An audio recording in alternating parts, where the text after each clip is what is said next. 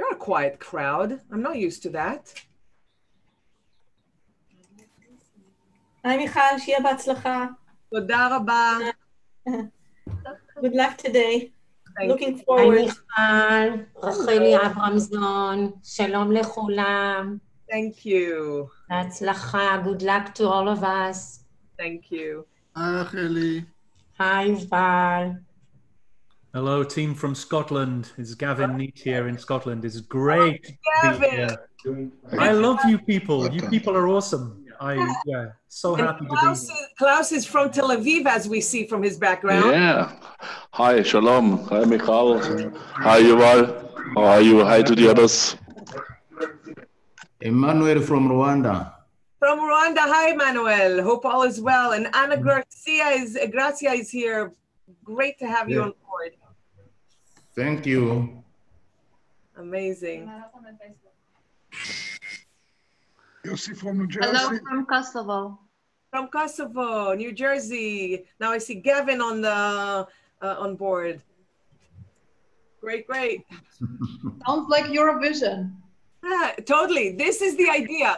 And I must tell everybody who's, who's on, Klaus is the one to thank for having this format. Last time we couldn't have it. And he said, What is this? We have to have it like this. So this is totally, I feel, a Eurovision contest. I see the chats. It's amazing. Brussels, Armenia, Kosovo, Chile, Brazil. We have a lot from Brazil, Philippines, London, Washington, D.C., Canada. Amazing, amazing, amazing, guys. So is Klaus going to sing? Is Klaus? No, he's the entertainment at the end. And if not, Okay. Ricardo will join them. Ricardo, you're up for also. You, you, you, you, you, you don't want to hear me sing. Regards from Thailand. Amazing. Last, last time you came with wine. I'm in the office. No wine in the office. Only coffee. Hmm? Um, uh, did Namibia uh, log on? Perfect. And sign language interpreters. If you are the sign language interpreters, we can't really recognize your uh, name. So if you can just speak and we'll be able to pin you and know that you are here, uh, I'll appreciate that. And we are going to start in one more minute. and leave us join the meeting. Alert, drop. יוסי צוריה, שלום לך. שלום יובל. Robin Spink. Well, Protas Soccer from Tanzania. Oh, amazing. Yeah. Hello, everyone. It's Robin here from Edinburgh in Scotland. Good to be here. Hi, Sean. Hi, Robin. You're not the first one from Scotland, but, but uh, ha happy to have you. Good to be here. Hello, everyone. Odi from Thailand. Mm-hmm. Hello from Ukraine. Yay, Ukraine, welcome. Good morning, Lisa Hello, from uh, United States. Uh, Lisa, hi. Hold on a second, Lisa. Hi. Um, uh, the the guys from uh, the interpreters are, uh, we can't recognize them. If you could just ask them to wave or something, and then we can start. Mm-hmm. I'm going to uh, call them and, and uh, see where they are. Thank you very much. You're welcome. this is Richard Streitz. Hello from Richmond, Virginia. Hello. Hi, Richard. Ricardo from Madrid. Hi, Tim. Hey, Ricardo. Hey, Ricardo. How are you doing? have good friends here. It's great to see a lot of familiar faces and names here. It's wonderful. but you know what's even greater? A lot of new ones. We have so many registered and so many joining in. Uh, so it doesn't take it one, uh, one push of a button and everybody's in. So it takes a couple more minutes. But we are going to begin as soon as I have the sign language interpreter uh, on board. Uh, oh dear, I hope uh, Richard from the beach. Richard Fendrick is one of our sign language interpreters, Michal, And he's and you may have. He should be on. Okay, Richard was join Sandra. Richard, if you're on, he's calling me now. Perfect. I am was join the meeting.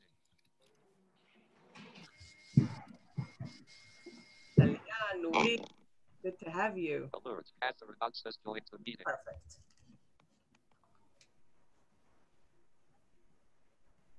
Okay, this is the, the Facebook Live is the beginning. It's already on. Perfect. So, hello to everybody, um, both here in the Zoom room and uh, on Facebook Live. We are very, very, very happy to have you here with us. Um, are we on? We can uh, begin. We have the sign language on. Uh, we have you located it. I guess that's one of the challenges of having 500 registered, more than 500 registered. Oh, Right. Yeah, yeah. We have, uh, as of about 45 minutes ago, we had more than 550. Alert. Anna Julia Yay. joined. Yeah, yeah. Totally amazing, guys. Yeah, I got it. Hands up for you guys. Okay. I just want to know that we have sign language to start with. Uh, Trying to locate him. Okay, Richard, sign language, if you're here, please talk or message in the chat so we can see you. I just messaged you, Michal. Okay, great. Thank you.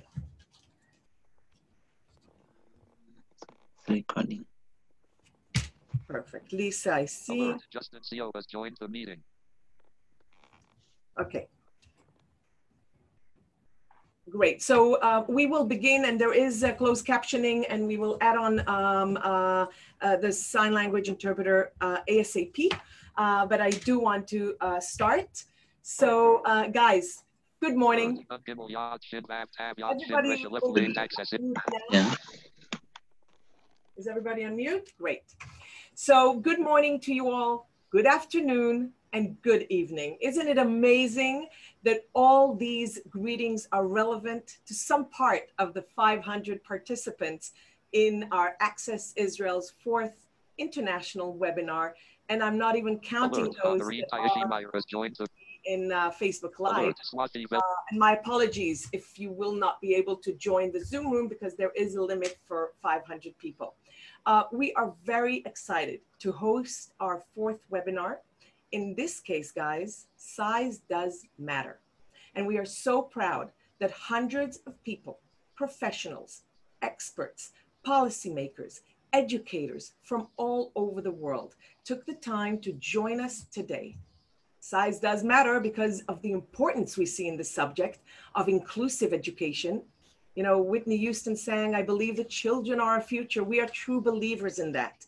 And for, for us, it was crucial to make sure that inclusive education applies also to remote learning, which in these crazy corona days has become relevant all over the world. We therefore extended our webinar for uh, five and a half hours to make sure you don't only get headlines or short presentations, but rather you will hear from 23 amazing, inspiring professional speakers from all over the world.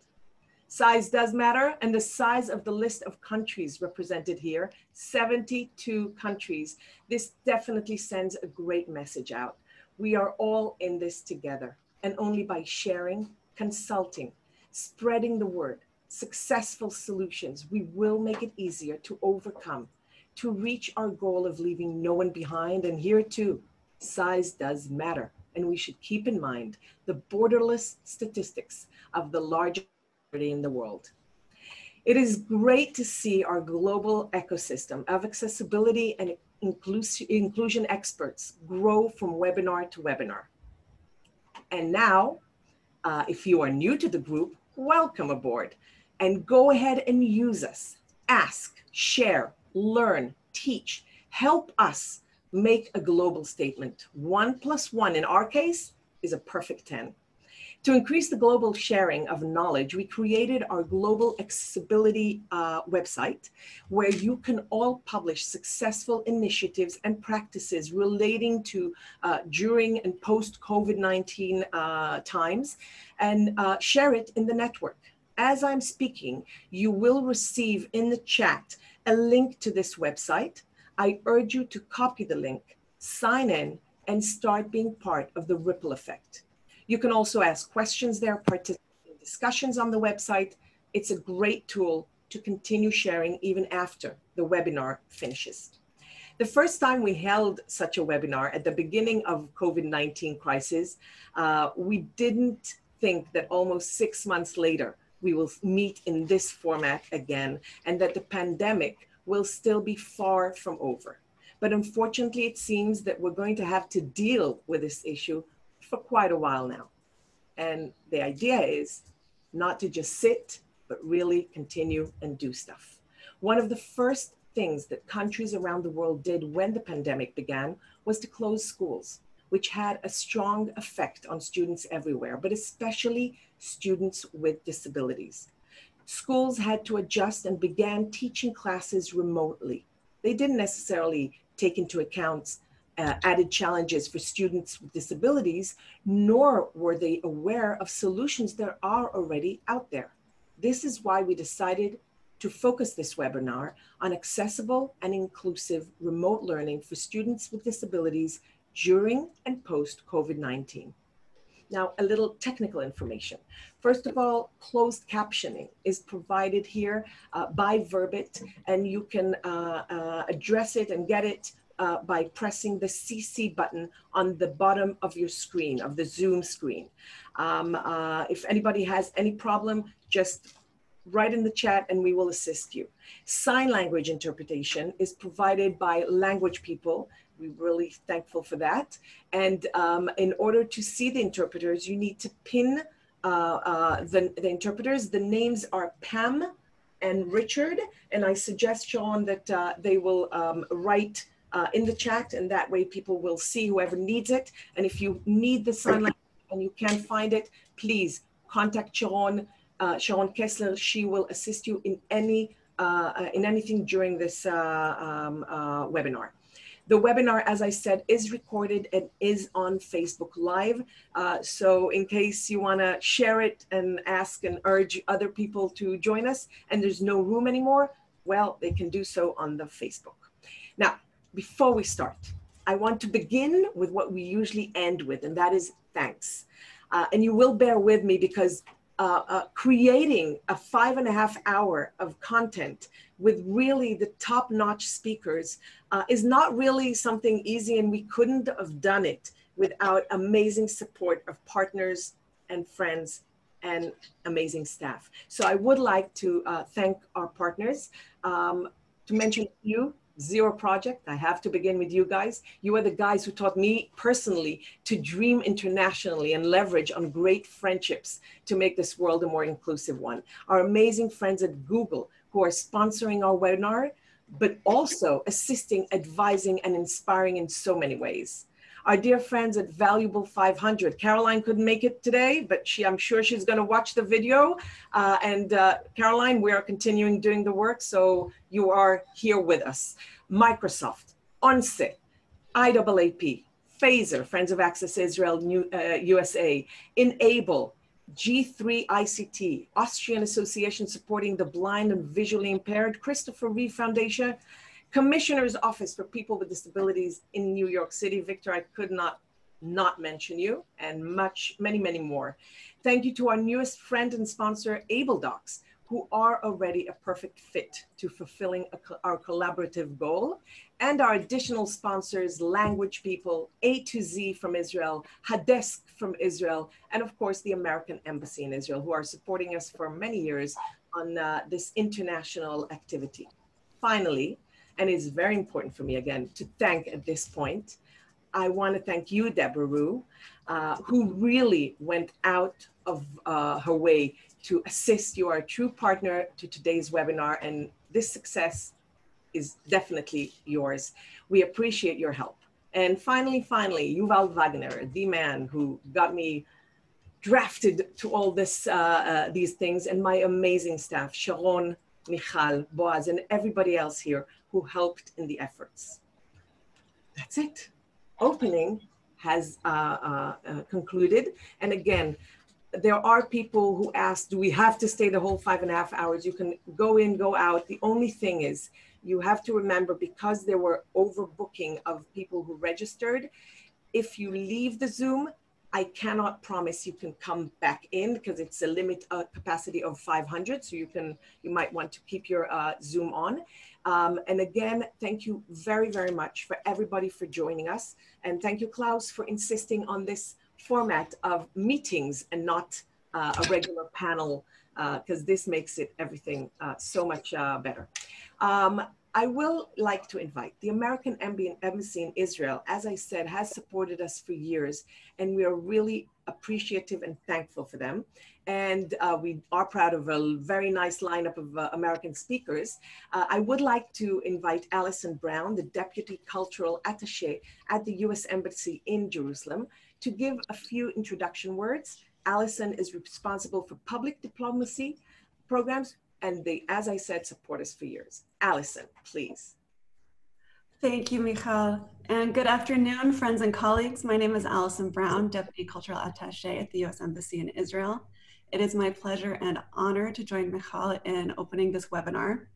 The embassy has had a long and fruitful relationship with Access Israel, which is one of the most influential organizations in Israel that promotes accessibility and disability rights for all.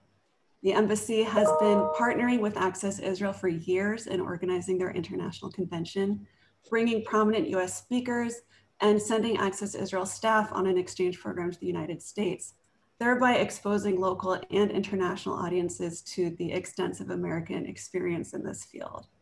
This year was supposed to be no different. In fact, for us, it was supposed to be more significant than ever because in the United States, we are celebrating the 30th anniversary of the ADA, the Americans with Disabilities Act, the historic law that changed the way our country treats people with disabilities.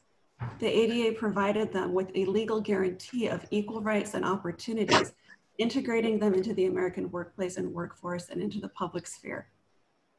This law did not only change the situation in the United States, it has changed the way people look at these issues in many countries around the world, including in Israel.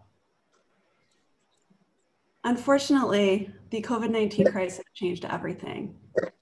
But after the initial shock, I think we all understand that however difficult and profound this crisis may be for all of us all over the world, it also provides new perspectives on our lives and on our shared future. So we were very happy to hear that our partners at Access Israel have not given up, quite the opposite. Within the virtual format, they have actually been able to recruit more amazing speakers and a larger international audience therefore increasing the impact of this day of sharing knowledge and expertise and looking for creative solutions for the issues people with disabilities face. The topic of this webinar is particularly important and timely, as Michal said, because the beginning of the school year is challenging for every child and parent, more so during the pandemic and even more so for people with disabilities. Finding creative solutions in the short run and developing a strategy for the long run is crucial for this new world of digital education, both during and after we come out of this pandemic. Therefore, I would like to congratulate our partners at Access Israel, as well as the nine American speakers joining us today, and all of the international experts and viewers who are also joining this webinar.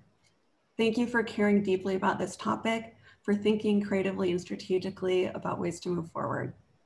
The US Embassy, as always, is proud to be a sponsor of this important event and I wish you all a meaningful session today, which will create a real impact on your communities and open doors of opportunity for all. Great. Thank you very much, Allison. And uh, this is, uh, we still have three more or four more till the end of the year. So again, thank you very much for your ongoing uh, support.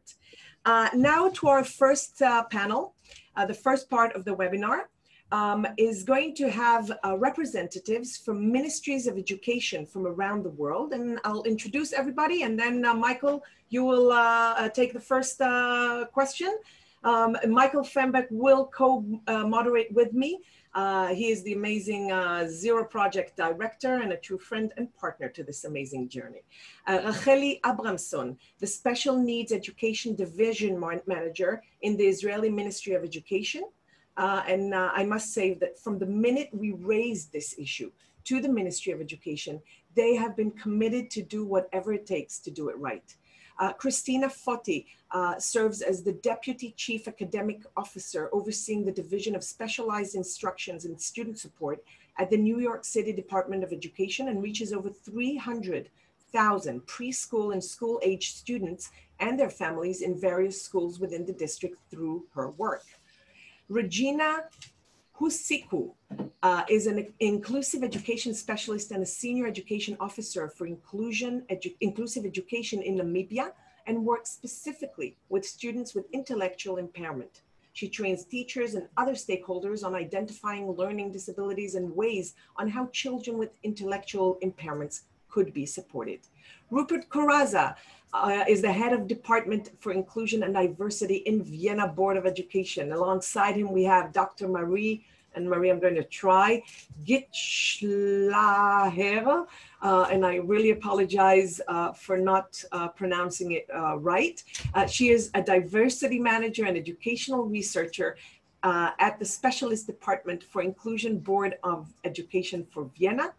And we have Andrea Rieger, who is the head teacher of the Inclusive Caritas Schule Am Himmel. They did an amazing pro project, which I'm sure we'll be very happy to hear.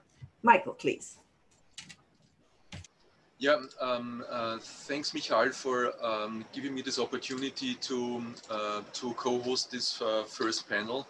Um, let me start with saying a few words how grateful we are and how proud we are to be a, a partner of, of Access Israel. Proud that we can support mainly by sharing the call for this Nomina, but also bringing in inspiring innovators and change makers to this community and to this webinar. And I see a, a, a long list of familiar names uh, that are uh, long-standing partners of the Zero Project. That is what we basically do with the Zero Project. Was we need partners like you.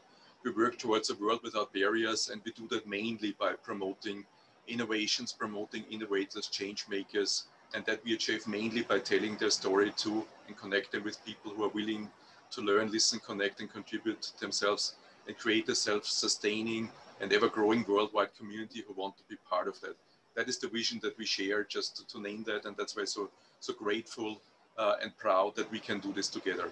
Um, but uh, now let's, uh, uh after this intro, and um, uh, let let me start uh, by by asking just, a first question. Just stopping one thing, Pam, the sign language interpreter is um, logging in right in the next minute or so. So whoever needs sign language, you see it in the ca closed captioning. Whoever needs sign language, please look for Pam and pin her. Thank you. Okay, so um, my first, first question and my first uh, talking point would be um, to get everyone a kind of sense of what we're talking about, getting some facts and, and numbers um, of, of the models that we are going to, uh, to have a closer look at, of how many people are, are we talking here, of how many schools, how is the special school system working? Is it still a special school system and how many schools are integrated? Um, how are they connected technolog technologically? These, these would be the questions that, um, that I would like to, to start with. I hope this is in line with uh, what you, uh, what you uh, have in mind, Michael, how to get this started. No? Totally. So we're going to start with uh, uh, Rachel, one second. Yes, I'm here. Begin. Hi. Hi to you all. Thank you. I have to admit that I'm very excited and honored to attend such an important webinar today. And thank you, Michal and Yuval, for invited me. Um, so I'll start at my beginning. I would like to present a brief, a short brief of uh, our special education system in Israel uh, by giving you some uh, data. First of all, the special education, education services in Israel are provided to students from three years old till 21 years old. And we have in our um, a, a educational system approximately 2,200,000 students that are learning in our uh, um, education system, but 209,000 students are learning in the in the uh, special education uh, system. And if I, I can say that uh, they are approximately 12% of the, all the students in Israel. 53,800 are students are studying in the kindergartens, special kindergartens, and special educational school. It's about uh, 18% of the uh, special education students. And we're talking about 170,000 integrated in standard regular classes and schools from the kindergarten and uh, uh, our uh, um, primary schools and high schools. 67,500 students are in special in special education classes. They are learning in standard and regular uh, schools, but they have their own classes and they are integrating in uh, our uh, um, educational system. So if you have another details that you want to hear, I will be glad to inform you. But I think that from from now, I'm moving to the other question. So one second. Let's uh, let's uh, continue with other. Uh, um, okay. Okay. Um, um, Christina. Hello there, Christina from New York. Hi, everybody. Thank you for having us, and we're so happy to be here today. We work in close partnership with Commissioner Calise for the Office of People with Disabilities that you mentioned before, Michal. So this is, uh, this is our uh, he is our introduction to you all, and we are very grateful. Um, the New York City Department of Education is uh, the largest school system in the United States. We serve 1.1 million students in 1,800 schools and over 300,000 students with disabilities. Of those 300,000, about 25,000 of them are um, in what we call District 75, which is the district serving our highest need students across the city. That's a, a brief overview, and, and, in my role, yeah, thank you. Perfect. Um, and now, uh, Regina, are you uh, here with us? Unmute yourself. Yeah, yes, I can hear you. Hello there. We can't see you. Can you put video or? Okay. Here you are. How are you? I'm good, and how are you? Can you hear me clearly? Yes, we hear you perfectly, and we'd love to hear your response to Michael's question. Some data, just so we'll understand what we're talking about. Um, in Namibia, I'm Regina Osiku from Namibia.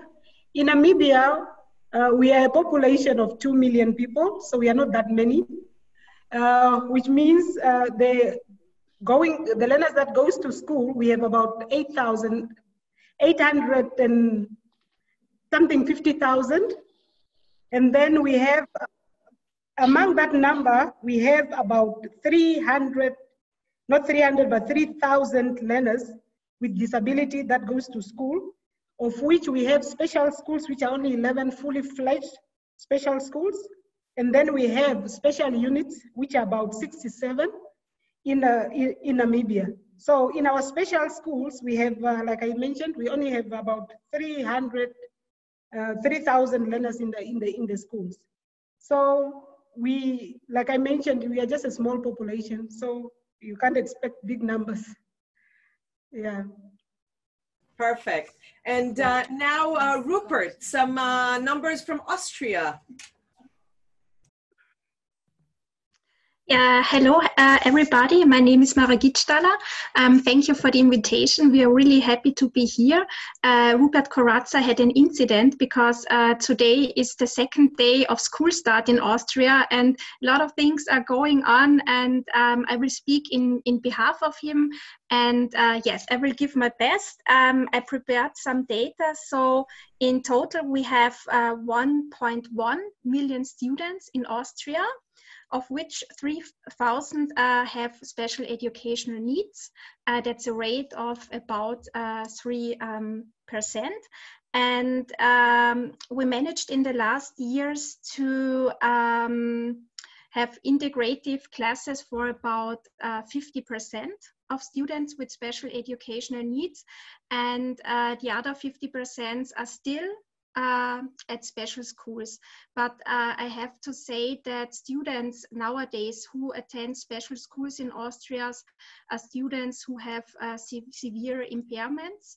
And for these students, uh, Austria still has not found uh, the solutions, but but uh, there are also schools. And next to me, I'm very happy to um, introduce Andrea Rieger. She's the headmaster of the school, uh, we, we, would say in English, at the sky or in the heaven. In German is uh, the Schule am Himmel.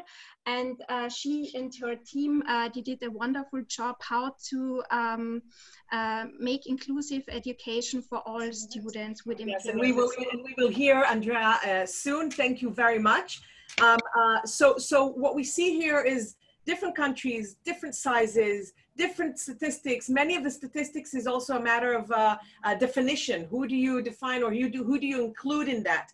But let's face it, as I said before, we are talking about a global um, uh, issue that is relevant to everybody. Doesn't matter where you're from, which time zone, which uh, um, uh, hour of day the day it is now. We are dealing with this. Um, and uh, uh, to our next question, we would like to hear now from you um, uh, about your reaction, your response to uh, the lockdown situation. I please want, I know a lot of amazing things have been done, but I, I do want to focus you um, uh, now only on uh, really remote studying. What has been done in remote studying? Because we know everybody had to uh, uh do it in one way or another. How is that uh, resolved in your uh, countries? Um, and of course, any other information about other amazing things you did, we will be able to share in the website. Racheli, we'll start with you, please.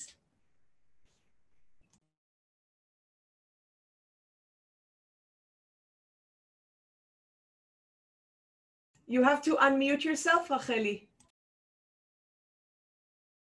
Excuse me. Thank you, Michal.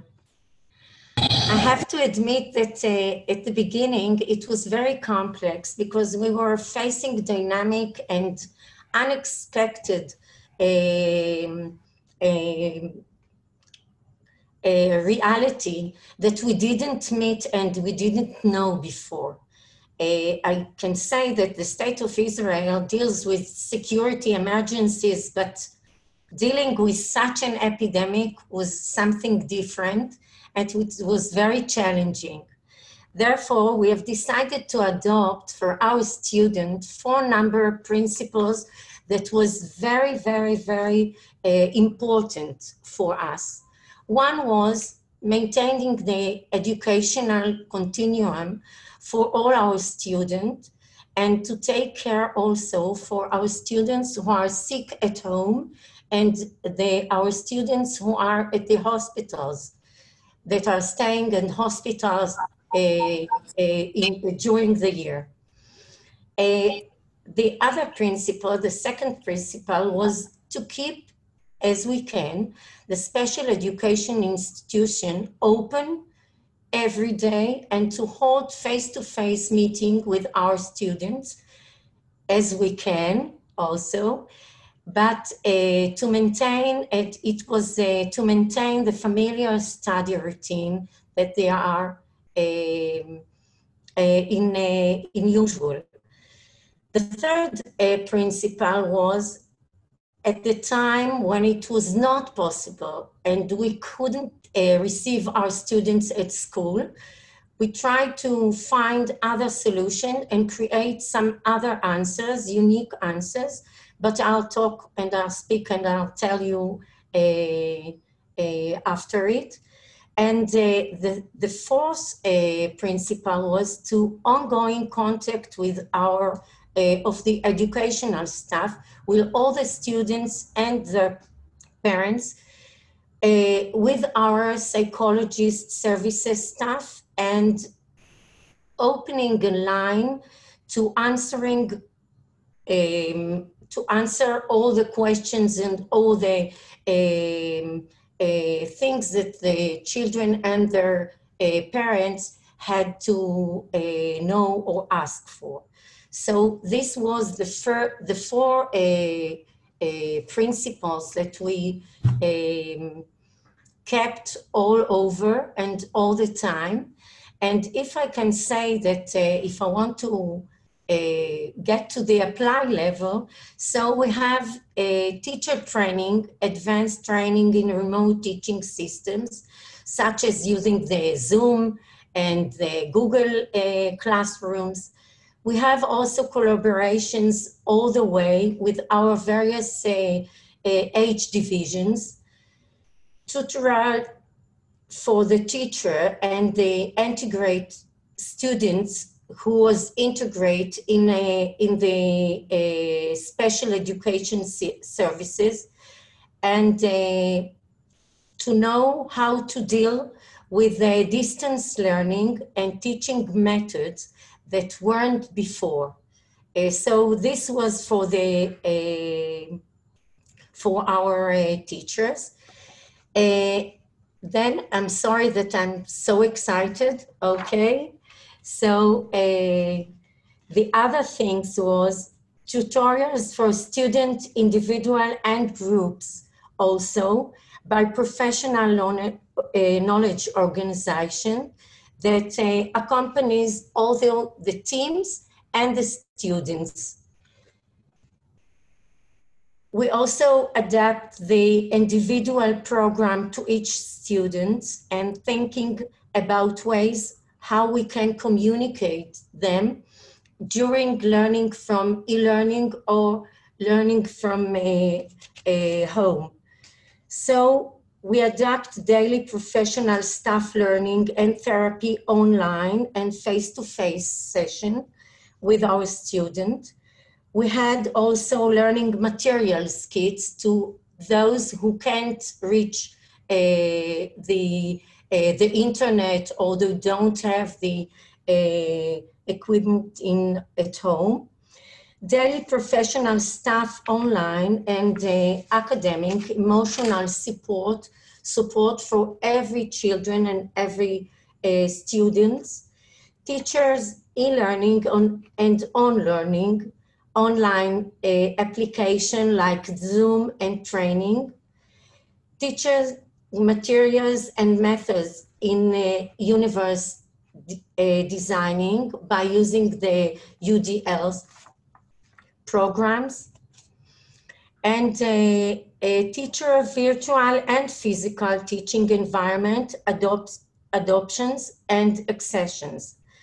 I can say that we also tried and permit the teachers and our uh, uh, therapists to go to the, to the houses and reach at home to improve and provide home services also to those who couldn't come to a school or to meet with their uh, uh, teachers. Okay, great. Uh, uh Racheli, yes. Uh, you're already answering this, the next questions, which is great. Okay, but, okay. Thank you for that uh, overview.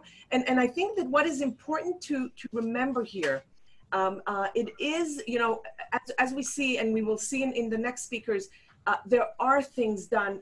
There are a lot of uh, a lot of thought is done because it was a shift between frontal, regular, face-to-face teaching and um, uh, remote teaching, which is a whole new ball game for teachers in general.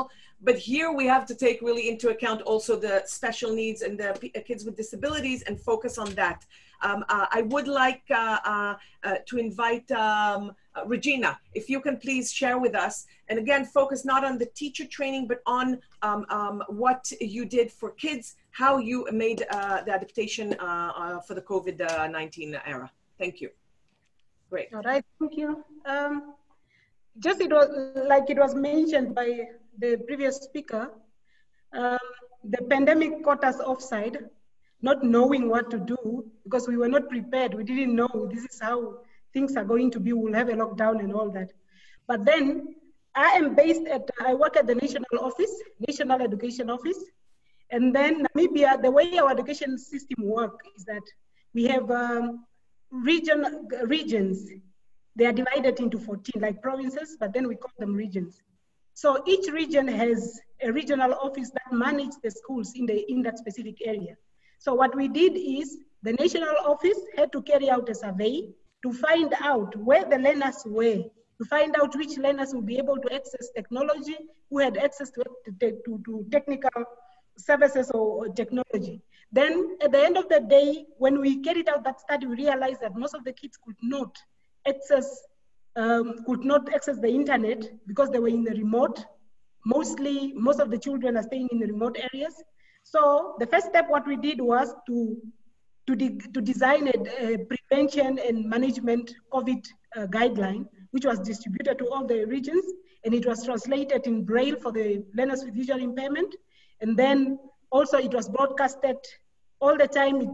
We speak about it, and then whatever communication that we do, sign language is also catered for. So we found out that when we did a study, we realized that most of our learners, they had access to radio platform. So we have the community, the, the Ministry of Education have to license with the one institution of open learning in order for them to recruit teachers that had to do the recordings for the lessons in order to broadcast these lessons for learners who had uh, who could have access to the radio platform. And then there was also there was also a channel where they can broadcast uh, the, the lessons which were recorded just 15 to 20 minutes.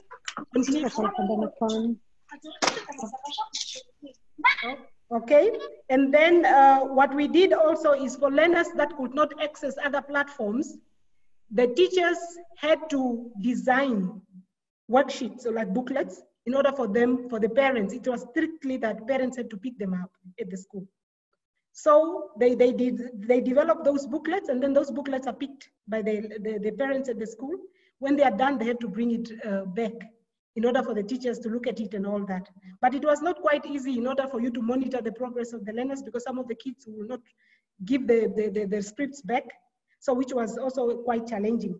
So lessons, like I mentioned, lessons were recorded, booklets were distributed to the learners, and then some of the booklets were even put in the, we put them in the national um, uh, newspaper for some of the kids to access, and also uh, the, the creating of awareness on COVID, it was very important as well to, to simplify it in a way that even children with intellectual impairment have access to information in order for them to have that information. So for some um, um, uh, WhatsApp platforms were also utilized for teachers in order for them to share ideas on how they go about developing these materials. So it was a, actually a good thing that teachers could collaborate and work together in order for them to share information on what they should put in the booklet and all that. And then um, One more. Thank you. Amazing, amazing. Uh, yes. Okay. you you have anything else to add on that? Because it was fascinating. Oh. so like, like I've mentioned, mostly it's just working on the worksheets. Worksheets have to be couriered for those learners that cannot uh, access have access to come to the school because some of the area, the lockdown found them in areas, some, some areas like at the farm and it was very far from the school. Yeah. So at the end of the day, you have to courier it and all that. So some of the school were impressed with one of the school because we have a feeding program for primary schools and some special schools. We have a feeding program when the schools are in, in school. So some of the schools, when they send those booklets with courier, they put in a snack in order for them, because it's not about just educating children, but they also need to be fed because these children are also disadvantaged in a way. They don't have three times, uh, three, they don't have a meal three times a day. So at least when they're at school, they have that meal, they have two times, they can eat two times, but when they're at home, we're even worried either these kids are eating or not. So some of the schools took that initiative to send a snack in order for them to at least, you know, to make their children happy and at least they can get something to eat for that specific week, which is really very amazing. Amazing. Regina, thank you very much. First of all, uh, when we spoke uh, uh, before uh, this webinar, I told you this fascinated me, uh, especially the, the, the thought of not only the education, but also the holistic, the, the snack, the, the, the giving the, the kids the, the information. And you presented here both uh, using uh, um, uh, technologies, but also low tech when we don't have technologies or we don't have access to technologies. And that was fascinating. Thank you very much. Uh, Christina, how about you? What, what happened in your neck of the world? So in, in our neck of the world, um, when we launched remote learning back in March, we asked every school to take an inventory of devices that they would be able to deploy to teachers and students. And for many, this was great, but given the scale of, of New York City, uh, there were still many students that not only needed a device, but also needed internet connectivity. And for that reason, we partnered uh, with Apple and one of the internet providers to deploy over 300,000 iPads with data plans built in. And as part of the distribution plan, um, we, uh, sorry, um, just having a technical difficulty here. As part of the dis distribution plan, any student that needed an internet enabled device could apply and we prioritize our students in temporary housing um, as such as shelters, um, as well as students with disabilities across the board. We also partnered with our local internet companies to um, ask that they provide free internet for a few months while we launched remote learning, and that was an incredible help to so many of our students and families. Thank you very much. Amazing. And um, uh, our Austrian delegation, um, uh, please, uh, uh Dr. Marie, are you going to present it or? Yes, yes. Um, uh, it was really interesting uh, what has been said uh, so far and um, what Austria did. We didn't have a problem in Austria with the, the internet connection of the families, but we had a lot of families who couldn't afford a, a notebook or a tablet or something like that. And our Ministry of Education provided for these children uh, a lot, as a lot of, of notebooks. And Ria, you told me the, the sum which was spent, the money for notebooks? Yeah, it was approximately 12 million euro uh, in a very, very short time. Yes. So Mm. um, that was good. Impressive. And um, uh, I think we um, went through all our countries. Michael, please take it from here. Yes, thank you. So I would like to follow up on, on what has currently been said already. Um, uh, being a former journalist, I'm quite good in asking uh, simple questions that require tough answers. So um, be prepared. Um, so um, I, I, think what what is um, would be really interesting if you share uh, with us uh, some of your learnings uh, with especially how you supported schools and how you supported teachers. Something had already been mentioned by by Regina. So she mentioned the the guidelines that have been distributed and, and the broadcast of, of lessons and booklets and also an IT platform where teachers share the experiences. So that, that that's really great. And, and I think that this is uh, what uh, I would like to um, uh, to ask the uh, the other um, panelists uh, more about more uh, about. And I would like to to start with, with, Christina. You're serving, as far as I know, some some. You mentioned one million students and 800 schools. So what what has been done to support schools and teachers, and what were your learnings that you would like to share uh, with us? Sure. Um, so yes, it, it, scale of, of, New York, as saying, is just uh, part of um, certainly part of the the challenge. Um, but I'm really proud to say that almost overnight, our team mobilized to ensure that students with disabilities would continue to receive their services to the greatest extent possible. And in a matter of days, we provided resources for teachers and families to prepare for remote learning. Uh, we launched teletherapy services so that students could receive their occupational therapy, their speech therapy, their physical therapy even um, at home um, and, and do so with their same provider. You know, so much has changed for our students during COVID. And one of the things that we felt really strongly about was keeping continuity of um, the providers and teachers that children know and feel connected to, um, keeping that continuity during remote learning. And so we were very happy when we were able to get teletherapy up and running so that students can log on and see the faces of, of those teachers and, and related service providers that they feel so connected to and that quite frankly who know them well.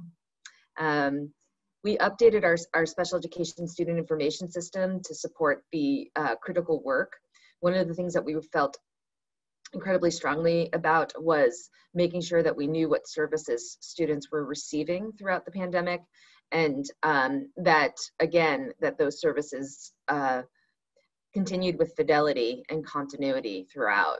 Um, and then we, we doubled down on our family empowerment and communication um, to make sure that families were going to be well supported with learn at home resources.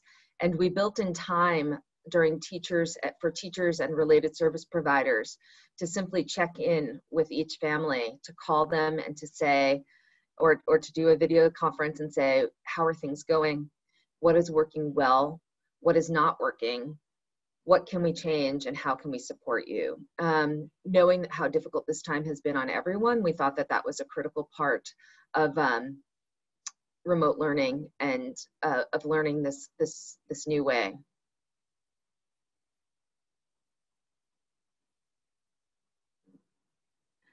Michael, you're on mute. One, more, one brief question in, in addition. Would you say uh, that it was more on a kind of uh, mandatory base that creates minimum standards for each school and each teacher? Or was this more a kind of optional base that you offered opportunities to schools and teachers? Was it possible sure. to create some minimum standards or was it more that each school tried as hard as they could? Yeah, that's a great question. So, I, I mean, I think that that's a two-part question because, because the first part is, are there expectations across the board for teaching and learning? Um, and I think the second part is really, then what does it look for, like for education with those expectations? And um, our expectations have what you said because the connection is for some reason not so clear. Oh, I'm sorry, Michal. Is this better? Okay. So I, I heard that question as a two-part question. And the first being, what are the general expectations for teaching and learning? And then what are the, the expectations for disabilities?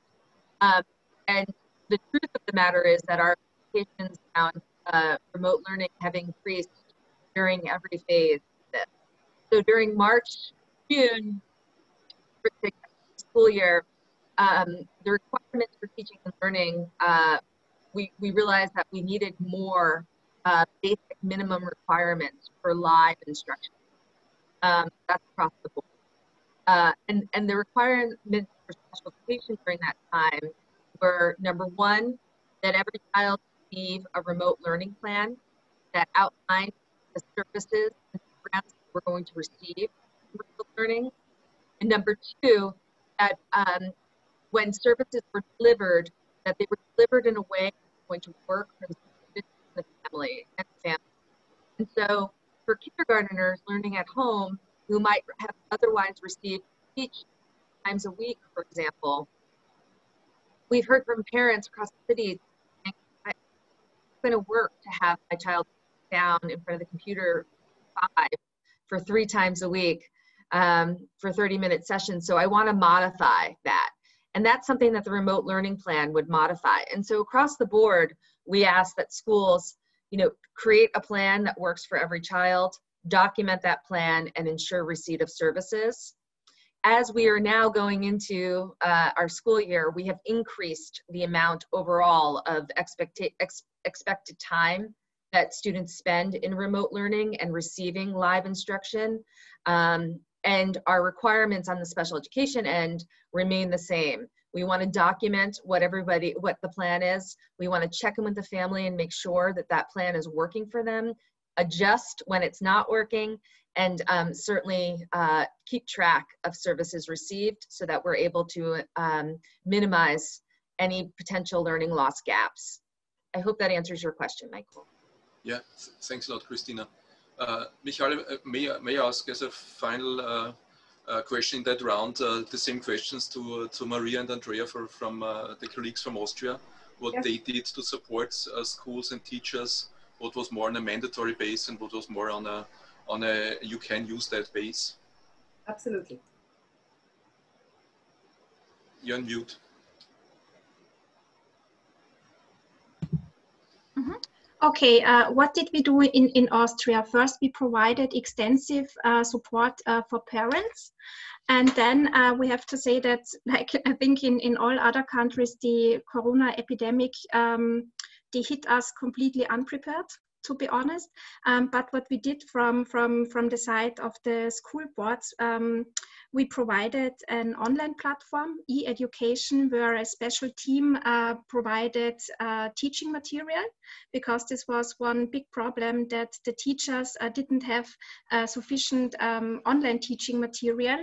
And also um, there was a lack of the communication software like Zoom and also the competence how to, how to use it. So we also provided uh, software um, for, for our schools. And um, what, what we uh, managed was uh, that we also we, we managed to to um, to include the majority of students with disability in online teaching, but uh, for students with severe disabilities, um, the, the offer wasn't uh, sufficient. Yeah. I think basically at the beginning, every single school tried to survive the new situation, and we all tried to handle things uh, in our very personal school way. So uh, I think all the teams in the Austrian schools just sat together via Zoom and uh, discussed uh, what could they provide very, very quickly, what could they do. And at the beginning, everything was probably all very, very individualized, um, school-based. And then um, the government and, and the authorities started setting up like the edutech and things, and things just got a little more smooth running for everybody.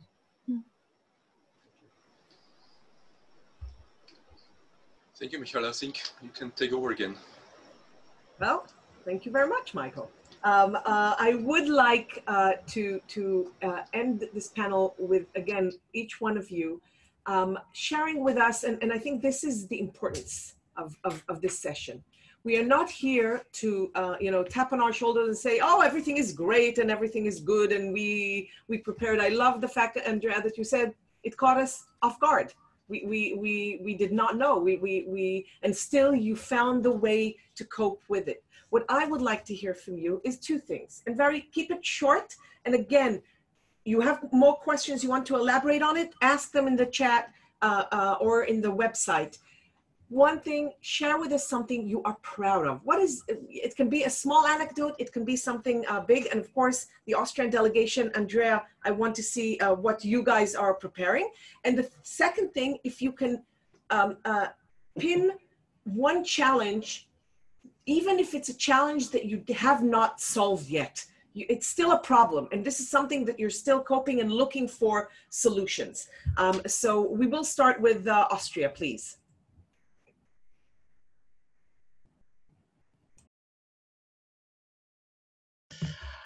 Um, okay, we, we have prepared a little something and we would like you to um, play the video for us if possible, because this is something which needs no words and we are exceedingly proud of.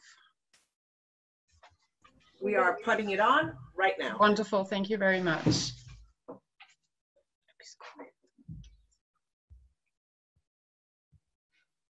I love the excited faces in the back of you. no.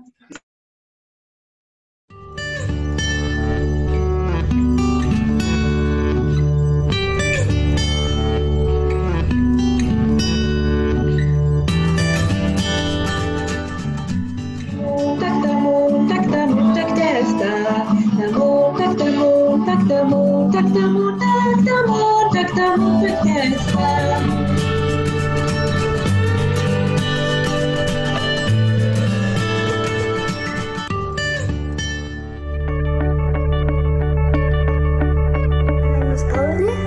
Today we are making pancakes.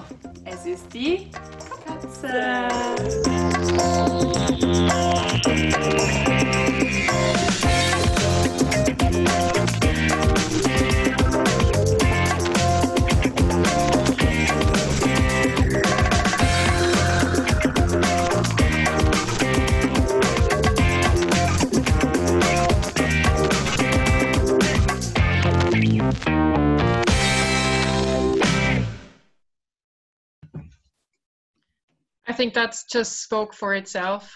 Um, we did a lot, we tried a lot, and um, yes, we are prepared, but hope it won't come again, the situation that we were all in. Thank you. First of all, I must say that uh, when when we were uh, speaking for the first time, you know, Michael said uh, such superlatives about uh, your school that it is known for for the successful uh, implementation. So so um, if Michael recommends, I'm uh, I'm all for it. Um, can you share with us a, a challenge? What what what is a challenge that you feel that with the amazing things that you have achieved, you are still you know not there yet. You need help. You need. Yes, um, absolutely. Um, I think where the, the biggest point where we need help uh, for is um, the psychological impact which um, just occurred and, and everything um, during during uh, the lockdown. We still don't know how uh, the children will come back. We have the second day of school today. Some of them came back very very excited. Some of them came back very quietly. Some of them don't want to play football because they might catch uh, the virus. So uh, I think this is something which will now be one. Now that we're all together, back together here, uh, will be one of the things that we will have to look very, very close at and see what we can do. And where we will not need, uh, and all Austria, all students in Austria will probably need a lot of uh, help there. Uh, I think this is something that we should, in the future and in the next few months, look very, very carefully at. Thank you. Thank you very much. Racheli, uh, can you share with us very shortly uh, one um, thing that you are proud of and maybe a challenge that you're still up for it? Yes. Okay, so I will be uh, say that uh, we are very proud uh, of uh, providing also, also emotional supports and all the therapy uh, at home, uh, and um, and we look forward to see if we can do it more, and um, and. Um, and give all our children and all our students uh, uh, the opportunity to get our uh, um, home uh, services uh, if they cannot come to school or to the kindergartens.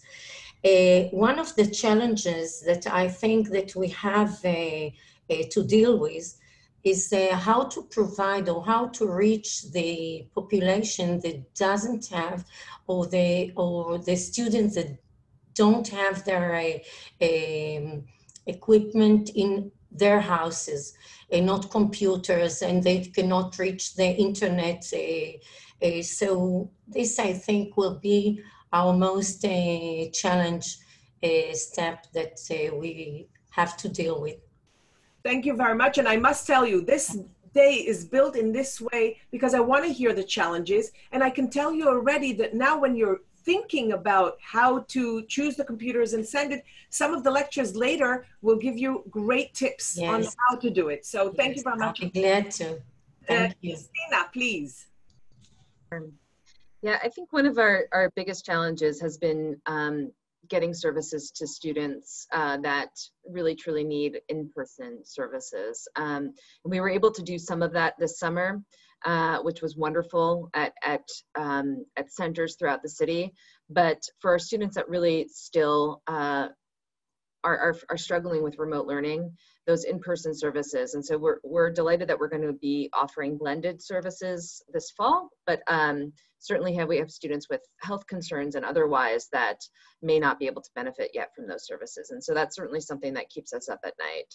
Um, regarding ch- um, perhaps What's you proud of? What's that? What's you proud of? Yeah. What So- here? what we're proud of is actually uh, was birthed out of uh, a challenge, and um, and so the challenge of needing to be socially distant uh, and not being able to include students in the way that uh, we typically do. Um, we worked around that to make sure that students still felt that con- connectivity and that families still felt that connectivity. Um, later today, you're going to hear from my team. Uh, they're going to tell you about our Inclusion Expo and which was an event that we typically make happen in person. And much like this event, we typically uh, in person don't have enough uh, seats. Um, however, going virtually expanded our capacity to do that. And we had over 18 students present on inclusion um, and uh, families, students, uh, community members, everybody was able to join to, to hear the impact of this, which was really incredible. Thank and you. the same. Thank you very, very much. And last but not least, Regina, very shortly, what are you proud of? And one big challenge, please. Um, uh, something that we are proud of is the collaboration that we had. We never had it before between teachers, parents, the ministry, and the community.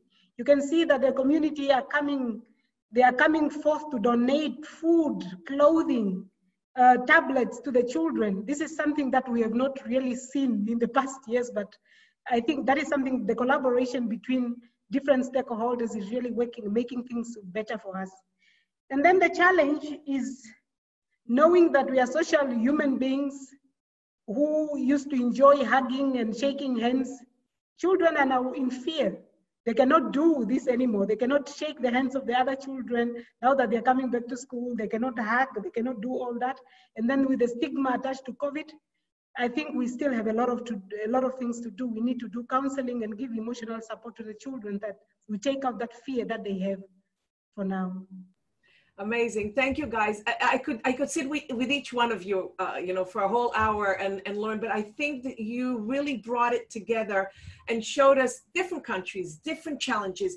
But everything is is basically we're facing the same thing with different solutions. Again, the challenges that you raised here, I really think that later on uh, today you will receive uh, tools. And I would like I'm already receiving WhatsApps and uh, and, and and and in the chat. I urge you all uh, all four participants here, please go on our website, upload your um, uh, materials, your statistics, your solutions people want to hear. Uh, and uh, we will be able to create amazing ripple effects with that. Guys, thank you very much. And Michael, thank you as usual and as always um, uh, for your helps and uh, help and support. Um, uh, and I still have that journalist uh, uh, expertise to learn from you. Um, um, and uh, I would love to go into our second part. the second part is the more global technologies coming together. And for that, I'm going to pass on the mic to Yuval Wagner, uh, the founder and um, uh, chairperson of Access Israel, and Deborah Ruh, the CEO of Ruh Global Impact. Again, as I mentioned before, a great partner of ours and uh, partnering in the success of this webinar. Uh, please take the lead, guys. okay. Uh, hi, everyone. I'm happy to start talking. and we are excited about this technology uh, second part of the webinar. And, and, as you already know, Deborah Ruh is our secret uh, power of having uh, some amazing uh, speakers today. And we're going to just jump through uh, directly. Deborah, please say hi before we uh, present Morgan. Um, hello, everyone. Good morning, good day. And um, I'm just so impressed with that, what Access Israel did in just a few weeks, bringing all of us together during this really critical time. So I'm always, always impressed. And they just made me even more impressed and really thrilled to have the corporations that are here supporting us, showing us what they're doing to make sure that we're all included. So thank you, Yuval and Mikhail. Okay, so the way it's going to work and we're going to have some a few speakers from major global companies and i'm going to present them they're going to do their presentations and then they have these tough questions that uh, Deborah will give them and if it's not tough enough i would add a question so i'm challenging Deborah uh, so uh, we're going to start with our friends from uh, google uh, so we're going to ask uh, morgan weisman that um, is a project uh, marketing manager with Google for education. And she was going to talk about the power of building for all, supporting all learners with Google for education. So uh, Morgan, I'm not, not going to take your time. Please start. Okay, great. Can everyone hear me and see me on my screen? Yes, it's good. Okay, perfect. Um, thank you so much for that intro. I am really excited to be here and I'm loving learning um, and hearing from all of you with all of the ups and downs and challenges. Um, I spend a lot of time talking to teachers and administrators from around the globe, and we literally couldn't be building all of this without your feedback. So, thank you. Um, one. Um, so, I'm Morgan. I'm a product marketing manager with Google for Education. So, I sit across Chrome and G Suite and Google Classroom and spend a lot of time with our storytelling of accessibility, working on our family's narrative, um, security. Uh, so I'm really excited to be here with you talking all about accessibility. Um, so before we dive in, I just wanted to share a little bit about me. In my past life, I taught kindergarten in Texas, um, and I had a classroom of 25 students of all different abilities. And you can see a few photos of some of my students here. So Omar, Jeremiah, um, who both had autism, and I will confess that I can't imagine what it would have been like to still be in the classroom today um, with distance learning and supporting students of all abilities without being able to spend that really critical one on one time with them in person. Um, but when I was teaching, I had two very old computers in my classroom, and we used those to the best of our ability. And I watched Jeremiah and Omar come alive with learning how to use magnification tools to help them see better, engage with games and learning on the computer in a way that they weren't able to with some of their peers. Um, and I've really carried that power of inclusion and the importance of accessibility and technology with me since I left teaching to come to Google five years ago. Um, so I think we all agree and know this to be true that not only should educational solutions be designed for all types of learners, but that everyone really benefits when doing so. And we see this in classrooms all the time. So last year, we heard from a teacher who had a student in their class with autism who required the help of a teaching aide to sit by them to answer their questions throughout the lesson rather than disrupting the class. And with the introduction of Chromebooks, which are our devices, and G Suite for Education, which is our free suite of productivity tools um, and collaboration tools, the teacher created a Google Doc for the student to write their questions in. And so rather than the aide sitting right by the students, singling them out, they could sit at the back of the class and answer the students' questions in real time in the document. And the great thing was, um, every single student in the class benefited because um, the entire class could access that and ask questions um, and engage in that way as well. We've definitely seen this to be true for those who are teaching and learning in remote settings as a result of COVID 19. Um, so the tools themselves are built to be kind of collaborative, right, and connect people even when they're not able to be there in person. Um, and teachers who've used tools like the closed captions in Google Meet or slides for online lessons or enabled automatic alt text in Chrome have experienced um, some of those ways that it's easier to include um, accessibility features for every single student and teacher and parent who has become a teacher. Um, so I want to take you through an example of just one school that experienced this firsthand. So when Portage Public Schools transitioned to distance learning, this is in Michigan, they showed um, an incredible commitment to ensuring that every single student had what they needed to make sure learning could continue from home. So they sent Chromebooks home, they set up G Suite for Education. Um, but what they found in setting it up is that the benefits of actually building in all of those inclusive practices um, were greater. Um, so, like many others, um, they used Google Meet to conduct their virtual lesson, so our video conferencing solution. Um, and they also used the captioning feature in Meet to provide live captions for those students who are deaf or hard of hearing. So, if you're in Google Meet, there's a little closed caption button at the bottom of the screen, um, really easy to enable. And often they would pre record the lessons and send them out to students. So they downloaded a Chrome extension on their Chromebook and used that to record the Meet lessons so the captions would be recorded. And this then helped not only the students that needed the captions, but also in, in some cases their parents and guardians who are supporting from home. Um, and one unexpected outtake of that was was the fact that many other students benefited from that too. Whether they are more visual learners, I myself am one of those, and benefited from reading at the same time as listening, or for those who are learning from home in really noisy environments, right? So if there are multiple students in the same room, if their parents were working from home. Um, we also find that oftentimes students want to go back to the lessons their teacher taught. There's nothing like learning it the way that your teacher um, shared in class. Um, so that's kind of one of those silver linings that's come out of it. And a lot of teachers are now thinking about when they're back in school or they're doing hybrid lessons, um, they want to make sure that they're recorded so they can send them home so students can access and refer back to them. Um, we we also now are going to have access to temporary recordings in Google Meet, so I'll share a little bit more about that um, later on. Um, so within Google for Education, right, it's our mission to ensure that every single student or individual has access to the education that they deserve. Um, so that means not just every student who uses our products, but every teacher, IT administrator, education leader, every parent and guardian or community member who supports their child. Um, and across Google, we design our technology solutions with inclusion in mind. Um, one of the biggest ways that we strive to deliver on that is by ensuring that our accessibility features are actually built into our solutions from the get go. So they should be easy to use and they don't require a lot of additional work and lift. Um, so you should be able to just click a button and have closed captions on to be able to include every single person um, who's who's watching or engaging. Um, and that also means that every single student or teacher, all types and abilities and learning styles, have that opportunity to set up their learning environment in a way that works for them, right? And we're seeing that the earlier students know how to set up accessibility settings or how to customize their learning experience, that actually sets them up for success in the long run.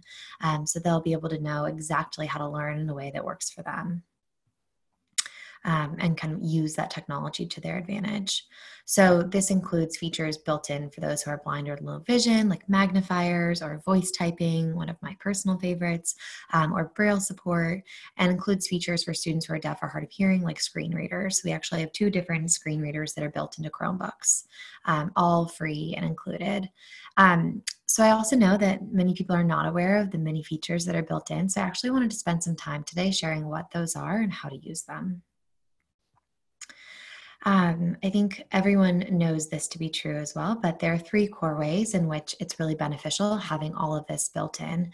So, students with specific learning needs get to use the same tools as the rest of the class, and that promotes an inclusive and collaborative learning environment. They're just able to use them in a different way. Um, every teacher and student can create their own customized environment, and then students, of course, can learn with confidence and foster that independent learning with individualized tools, especially when you can't have a teacher sitting right next to a student, um, as we do with remote learning. Um, so let's chat a little bit more about the technology. Um, so Chromebooks, we've seen millions of students using Chromebooks and taking them home for distance learning. Um, we also know that, of course, access and equity um, are really big issues that are affecting us globally. Um, so, if, even if you don't have Wi Fi access or have spotty service, um, they do work offline as well. Um, so, you're able to access a lot of the tools um, that you would need. G Suite for Education also works offline. So, if you're offline and you happen to get a little bit of service, you can access, download any of your documents, work, and then when you're back online, they'll sync back up. Um, so Chromebooks are kind of very secure, simple, powerful devices that have everything from visual aids to screen readers built in right out of the box. Um, and within accessibility settings, you can customize um, your settings. And then once you sign in, um, then those settings will actually follow you no matter what device you're using if you're signed in with that same username um, and login. Um, so since the settings are synced to each account, Chromebooks are very easy to share. So among students or members of the family. Um, Chromebooks also have a ton of different apps and extensions. So from companies like Don Johnston and TextHelp, um, augmentative and alternative communication apps like Cricksoft. Um, and, and a lot of those are all kind of built in or easily accessible as well. Um, we'll dive into some of the specific features in just a little bit. Um, and then G Suite for Education is that set of tools um, that many students and teachers are using to collaborate in real time. You've probably heard of Google Classroom, um, which is the hub of communication and where teachers can create assignments and grade, um, have conversations in the stream. Um, and then you can also now access Google Meet directly from Google Classroom. So students don't have to go tons of different places looking for links. They can go directly to their class and join a Google Meet, um, which also has live captions built in along with Google Slides. You can use voice typing in Google Docs and screen readers across all the G Suite products. Um, we're also seeing you know, Google Forms being used for IEPs or one-on-one Google Meets for conferences. Um, the, the possibilities are really endless. Um, so let's chat a little bit about some of the the specific features that are built in. Um, so to help students see screens more easily, you're able to increase the size of the cursor or increase text size or better visibility on Chromebooks. You can add a highlighted circle around the cursor when moving the mouse or a text caret when typing um, or a keyboard focused item when tabbing. Um, colorful rings appear when the items are in motion to draw greater visual focus and then fade away. Um, up here, you can see um, for students with light sensitivity or eye strain, you can turn on high contrast mode to invert colors across the Chromebook. Um, you can also increase the size of the browser or app content um, and make everything on the screen, including app icons and Chrome tabs, larger for greater visibility. Um, for higher levels of zoom, you can try full screen or docked magnifiers in Chromebooks. Um, and you can also add automatic alt text um, when using a screen reader in Chrome. So Google can automatically provide descriptions of unlabeled images. Um, for example, many images that don't have alt text. So we're working on ways to use um, technology to, to, um, to have better access um, across the web as well. Um, there are many other features too that can read text out loud. So those can be useful for students with visual impairments, um, learning and processing challenges, or even students learning a new language or using English as their, um, that's not their first language. Um, so select to speak um, lets students hear the text they choose on screen spoken out loud with word by word visual highlighting for better audio and visual connection. Um, we also have Chromevox, so that's a built-in screen reader for Chromebooks. Um, and you can, students can navigate around the Chromebook interface using audio spoken feedback or Braille. Um, and there are also many extensions like those from TextHelp, like Read and Write, that can be used for spelling and grammar checks, talking and picture dictionaries, text to, speech, um, additional reading and writing support as well. Um, and then uh, we've talked about this a little bit, but the live captions in Google Slides and Google Meet will display the speaker's words in real time at the bottom of the screen. This is a personal favorite. Um, and for any users who have limited hearing in one ear, you can also use mono audio to play the same, the same sound through both speakers. Um, and Chromebooks also support the latest standards for video closed captions. Um, and for those students or teachers or family members that have a motor impairment, um, you can use all of the following. So dictation um, allows you to speak into your Chromebook to enter text in many places where you might otherwise type. Um, you can also use voice typing to enter, edit, and format text in Google Docs and Slides, all without a keyboard. Um, dictating writing assignments can, can also be really helpful for students who get a little stuck um, and want to get thoughts flowing by speaking of typing.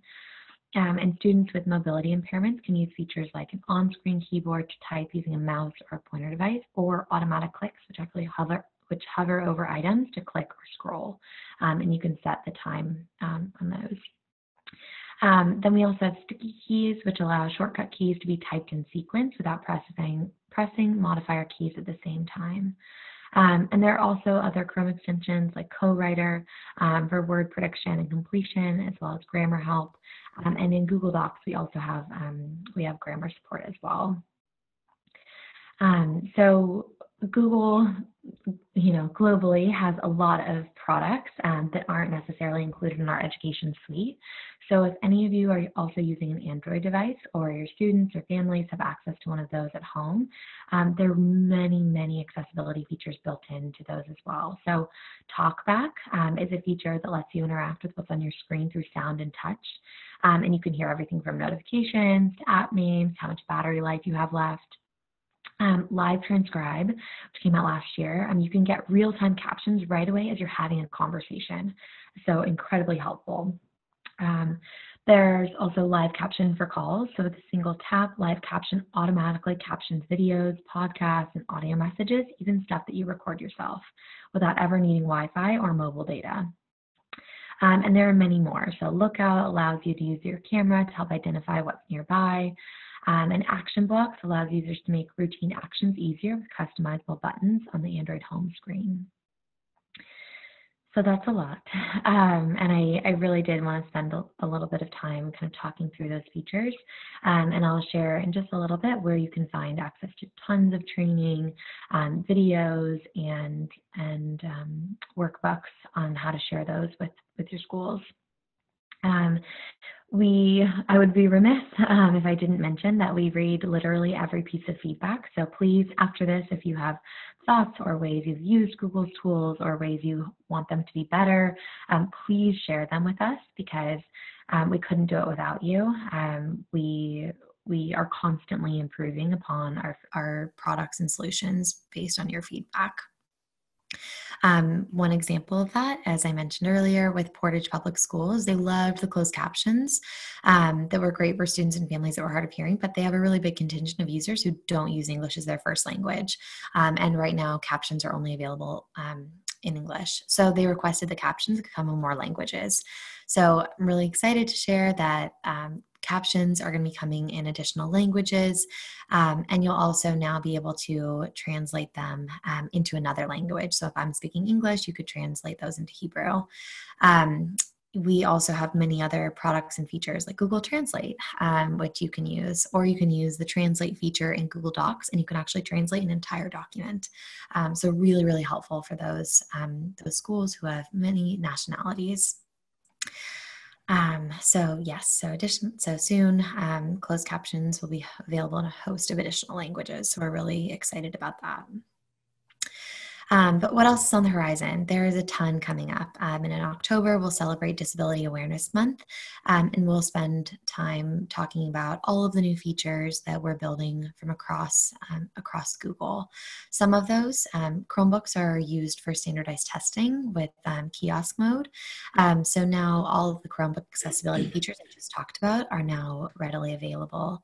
Um, you can also now have better access to Braille support in Google Docs, um, switch access, so being able to interact with devices through a, a connected controller, um, and live captions on a Chrome browser. Almost finished.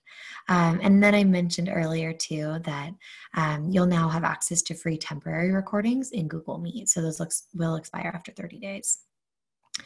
Um, so, where can you find all of this? Because I just talked really fast. Um, so, during COVID, um, we started working on our response in like January, February, and um, we realized that families needed a ton of support um, as they were home um, and supporting their students. So, we launched Teach from Anywhere to support teachers and IT administrators and education leaders. so, that's at g.co slash teach from anywhere. It has all of our products, it has a ton of guides and resources from a lot of partners partners um, across the world. Um, and we also created a lot of guardians guides too. So you'll find this one, um, uh, a guide on all of our tools. It has a ton of the features that I just talked about in there. Um, there are also education on air webinars. We've hosted a lot, um, almost 100, I think, over the past eight months, um, where you can learn about our accessibility features and tools built in. Um, you'll also see up here if you want to stay, uh, stay in touch and follow along. We have a blog. The Chromebook App Hub has a ton of accessibility apps and features included. We have our Teacher Center where you can find training on all of our accessibility features, and then help centers as well, um, which have all of, all of our um, tools as well. Um, so we are looking to you um, and learning from you and here with you. Um, and we are hopeful that this will all kind of accelerate that more inclusive education, um, which will benefit everyone today and the students of tomorrow. So thank, thank you. you. Thank you for having me. Morgan, are you ready for the question of Deborah? Oh, sure. Okay, Deborah. Well, excellent presentation, and I continue to be so impressed with what Google and other global corporations are doing to listen to our community and really um, help us be included. And I love the points that you were making that as you made um, things more accessible for some students, it actually supported all students and all the different learning types. Also, special kudos to Google for knowing to hire teachers teachers and special education teachers they bring so many so much to these conversations so my question for you is and i'm actually going to um, do a question that someone asked because um, i know that Hagid had asked about uh, captions in hebrew and you answered that um, that that is coming but also i thought uh, lisa nielsen made a question and somebody else also agreed that accessibility checkers built into google would be very helpful for us and so I was just wondering if that is something that is planned. And also, I want to thank you for the captions that are built into Google Chat and that now that you're holding on to it, because we have found that to be very, very valuable, tying it with Google, Google Translate. Awesome. Yeah, it's so great to hear.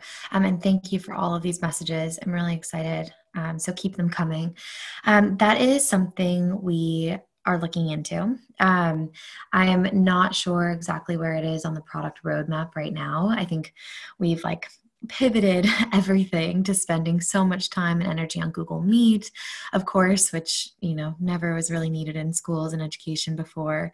Um, so the accessibility checker I know is something that's it's incredibly important, especially in higher ed, right? Um, in higher education, um, and then within kind of the K twelve education space too. So I know it's something we are actively looking into, um, but I don't know the time frame right now. And one other real quick question.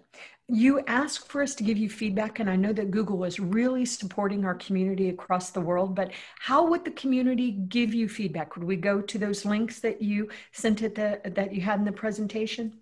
Yeah, so any of those links, um, I will share my own email um, address as well. Um, but if you comment on our Twitter account, um, our Facebook page, um, or you can also submit feedback in product too. So there's um, there's an option to also submit feedback there. We also have our help centers where they're community forums. So tons of educators um, and administrators around the world are manning those and answering questions in real time. So submit those there. Um, our teams are are reading a lot of feedback, um, and it is great. So um, please continue sharing in any of those ways. Thank you, Morgan. Good job. You've thank, thank you very much. Just last, last small question. All your training materials, are they being planned to be translated to many, many languages? Because many countries around the world are asking for that. Yes. So Teach from Anywhere, I think, is available in over 40 languages now, um, and it's available all over the world. Um, everything in our Teacher Center and Help Center are also available um, globally. Um, and then we are actively working to translate all of our like one pagers and and guides and everything too so they should most of it should be available um, in many many languages but if you don't see it um, please reach out. And I'm sure I have it somewhere in my Google Drive.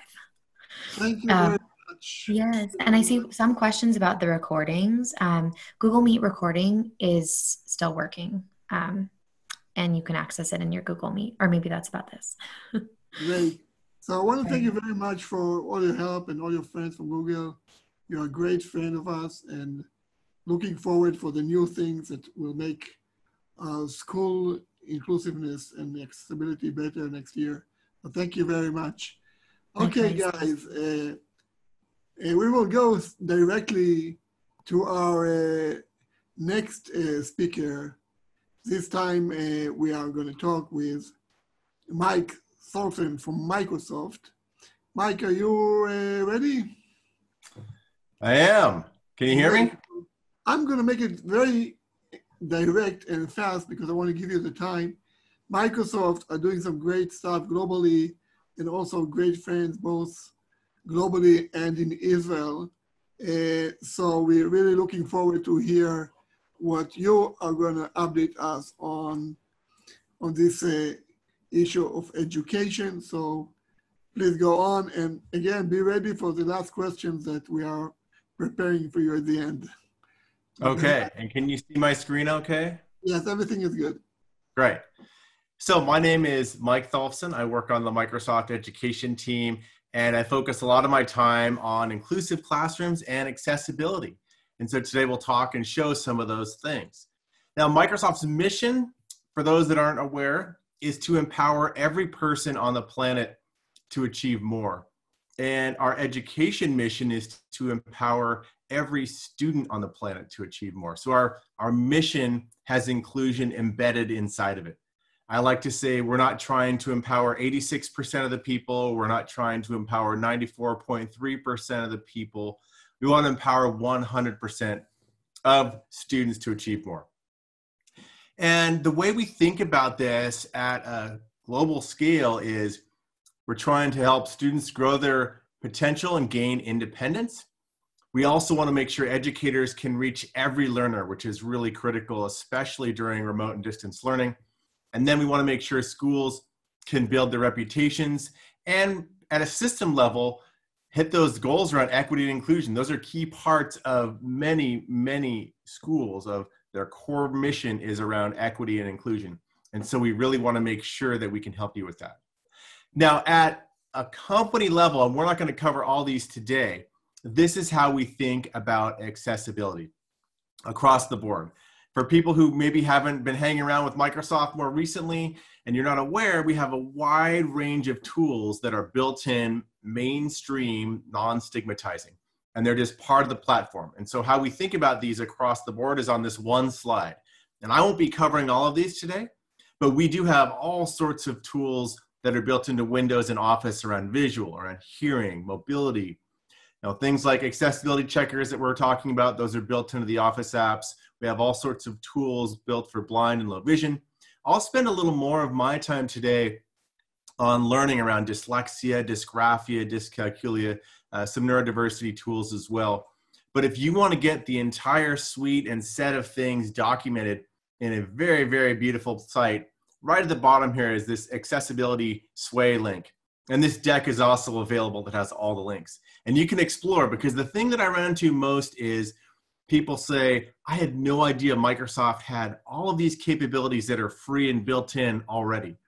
Uh, you're going to see some things today and when I talk about the inclusive classroom, you're going to see a lot of things. And if you're thinking about Microsoft from the year 2011, you're probably thinking these things only work on Windows and they're really expensive. And so, uh, newsflash, it is the year 2020 and there's a new Microsoft. So, everything you're going to see today is free. Everything you're going to see today works on multiple platforms. So, one of the challenges we have is people think of us from a decade ago. So, hopefully, today will open up. Uh, your eyes on hey, there's a whole new set of tools that Microsoft has, and they're all free and available to schools around the world. But this is how we think about the inclusive classroom.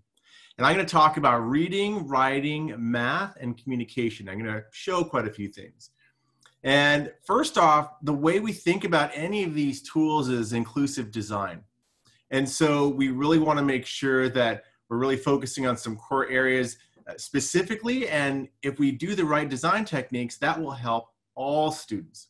For example, with the immersive reader, which I'm going to show here in a minute, we really focused on dyslexia as our core persona type, but used inclusive design to really help make sure it works for all students with reading, non-native speakers, early readers, people with vision impairments. And all the things you're going to see today are captured in these interactive guides. I put this up front because you might be sitting there in like five minutes thinking, hey, Mike just clicked a button, or hey, he showed me something that I can't remember. I, he went too fast. Don't worry. It's all in these interactive guides, everything I'm showing and more. And these are free, so they can be shared with parents, with students, with educators, with school leaders. And we have them for reading, writing, math, and communication. So we're going to go right into reading. And I'm going to switch my screen here and we're going to go into something that's called the immersive reader. Now, what is the immersive reader? Well, we took the latest science and research around reading and we said, let's focus inclusively on dyslexia and let's take some of these techniques and build them into something that we call now the immersive reader. And I'm here in Word for the web. And this is the free version of Word. And I, I keep saying free again because a lot of people think we cost money. That's okay. This is the free version of Word that uh, students, teachers, parents all have access to. And I'm on the View tab in Word, and I'm going to hit this button called the Immersive Reader. And it's going to do some things that I'll talk through. Now, first off, what you're going to see is we've reduced distractions on the page. We call this focus mode and helps reduce all the distractions. At the bottom, there's a play button, and I'm going to hit this. You'll hear text to speech and see it. The study of Earth's landforms is called physical geography. Landforms can be mountains and valleys. So that's text to speech, which is not revolutionary, but now this is built in, mainstream, non stigmatizing, and free. It's just part of Word. I can change the voice speed faster or slower. I can choose male or female voices. I can also change the way the page looks. So up here, if I click this, I'm going to maybe change uh, spacing. We know from research there's something called visual crowding, and if you increase spacing, that can reduce visual crowding for some people. I can choose a couple different fonts. Turns out a lot of younger readers like Comic Sans. A lot of people make fun of Comic Sans, but it turns out it was designed for younger readers. I can choose the background colors. So some people don't read, like to uh, use a white or a black background, and it's very easy for me to find maybe a background color that works better for me when I'm reading.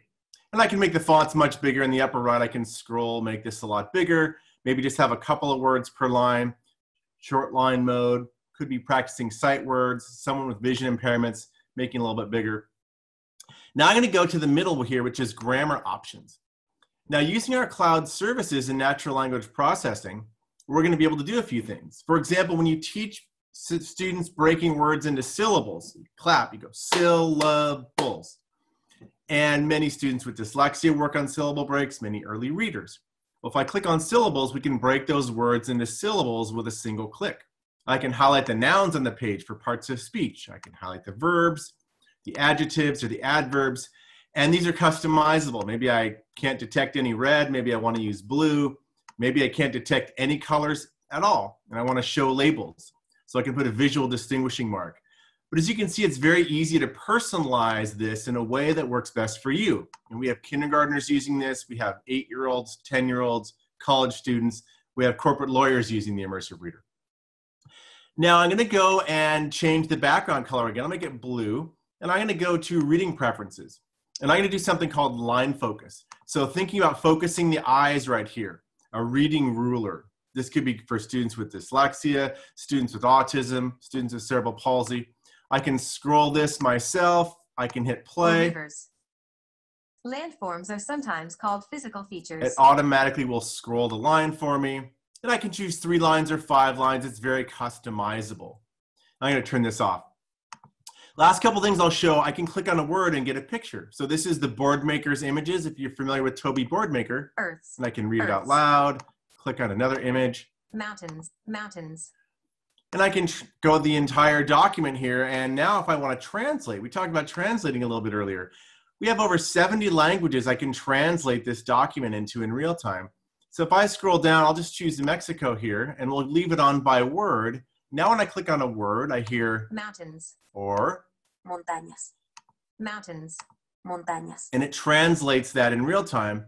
I go back and if I want to translate the entire document, now it's Spanish and we'll read it out loud. El estudio de las formas terrestres de la Tierra se llama geografía física. And if that's too fast, that's a little too fast. I can slow it down. Física. Las formas de tierra pueden ser montañas. And you can see the syllables are still broken. I can highlight the nouns and the verbs and adjectives in Spanish, so this works in many languages. And I can go back to the original document right here or to Spanish. So everything I just showed right there is part of that immersive reader. And this is something that is not only in Word, this is part of our Teams for Education classroom solution. This is built into the Edge browser. This is built into OneNote. It's in Flipgrid. It's in Forms. It's in many, many places. So we spend a lot of time bringing this immersive reader to many of our platforms. And it's being used in many special education classes. It's being used with students with dyslexia, dysgraphia, ADHD, visual impairments, English language learners, all sorts of students. And it's being used with older students and it's being used with very young students. Here's a student practicing sight words. And this is a quote, and I think the impact, especially during distance learning, we've seen a 6x increase in immersive reader usage because all of these students at home uh, are now able to use the immersive reader, and parents can help them with it, and they don't have the same supports that they maybe had in reader can be really helpful, especially during remote learning. We've also made this uh, available to other companies. So we've rolled this out as what's called a cognitive service. So here's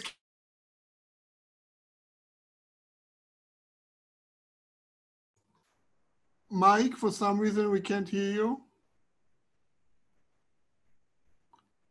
Mike, for some reason you are stuck.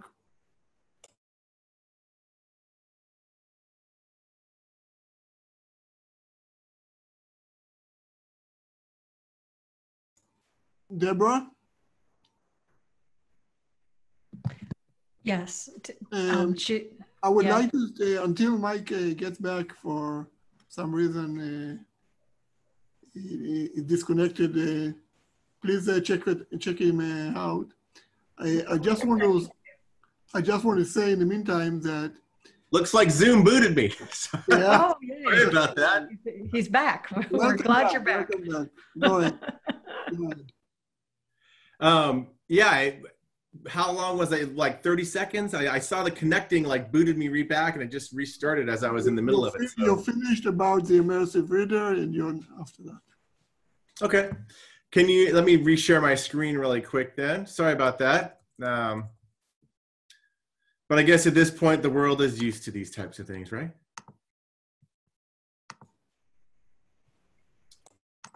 Okay. My screen coming through again? Yeah, everything is good. Go ahead. Okay. So this is just to show all of these EdTech apps have integrated the immersive reader. Everything from Canvas to ThingLink, Code.org is integrating the immersive reader, Nearpod, Pear Deck. So if in your country you have apps that you work with that are popular in schools, it's really easy to integrate that immersive reader. And we've had educators and students and parents requesting that these different companies integrate it. And it's quite easy to do. Many companies can do it in just a couple of days. So that's something to just keep in mind. Uh, if you saw the immersive reader and you say, "Wow, that's great," but you know we don't use anything from Microsoft right now, that's not a problem. Uh, we have many other apps that use the immersive reader, so there's benefits there too. Uh, as I mentioned, it's also in our Edge browser. Uh, the new Edge browser is based off the open source Chromium project, so it's just like Google Chrome. It does have a built-in immersive reader that does all the things that you just saw. This is one that's really powerful. Uh, if you have any homework of today, your homework would be to download uh, the Office Lens app. This app is free on iOS or Android, and it lets you take a picture of a book. So I'm taking a picture of a book, and we run OCR, and there's an immersive reader button right there. And I can send a photo of that book to the immersive reader and immediately it's out. Would not take the garbage out. And so all of those things that me to do with the immersive reader, I can do with the picture that I took from a book. And so right here, you're seeing all sorts of nouns and syllables. You can translate this to Spanish. I can use the picture dictionary. And so this is a free app that allows you to access content universally. And there's a read aloud. Y aunque su papá gritaba y gritaba, ella simplemente. So there's some homework for people is uh, get the Office Lens app and try this out. Again, a lot of students at home, this is an easy way to access content. And we have lots of training on the immersive reader in our PD. As I mentioned, we have interactive guides. I won't go through those right now, but just to be aware. The next topic is writing. We talked about reading. Writing is another important area, especially during remote learning. And I'm going to go back to my demo briefly and just show that this is one, again, where people might not be aware. In Word, I'm in the free version of Word for the web. We have full grade speech to text, and we have it in many different languages. We have dictation in over 20 languages, and it's full, top of the line, uh, state of the art, whatever you might want to call it, but it is very high quality dictation that is built right into Word but it's also built into PowerPoint. And so if I have a new PowerPoint presentation here that I'm in, let me switch over here. We have speech to text that is built into PowerPoint. And so it's on the home tab as well. Uh, there's a dictate button right here.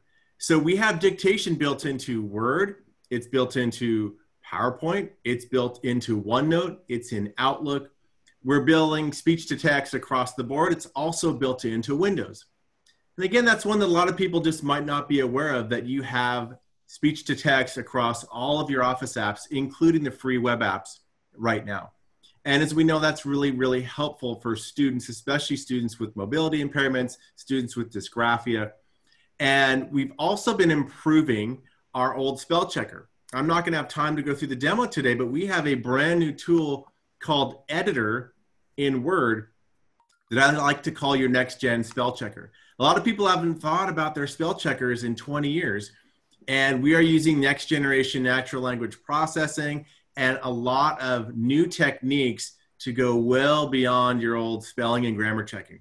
Clarity and conciseness, inclusive language. There's all sorts of new techniques that really help students who struggle with writing, but they also help mainstream people. We have all people all across Microsoft, including myself, use Editor to help improve our writing. So that's another one where we used inclusive design to help improve the outcomes for everyone. And we also have word prediction and text suggestions built right into Windows 10. So those three things, we have dictation, editor, which is kind of next generation spelling and grammar checking, and word prediction are all built in and part of our products and available. Now, the next one I'm going to show is math. Math doesn't get a lot of play in the world of inclusion and accessibility, partially because it's pretty difficult to do, and also a lot of companies charge a lot of money. And so I'm going to go into OneNote here and show some math. Now, OneNote is our free digital binder, and this is something that works in the web. It also works in our Windows 10 app, and it's coming to iPad soon. So what does inclusive math mean? Well, here's an example of an equation I've selected, and this can be, I can type my equations into OneNote or I can write them. So you don't need to have a digital pen or stylus. This works with typed math just as well as with written math like you see here. And so if I go to the insert menu in OneNote and I click math, we'll convert that equation automatically over here on the right. And I can select an action. So think about a student at home trying to get independent math help here. Maybe the parents can't help. Maybe the parents don't speak the native language. There's various reasons why the student might not be able to get any help. So I can solve for X in this case. I can also graph. So I could say graph both sides in 2D and it gives me a graph. I can insert that on the page. I can explore this graph. But it also lets me do things like solve the equation. So I can say solve for x. Now I can show the steps. Let's say I need to understand how was that equation actually solved. I can show steps for completing the square. And it works out all the steps. So I can actually start to independently figure some of these things out. Now, if I experience visual crowding, or maybe I'm having challenges with the story problems and the words and the letters and the numbers getting jumbled, well, there's an immersive reader button here. And right here, I can click the immersive reader and I can take that entire math equation and all the steps and all the pieces and everything is in the full immersive reader, just like we saw earlier. And I can read that equation out loud and I can do all those different things that we were talking about all as part of the immersive reader.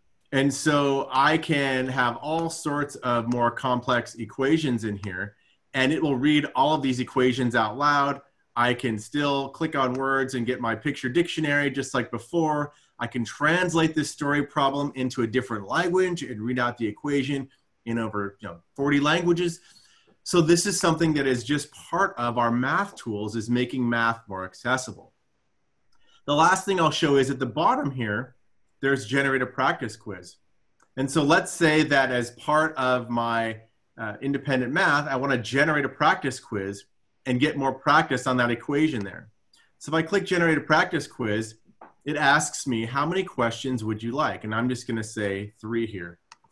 And what it's going to do is go and look at the equation that was up top. So the 5x squared plus 3x minus 7 and it generates an entirely new quiz of similar math questions that are different than the original equation.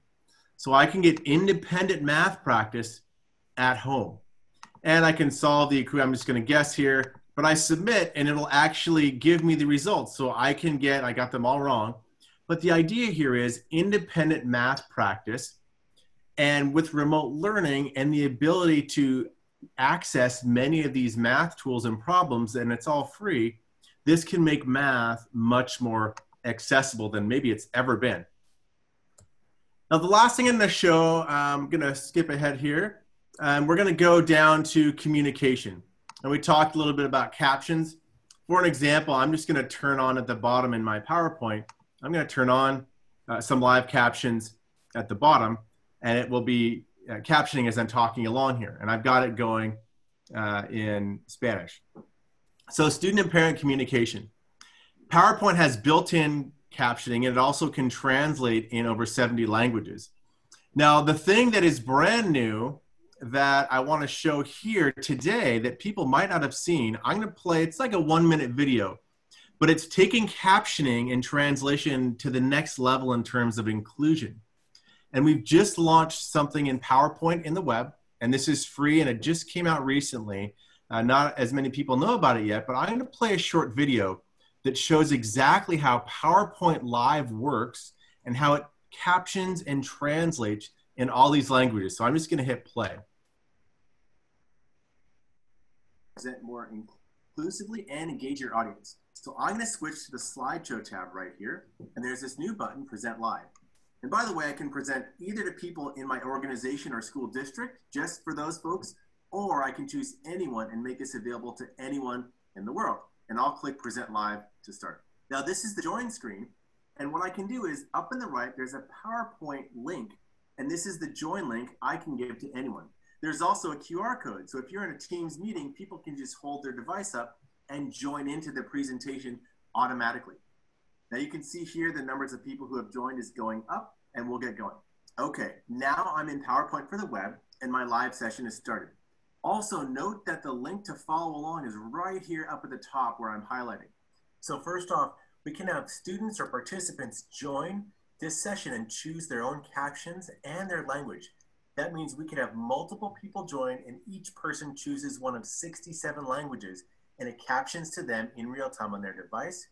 And as the teacher or the presenter, when I move my slide, the participant slides moves, but the captions come through in their own language. So here I have someone with English, with Chinese, and another device with Spanish. So as I'm talking, it's captioning to them in the language they choose.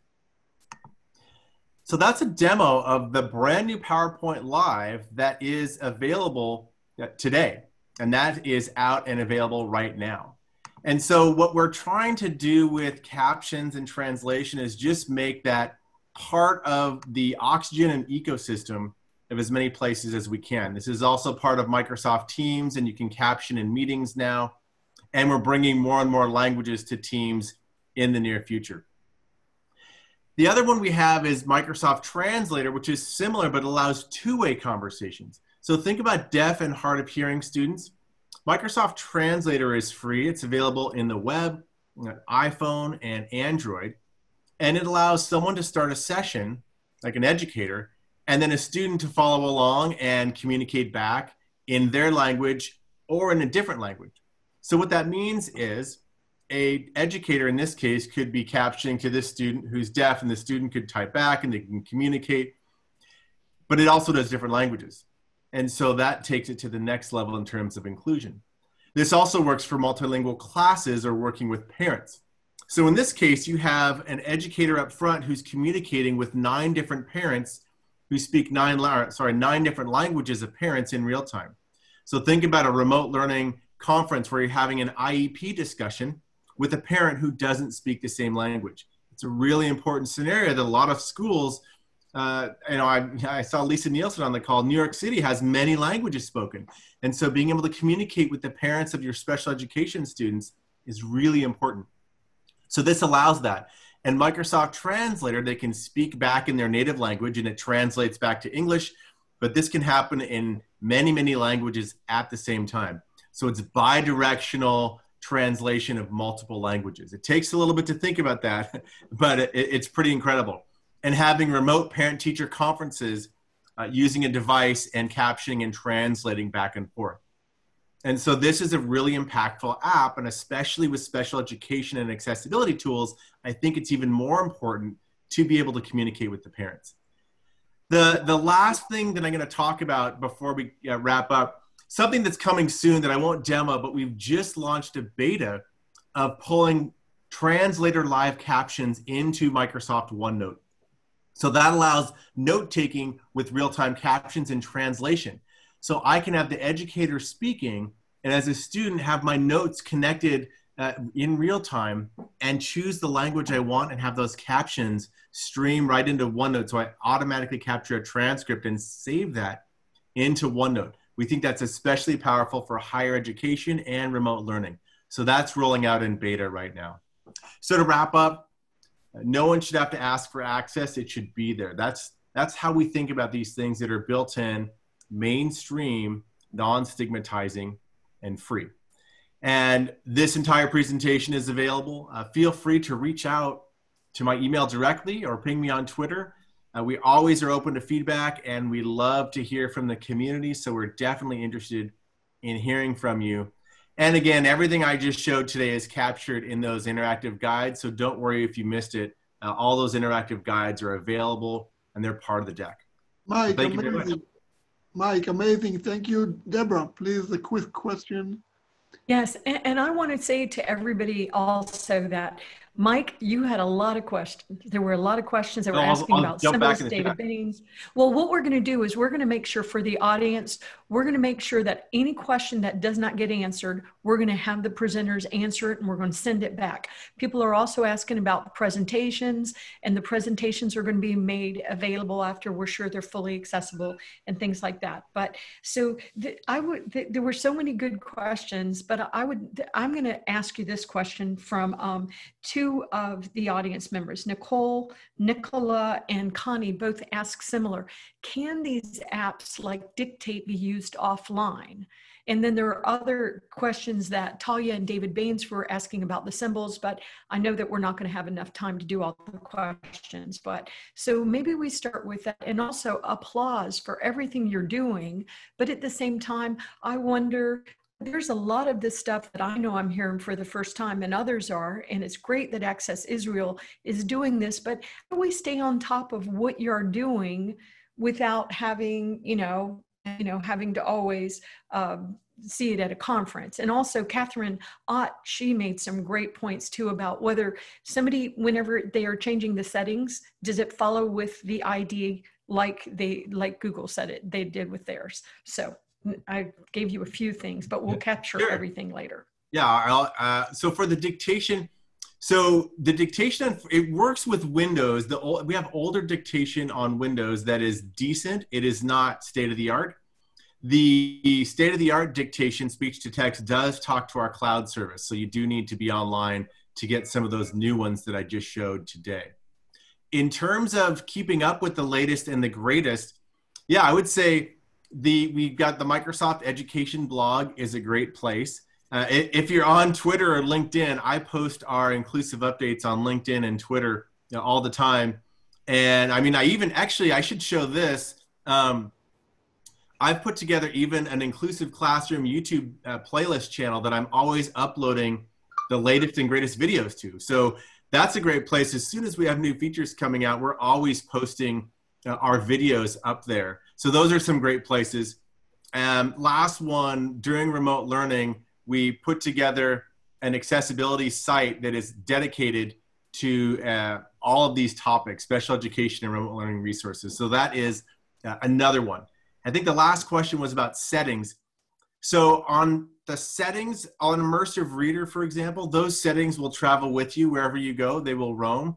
Uh, in terms of the settings on, like if you have settings for visual impairments on your Windows device or JAWS or magnifier, those settings on your Windows machine don't yet roam, but we're looking to add that in the future. So right now, all of our online web settings for all the apps that I showed do roam. Uh, the Windows settings do not roam at this point. And hopefully that answered. Okay. Uh, wow, Mike, thanks a lot. Uh, so many new things, inspiring, and uh, it's great to know them. You should think about how to advertise the, the new things better around the world because Yeah, we are working on it. Trust me. Uh, that's one of our biggest challenges. yeah. I, so thanks a lot, and it's great to to have you with us, and looking forward thank you. to new stuff. So we go next. Thank you. And uh, before we go next, I just want to say that AbleDocs is uh, sponsoring this uh, event, and all presentations are being uh, being uh, in accessible formats and will be uh, be there for you for your use. So thank you very much for AbleDocs. And we're going to go to our next keynote speaker, uh, which is um, from all the way from the British Islands, uh, England, uh, Robin Spinks, for uh, the, which is a, an amazing guy that I'm uh, following for many years, and I just lately uh, had the um, the chance to talk to him and meet with him, and he has so much to to, to say for us.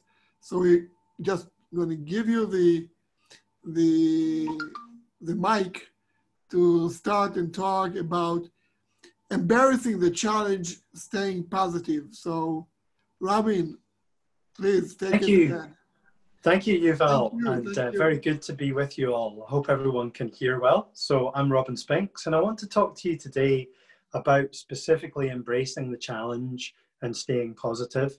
So I have lived all my life as someone with low vision, and that has initially taken me as far away from the disability community as possible because I didn't believe that there was anything special about me being visually impaired and I wanted to do a normal job, in quotes, that everyone else does. But my career path brought me into the disability realm, and it's been a really interesting and, and engaging um, career to date. And I wanted to just share some things with you in terms of RNIB, but also in terms of some of what's happened most recently, um, not just in Scotland, where I'm from, but also right across the UK and, and further afield, and what we've picked up and learned and how we've adapted.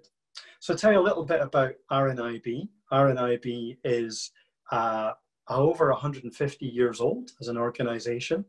Um, and when we became 150 years old, we projected forward into the future to try and work out when would be the day that we would no longer be needed. And we reckoned it would be another 150 years at the current rate of progress before we could completely achieve our mission. Um, I'm not sure whether it will take quite that long, but we are very convinced that there's a huge amount still to be done to make life more accessible for blind and partially sighted people. So we're about embracing technological change and partnering with tech companies. And we're about, we're in, innovating and enabling to greater inclusion for blind and partially sighted people. Um, we're often referred to as the Victorian charity in Silicon Valley, and that's because we do a lot of work internationally, not least in Silicon Valley and, and also in places like Korea, with manufacturers, uh, with developers of hardware, software, services.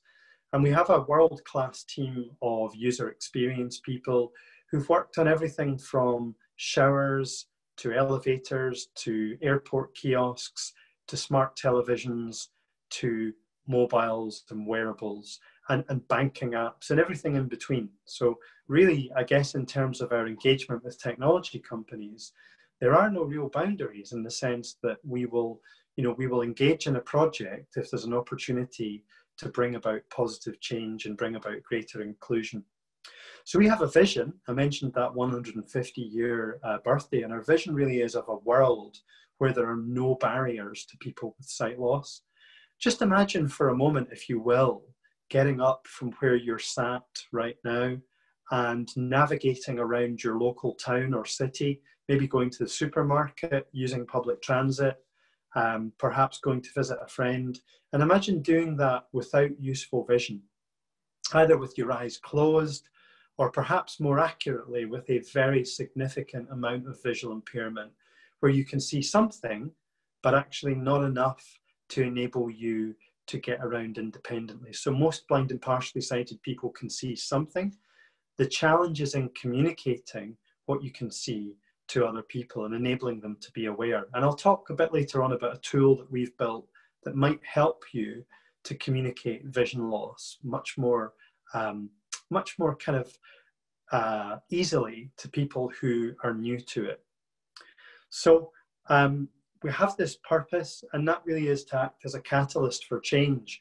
We do that by collaborating. So we, we can't solve any of the technological challenges that face blind and partially sighted people on our own. We can only do that through partnering with tech companies. And that's where my team really engages with the Samsungs, with the Amazons, with the Miles, with the Googles, with a whole bunch of companies to really begin to build apps and services and devices that enable people to have that, not that moment where they feel that they have equal access, but what we really want to do is to enable people to thrive because it's not just about surviving, it's about enabling people to, to thrive and to feel that they can achieve their potential. And that, that comes about when we can create great accessibility across a range of experiences. And we, we reckon there's a good way to go before we're even close to that. So some of the current customers we've been working with, we work with the Bank of England to make sure that banknotes are accessible to blind and partially sighted people. Yes, banknotes contain tactile features that enable blind and partially sighted people to differentiate banknotes. We've been working with Samsung on their smart TVs for a number of years now, and each year there's a new iteration of that platform um, and greater accessibility for not just for blind and partially sighted people, but for anyone with a disability, anyone who finds a television experience difficult to use. We've also worked with a company called Storm Interface to build fully accessible kiosks for airport check-in terminals.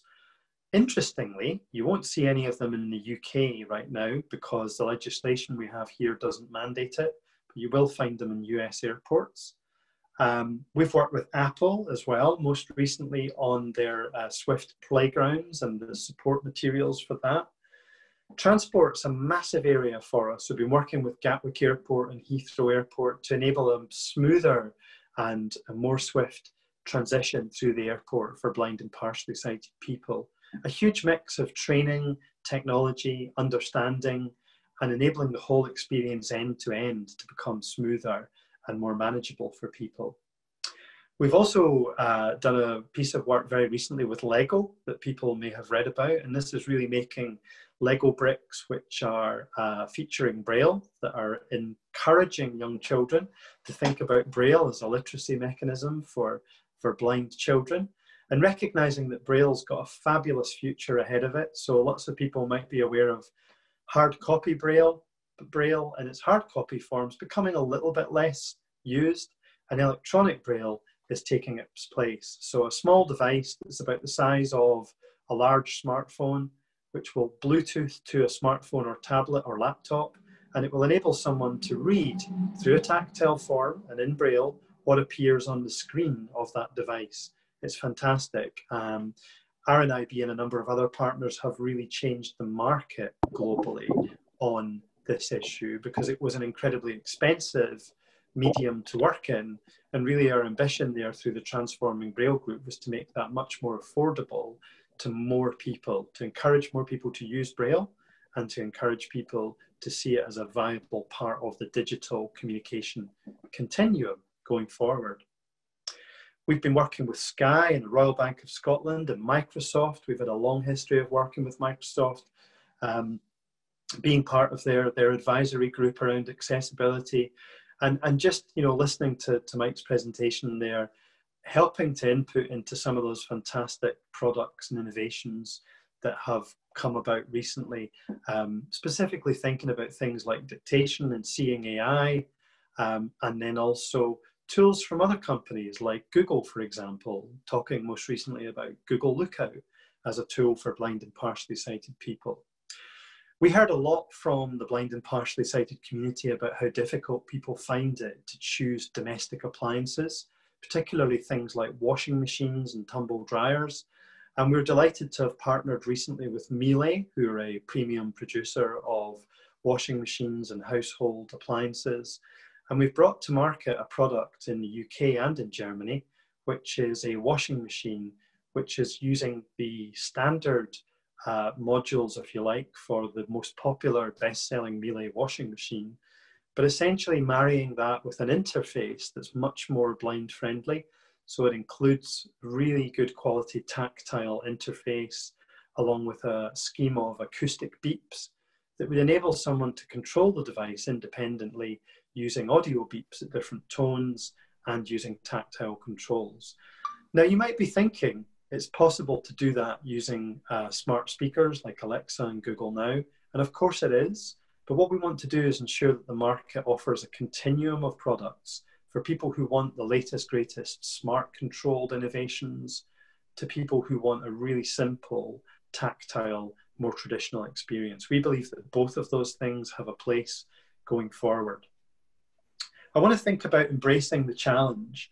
And, you know, in terms of RNIB over the past few months during the COVID pandemic, it's been about extending the delivery of all of our services. So every one of our services has grown and extended um, to meet more need and to answer more inquiries. So our helpline is open for longer than it's ever been. It's taken a larger number of calls and inquiries than it's ever had month on month. Every single staff member has moved to home. So no offices have been open. Everyone's been working from home remotely over the internet. Uh, we've been offering technology grants to blind and partially sighted people to enable them to benefit from the kind of technology that you've heard about with a strong focus on school and learning and, and educational inputs, but also supporting local societies and groups of visually impaired people and enabling them to understand what it's possible to do with the kind of technology we've spoken about. And very often I've had a chance to input into that, just to talk to parents, to talk to teachers. Did you know that it's possible to do X and Y with your, your iPad or your Kindle device or your Google phone, for example. And you know, some fantastic stuff that we've all got in our pockets right now. We need to just go away after this event and tell people about. I was thinking about Google Translate, you know, and how much of a breakthrough that really offers. It's also on the Apple platform as of possibly later this week, iOS 14. We've been looking at Translate as well. Um, Ruben, we partner with Amazon. Ruben, let, let me let me interrupt you one second because we want to fo focus on education. And you know, we know RNIB doing amazing stuff uh, all over for people with vision disabilities. But share with us specifically your, your work these days in the Corona crisis, especially on your work on your, on your education.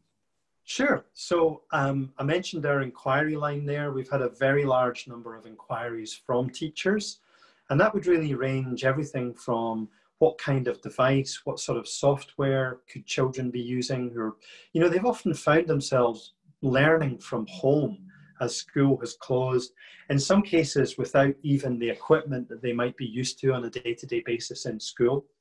So um, we've partnered with Amazon to make some tablets available to kids and, and to adults to make sure that people have got the opportunity to use devices with magnification, with speech, so that they can access their, their classroom materials in a way that works for them. We've also launched a campaign called World Upside Down, and that focuses on blind and partially sighted children and adults. And it's really trying to communicate the kind of changes that people have had to deal with. So, visual indicators, outdoors, social distancing. What does that mean if you can't see where someone else is and you're a young person out and about? How can we enable people to be more uh, vocal advocates? How can we enable people to can tell other people about their needs, whether that's in a learning context, whether it's young people meeting friends or gathering in a, in a location. We've also been delivering training and consultancy online. Sometimes that's been to educators, to schools, to groups of teachers. We've also been inputting into a university teaching course for teachers who are training children with visual impairment. And this is really to make sure that the considerations around social distancing, around technology, um, around access to books. So RNIB has a fantastic resource, if I may say so, called RNIB Bookshare, which makes books and other academic materials available online to blind and partially sighted students. And that has grown enormously during this period because I think people who weren't aware of it previously as a result of COVID and the situation they've found themselves in, they've had to to find look materials that I can get online that I can access from home to aid my studies. Um, we've also found we've also found our talk and support service has increased hugely. We've had a lot of inquiries in relation to mental health and mental well-being. We've been doing quite a lot of work directly to try and promote good mental health, um, using Ask RNIB um, on the Amazon platform, and Robin. also promoting self-care and positive mental health. Robin, we have one more, one more, uh, we have one more question uh, when we have to finish, unfortunately. Okay. So, uh, Deborah, it's your question, the closing caption. I know you can say so many things and we love to hear it, but we will save it for our next webinar. Uh, so, Deborah, please, your question for Ruben. Yes, and, and Robin, excellent presentation. And we're big, big fans of RNIB. I know a lot of the US corporations have worked with RNIB with great results. And that would be my question too. My question would be how is RNIB working with other major corporations like a lot represented on here to make sure that our education systems are more accessible to students that are blind and have vision impairment and other disabilities as well? That's a great question. Thank you, Deborah. And really, the answer to that is that we are collaborating with pretty much all of the names that have been mentioned today, the major tech companies. And we've reached out really to say, look, we recognize children and young people have found themselves in difficult situations. What can we do collectively? What can we collaborate on that actually breaks down barriers. So if we're aware, for example, of a software barrier or perhaps compatibility with screen readers or magnification, we've made those companies aware of that. Um, but we've also said, look, how can we bring this new world of virtual and blended learning? How can we bring it to children and young people in a positive way? And I think the real trick, Deborah, with this is how can we do that and simultaneously enable people to maintain good mental health? It's a massive challenge it's a Yeah. worry that I have personally, and I think it's something that we want to really get behind to push as hard as we can and try and do as much as we can to support young people. Right. And I just will also want to make sure that I think that I'm correct on this, but if you'll just valid, verify that I am correct, and then we'll go to the next speaker. But RNIB is not just about supporting people that are blind and have vision impairment.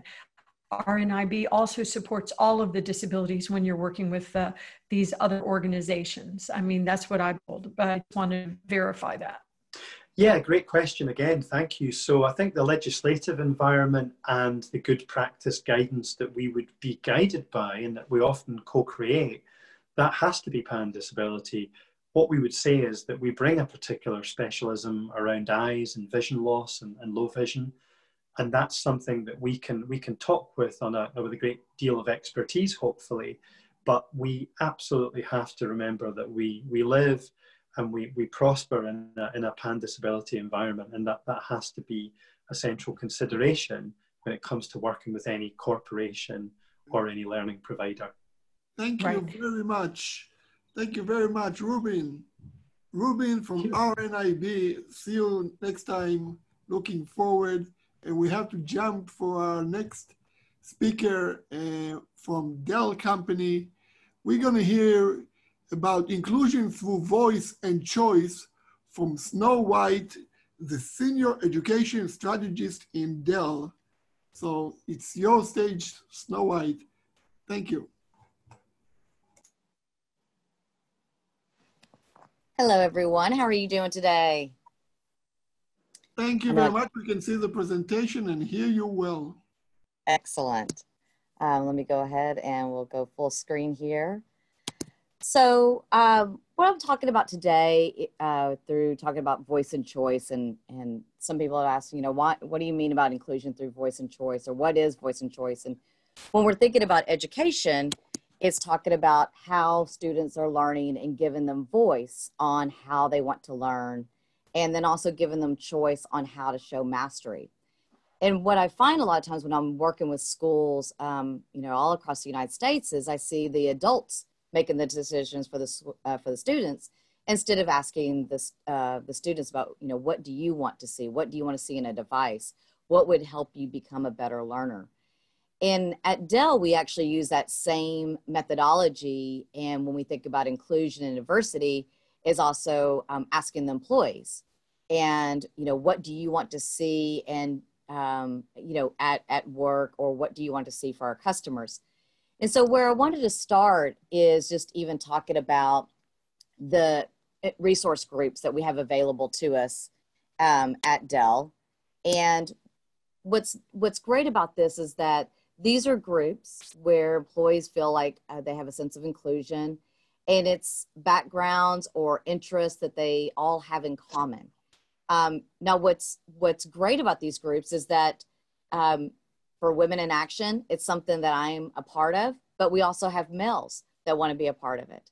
Uh, Gen Next, that's actually for 35 and under, but and obviously I'm not, but I could be a part of that group. So all of the groups are open to anyone who wants to join. It's just it's really around the interest, and so we have different groups, and each one uh, grows as different needs arise. But what I love about these groups is that not only are you able to join and learn from each other and have professional development, but we also use the voices from these groups to work together and think about our design for what our products may look like, what our services may look like, and also gives us information that when we are working with students in education, how can we take these learnings from these groups and apply it um, to these schools? And so one that we have is True Ability, and this is a group of where you may be a parent that has a child with special needs, or maybe um, there is some, you know, you've had loss of sight. So it, it could be a variety of different needs, and they're part of True Ability. And, and they've been a wonderful group as we think about what kind of um, developments do we need to see they've been a great voice for us uh, in developing that product. So I'll go to the next slide that shows some of the things that have come from um, our employees giving voice or even our customers giving voice of what would help them become a better, uh, better at productivity or a better student, um, a better instructor. And some of these things um, are rugged lines. Uh, these were actually, this is uh, created for the military, but we actually see this in a lot of our uh, classes with students that have limited mobility. And so if, the, if it does drop, it does have that rugged case or it was built rugged enough that it's not going to uh, crack or break um, and it can withstand uh, quite a bit of pressure on it. And then we also created design, um, devices designed for students and we have the Chromebooks and the Windows 10. And so they're not as rugged as the ones that we created from the, uh, for the military, but it is still something that if it uh, if it drops to the ground, we, we, go, we do something called a, a torture test where we spray water at it and we put it in refrigerators and we put it in freezers, we put it in fire. Um, we do all kinds of fun things to it just to see how it will handle the elements and how will it handle a student in K through 12. Uh, because we know that a lot of times, uh, you know, we, we see our students dropping it, and even as, as teachers, as educators, we, we drop those. Um, and the wonderful thing is everything that you heard from Google and Microsoft earlier um, is available on these machines. And a lot of times I just tell students and teachers, if they're not sure if that uh, capability is on there, is just do a search for it. So like the other day, someone was asking me about eye tracking software, you know, would this Win 10 uh, device work? And you just go to the search and just type in eye tracker and you can see what comes up. So I always encourage you that if you think that your device may not have a capability, just do a search and you might be surprised what's all uh, included in those devices. Uh, fingerprint readers for folks that do have limited mobility, but they want to sign on to their machine, they can just put their finger on it. Um, the tricolor backlit keyboards um, has large print on it. And so um, this was another one that actually came from someone who's uh, her her vision. Um, she had low vision, and so she needed large print, and then adjustable desks. Um, when I first started at Dell, we actually had to do a work order for our desk to be lowered or, or um, raised, and uh, it was a, a really big event. And now we said, you know, we want employees to feel like they have that flexibility and not feel like they need to do this major work order to have uh, their desk lowered or, or uh, raised. And you see smaller ones that we see in a lot of the schools there on the right. And then we have the, the larger ones that we use actually at Dell that's just automatic with a lever. You can uh, lift it up and, and lower it. Um, so for me, I'm four foot 11, so I'm usually lowering the desk. Um, if you're in a wheelchair, it's just very easy to lower. But if you're tall and you like to stand, you can also raise it um, without any major um, pranks or anything like that. And then the other one um, that if you're not familiar with is uh, Tobii. and they create eye tracking devices and software. And we're start, starting to see them become more integrated into the devices. So you don't need an extra piece of software, I mean, an extra device is actually within the device. Our Alienware line, um, it's also used in gaming, but we're integrating that Tobii software that can track the eye movement. I'll kind of pause, making sure that, make sure I don't have any questions. Oh, I, I guess we'll, uh, we'll, we'll answer them at the very end. Um, the other uh, piece, oh, and then I just wanted to show you too, as far as the uh, receiving the award. So this is something that Dell is very proud of um, as we build in these um, ERGs and listening to the voice of our employees is um, is having these uh, awards for as far as like best technology companies for female professionals. Um, and also we had the Human Rights Campaign, best place to work for LGBTQ equality, um, disability, um, best place to work for disability inclusion, and then also flex jobs, being able to work from your home. If you um, have a setting that is uh, best for you, you can work from your home. Obviously, during COVID, we all did, but we've always had that flexibility that if you wanted to work from the house, you, you had that capability. Now, the switch that I wanted to make um, is into esports. And so um, the reason I, um, if you're not familiar with esports, there is a huge rise of esports in K 12 and high ed. And if you're not familiar, what is esports? It is um, multiplayer video games and it's played competitively for spectators. And in, in the past, it's been by professional gamers. Uh, but now we're starting to see high ed and K 12 uh, start participating into esports. And I know some of you may be thinking, what are you, what are you talking about? This, are these just kids playing games? There's a lot more to it, and we'll unpack some of that about uh, why esports is, is so popular in K 12. Um, but if you're not familiar with esports and how popular it is, here's a statistic for you. This is United States um, football, NFL, um, is a uh, very popular um, sport to watch, but esports is right under it. Um, globally, we see these numbers even larger. Um, but it, esports right now, even in the United States, is higher than our baseball. It's higher, you know, hockey, soccer. So it is something that is um, extremely popular um, with with um, you know a, a, younger generation. I would I would say most of them are going to be 30 and below, as far as when we look at your pro gamers. So why esports in education? Um, well, one is that it's 70% of the students are already identifying themselves as gamers. Sometimes they're even higher when we talk to schools. Um, we'll see almost 90% of us of a class will identify themselves as a gamer. So it's actually meeting them where they're interested. And what I'm finding is that they're already creating their own clubs. So there was a lot of schools that I talked to and I said, you know, are you, are you looking at esports? And like, no, no, we're, we're not going to do that. And then I, when I start asking the students about esports, I find out there's actually organically grown clubs that are happening um, in, in the schools. And then I'm also seeing some schools take the, just like what they see with traditional sports as far as the minimum GPA standards or um, to be, um, or attendance to participate um, in sports, they're applying that to uh, esports. Um, another piece is offsetting tuition. So a lot of colleges now are giving scholarships. Uh, you can get full ride scholarships and partial scholarships around esports. And I do want to clarify, it's not just being a player, but it's all the other surrounding ecosystem too. So such as like being a coach or being a, a, a um, physical therapist and other areas around esports. If you're familiar with STEAM, science, technology, engineering, arts, and mathematics, and esports actually have a great fit. So when you start really looking at all the components of esports, you'll find that it does uh, align well with STEAM topics.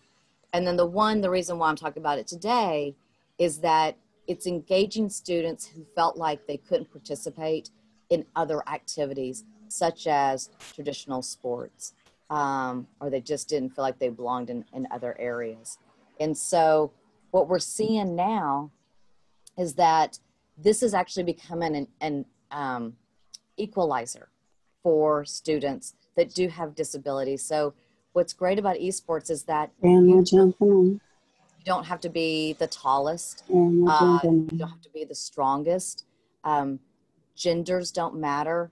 And what we're seeing now is that more and more uh, capabilities are coming for um, if you have lost your sight, loss of hearing, um, limited movement, you can still participate in esports. And so just doing quick Googles, you can see all the, or Google searches, you can see all the different uh, articles around esports and uh, folks that may have had some kind of um, loss of sight or or limited mobility. And it, it's really inspiring to see how they're excelling. And in fact quite a few have become pro gamers because of the adaptations that are available um, and, and that these can be in schools um, just like they're using in, in pro um, and if you if it's something that you are interested in i would encourage you to look at AbleGamers and they specialize in different um, adapters so that you have um, it, it levels the playing field when you're playing. And so what we're starting to see now is if you have loss of hearing there's some vests that you can wear so you can feel the sound. Um, there's an adapter that you can pl- plug into the joystick of a wheelchair so that it will plug into an xbox. Um, there's also uh, different uh, types of um, keyboards obviously that you can use as far as the the colors and the lights. So um, it's something that i would encourage. It's uh, we're seeing an incredible interest uh, in in esports um, in in high ed and k-12 and i just love that it there's no limits to who can participate um, in this activity and then if someone is not particularly just wants to be um, a player what's wonderful about esports is there's all these other areas available. Um, so you may be passionate about esports but not want to be a player. You could be an analyst with statistics. You could be a shoutcaster. So Cool. yeah so it's all, all kinds of different things. Journalist web developer uh, nutritionist. Um, when you think about a pro um, player in sports and you think oh they have an accountant and they have a social media manager. Esports pro players also have these same uh, folks surrounding them and supporting them. And so um, if this something is uh, that you're interested in if um, and i'll give you our website in just a second but we do have a lot of resources available um, and at no charge for uh, for folks that want to get started. So there's an infographic, uh, there is a playbook. So if you wanted to how do you get community buy-in what kind of hardware should you be thinking about? Um, there's testimonials from other k-12 institutions that are implementing esports and how they got started um, and then some uh, learning guides for for coaches. And this is the the website so you will be getting these presentations but this just kind of gives you a snapshot of of what you'll see uh, when you go there and just kind of expands a little bit more about um, why we're seeing esports uh, in education. And and something i want to leave you with is that it's not just about playing the game but when you really start thinking about about esports there's the social emotional learning component. There's the digital citizenship component. There's the communication and collaboration component. So all these things that we want to embrace in k-12 already come naturally in in esports and being the uh, the best player possible you know building that team culture um, and and working as a team and all the sports when we saw covid happen when we saw um, all the sports stop the one sport that continued was esports. So it was, it was really inspiring to see folks continue with that and really excel. And again, it did, there wasn't the limitations of, of who could play.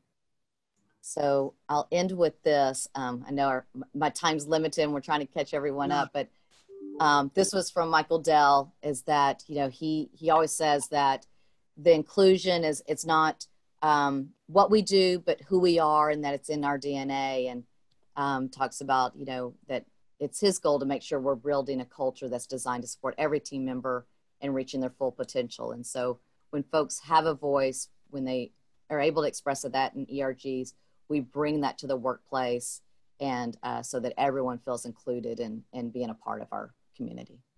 Wow, Snow White, uh, it's amazing angle for this uh, webinar. you know, see, uh, understanding, you know, in a totally different angle. And um, so it was exciting, and we're looking forward for the innovation of accessibility in sports. But Deborah, for your golden question. Well, I, I agree. I, am a big fan of Dell's and I have been for a long time.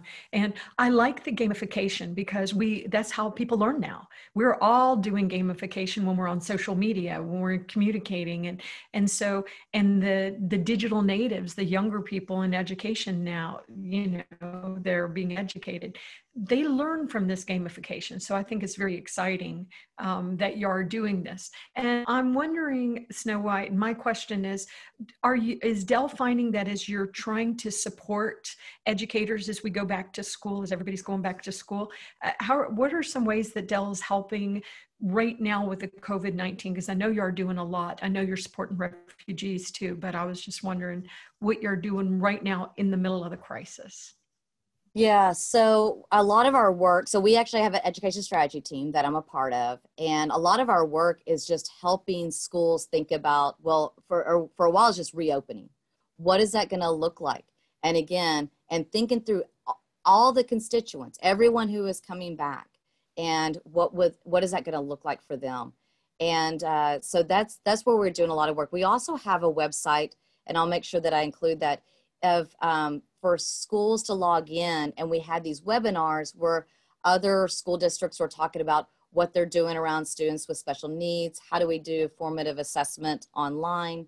Um, how do we have authentic um, assessments? Um, and uh, really connecting other schools with each other because we feel like even though our team we're all former educators whenever you get to learn from each other is some of the best uh, collaborations possible. So that's where we've been spending a lot of our work and then, and just keep listening. You know, we've been, that's what we've seen a lot with COVID is just listening to each other. And we're doing that too. And, and uh, as, you know, Google said earlier, give us that feedback. Dell is the same way. We want to hear the feedback from you all and we build that into our design. So the, the, um, the, you know, the laptops that I was telling you about, the Windows and Chrome, we built them exactly the same the OS is a different. But something we heard from schools is like our kids keep picking off the keys or they keep spilling things on the keyboard. How can you make this so it will be durable for our kids? And when it's at home, now they're using them at home. And so that's what we built that design. And so now you can pour 12 ounces of that drink on your uh, on your keyboard and, and it's just going to go right through. So, but that's that's what we're doing a lot right now is just listening to our customers and our employees how we can make um, learning better. This is a great message. Listen to people with disabilities, work with them together. Amazing. Thank you very much uh, for this uh, great. Looking forward for working together. So thank you, Snow White and Dell. And we're going to another uh, unique angle uh, that you, will surprise you. And now we're going to talk with Donald Morrissey from Huawei, okay? So tapping into abilities. So we're gonna get another unique angle about education by Huawei. So, uh, and I want, before you start, just to remember, remind everyone, all uh, presentations are accessible by AbleDocs.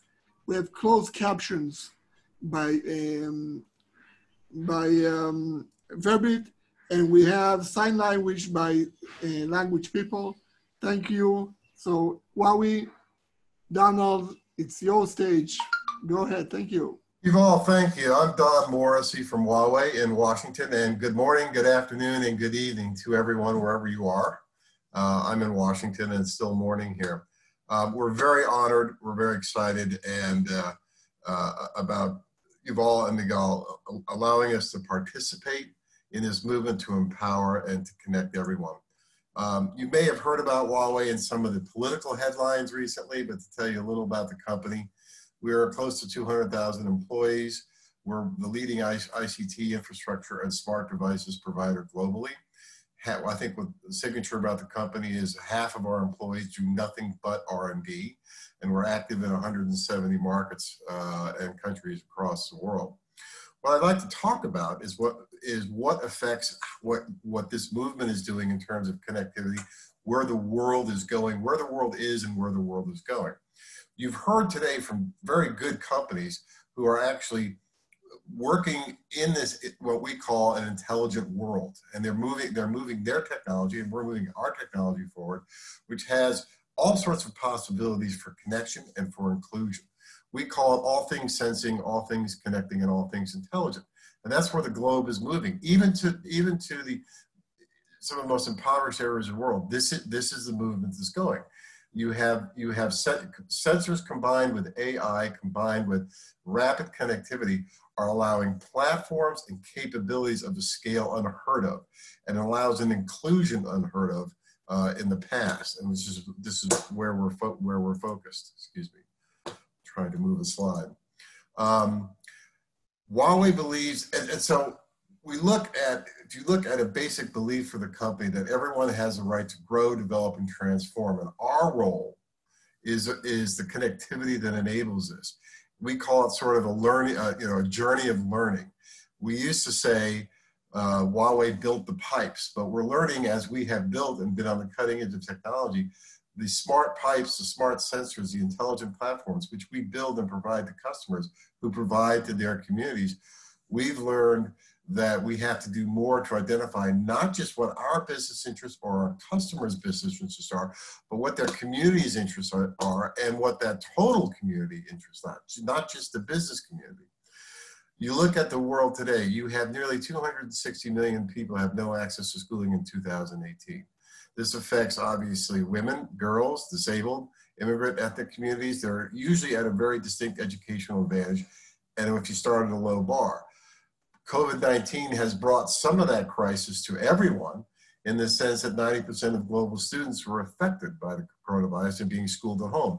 And you've heard a lot of previous presentations about how we're, how technology companies in partners with their communities and schools are dealing with that. If you look at the sustainable goals set forth by the UN, there are 17 goals set by the UN in 2015 to transform our world in the ICT industry, which is where our business is, there are three critical ways. Increasing access to uh, information, increasing connectivity between organizations and people, which increases productivity and resources. That's where we work. But to apply this, and I said it was a learning, a journey of learning, Huawei used to say it built the pipes, but we found the pipes have gotten smarter and we helped build the smart part of those pipes. The platforms, the AI platforms, the servers, as well as the terminals at the end, the phones, the laptops.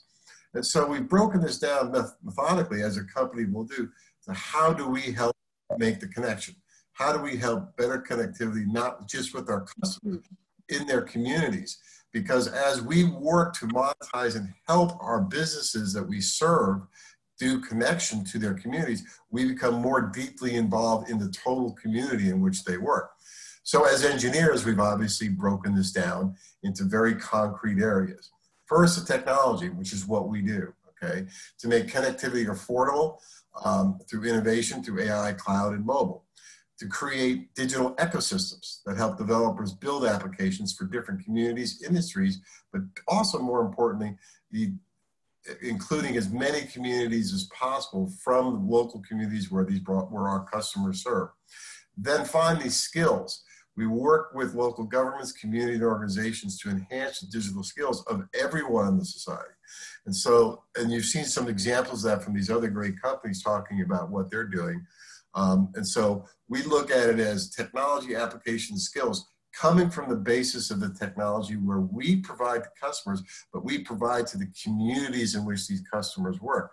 That brings in inclusivity to bring everyone connected and at the same time, everyone getting greater opportunity for their own advancement. We focus on edu- we're focusing on education today, and our belief is making, you know, the best way we can do that with the business we're in, technology that we develop, is to make education more accessible and more efficient and provide greater resources for, for children or adults, okay, so that you have every individual can achieve their own potential. That is the ultimate goal for providing greater connectivity. And I'll give some examples of that. In, excuse me, in certain areas, we've created what we call the DigiTruck. And these are essentially shipping containers that are equipped as mobile classrooms for very rural areas. And we work with partners like Close the Gap, Safaricom, UNESCO East Africa, the Kenyan ICT industry. And what these, what these trucks do are for new areas that have new connection, which we have a hand in providing. You know, we, we, we have these mobile classrooms go to where the classrooms are not there now. And this allows teaching digital schools to everyone in, say, a remote area. In addition, there are specific projects like the Women Training Bus in Bangladesh. The key partner there is Bangladesh's ICT ministry and Robi Axiata. Okay, you have buses that are specifically aimed at training, giving training and digital skills to women in rural areas across 60 64 districts in Bangladesh. So this a lot. This at to date, our record is that you have about 60,000 women have been trained with plans to train about 100,000 more. The Smart Bus in Europe is teaching young children, in a, in bringing a mobile mobile platform that goes through different areas and some training you may not get at home or you may not get in the schoolroom to prevent cyberbullying to teach children how to properly use the internet, this connectivity that's so wonderful that, that they're using to help themselves learn, but also has some fraught with dangers. And so that program is ongoing. One of the other specific programs we, we have developed is called StorySign. And what this does is it takes our AI technology, it takes selected children's books and allows you to teach sign language using your mobile phone. Uh, we have about 69 books and it's growing in 14 languages. Um, and to use the app so that parents and teachers and students who are who are hearing impaired uh, can use this. And our, uh, again, we partner with people in the community. How this works: you get the selected reading book. You open your app. You have your app open on your phone. You show you put the page on the app on your phone, and the avatar we designed signs the story while the app highlights each word that's being signed. This helps children and parents share the magic of the story, but also learn to read and sign together. We think that's an important feature for parents and children. Another project we have, which relates to healthcare, but is also related to education in, in, in, terms of preventable diseases that relate to education, specifically with uh, eye diseases. We've developed an easy to use portable AI device that takes non trained professionals, particularly for areas that lack a high degree, a high density of medical care, to look at very young children, particularly babies, to be able to test them quickly for visual disorders. We have found, most medical journals will tell you that there are a lot of visual disorders that impair education, particularly in later life, that if diagnosed very early on, um, uh, can be can be addressed relatively inexpensively and avoid those uh, avoid the impairment of that learning later on in life. We have a big partner there with Dive Medical. One of the key things that Huawei, as I said, we have a journey of learning. One of the key things that Huawei has learned is that, as I said, we used to build the pipes, and now we evolved to say we build the connectivity. And part of that connectivity is institutionalizing our relationships, not just with our customers that serve those communities, but directly with those communities. And so what we work together on is we have sort of three models we work with. We join partners projects. If a local provider or a local partner in any part of the world has a project for inclusivity, um, you know, we will join it. We've started our own general program called Tech for All. It ranges from the apps that I just demonstrated to you to actually using our AI projects with our phones to go after illegal logging in the rainforest. Okay, so you have all sorts of applications of this technology that's projects that we run, but also we ask people to join us, and then we co-create uh, coalitions and initiatives for digital inclusion for everyone. So we've set structurally with the company and our commitment to the community and our commitment to connectivity and inclusion so that we don't just say, well, we have a corporate social responsibility project and that's just what we're going to do. No, What we say is, what part of the umbrella technology that we develop, that we develop for customers, can be used to enable and include the community? And we have three or four models where we can both reach out or people reach out to us so that we institutionalize this, this growth of innovation to include all. But I want to emphasize also that Huawei's role, particularly in this whole inclusivity area and connectivity, is still at the backbone. And one of the key areas of our technology is creating connection where it doesn't exist now, particularly in rural areas. One view of this is the Rural Star, our Rural Star sort of base station that allows you go to go into very rural areas where there's no connectivity, has its own powering unit, uses uses the consumption of energy of about five light bulbs, and allows you to connect like like oil like oil spots in a river you know, where you have connectivity where it wasn't connectivity before, and you don't require initially that huge heavy infrastructure that can take years to move out. But you have ink, ink spots or oil spots in the river that allow connectivity where people are gathered, particularly where there is no connectivity. Right now, you have 50 countries using Rural Star, with about 40 million people globally are connected by that. So we pay attention not only to the most advanced applications of the advanced technology we provide, but still our core mission is to make sure you, you can get there by connecting those people there. And our motto is leave no one behind.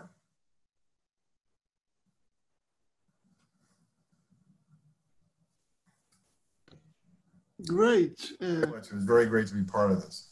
Great. So, uh, as you know already, that uh, now is a Deborah time. Deborah's question. Um, so, Deborah, please. Yes, and I will answer your question first, Yuval. Uh, I looked it up um, behind the scenes, but Story Sign is in 14 different languages. So and, and they have it's it's free, which I appreciate corporations like Huawei making this free to us, and also it's been downloaded hundreds of thousands. I mean, I, it's like 50 million it was at one point i think is higher than that so uh, and 90% of parents that have a child born deaf uh, well i should 90 90% of the parents do not speak sign language that have a baby born that's deaf or have severe hard of hearing. So tools like this are very, very powerful for our community. But Donald, one thing that I've learned working with Huawei is how important digital inclusion is. And of course, I know this because I've been working, you know, we, we're trying to support refugees with a lot of the work we're doing as well. And we're going to talk about the next session. But you know, tell us a little bit more about why Huawei, you know, is so committed to making sure that we have rural connectivity and why that's so important to education. Uh, well, I think three reasons. One is one is if you look at Huawei as a technology company, let's look at self-interest. Huawei is a technology company, is a global company. Um, half our half of our employees do nothing but R&D. That's a, that's a very highly educated base of workers. Um, you have to you have you know the self-interest there is to have a highly educated base of workers globally or global. So you have to you have to give every company a, li a little bit of self-interest, but it starts from what we know, and all human beings start from what they know. And what we know is education. What we know is we're able to provide this kind of technology because of the education and the education we prize in our employees. So that's a natural extension. We want to see that in the communities where we are. That you know, it's a natural fit to say this is what we do, and we know the value of the education. The, the, the existence of the company is proof of that. So we want to foster that in every community we can. So it's a very natural fit. And I also want to just congratulate Donald Morrissey because he actually earlier in his career was one of the people that advocated and lobbied to make sure that we passed the Americans with Disabilities Act 30 years ago. So I just have to say thank you. We appreciate you doing that. My family certainly has been a very. I had a very small part. It it, it takes all of us. We're all stronger together, which they they prove that at Access Israel. But excellent presentation. Thank you. Thank you, you very much. Uh, looking forward again for working with you together. I already am uh, going to challenge you to have a presentation on the technical side of this uh, sign language avatar. I know many people are very interested about it. We will do that. We'd be happy to do that. So that's great. And prepare today, but be ha- I don't have that, but I'll be be prepared to do that next, anytime you want. We'll do that.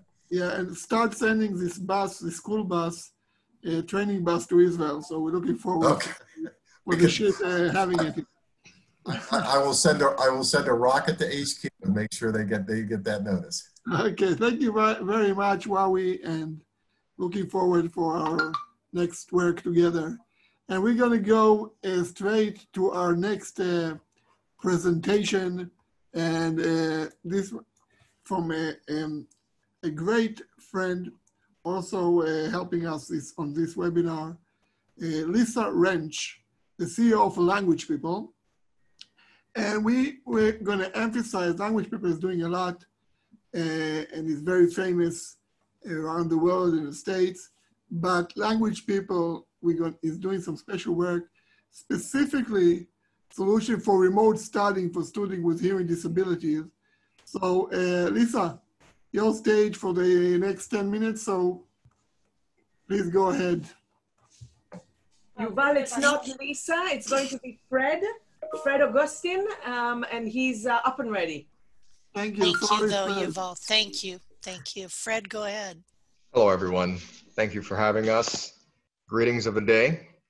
Uh, shalom. I, uh, I'm not really sure uh, everybody's situation in terms of how uh, you got to be on this meeting today. But one thing I think we can all agree on is the world can be a pretty harsh place. Um, you know, in light of COVID, in light of the civil unrest and financial turmoil that we're facing around the world, the population that tends to get left behind the most is those who are disabled, those who have accessibility needs. And so we have a, an international group of uh, professional business owners, um, entrepreneurs, people who have worked in NGOs, um, and benefit or, or help to contribute to companies that benefit social good. Uh, and our goal really is to make the world a kinder place. Okay. And so I give you kinder education, and that's K I I N D E R. Kiinder education. Uh, we have a whole suite of projects actually that are under the kinder umbrella from healthcare to um, prison systems, etc. I'm, want to shed a light right now on the education side of things, uh, especially for the accessible community. A little bit of background though. Uh, we talked about Language People. Language People is uh, headed and founded by Lisa Wrench, and she owns uh, a few patents when it comes to video technology. And I'll, I'll get into that in, in a moment, but we're leveraging that technology into bringing a kinder environment to how we educate our young and old alike. So we do need kinder learning options for the accessible community. And in light of everyone's time here, I know um, that it takes a lot to, to stay in, in, in the presentation. I'm gonna be as respectful of your time as possible. So I'm gonna try to zip through these slides and hope I can get my point across. So we shine a light, a kinder light, into the overlooked communities, such as the deaf, the blind, um, and also those who are not native speakers of whatever uh, language is being communicated in the content that they're looking at. And so we do have technology when it comes to teleconference software, video conferencing. Anytime you have communication such as this, where you are transferring data uh, over a video software, that actually falls within the confines of our patents. So what we're looking to do is, as you can see on this video call right now, um, just to give you an example, what the deaf, for instance, are seeing is they're having to look for a small block as far as who is the interpreter, where's the ASL, where's the international, and they're having to focus on the information being interpreted to them. Meanwhile, there's all this, I don't want to say distraction, but it's not easy to focus on the message.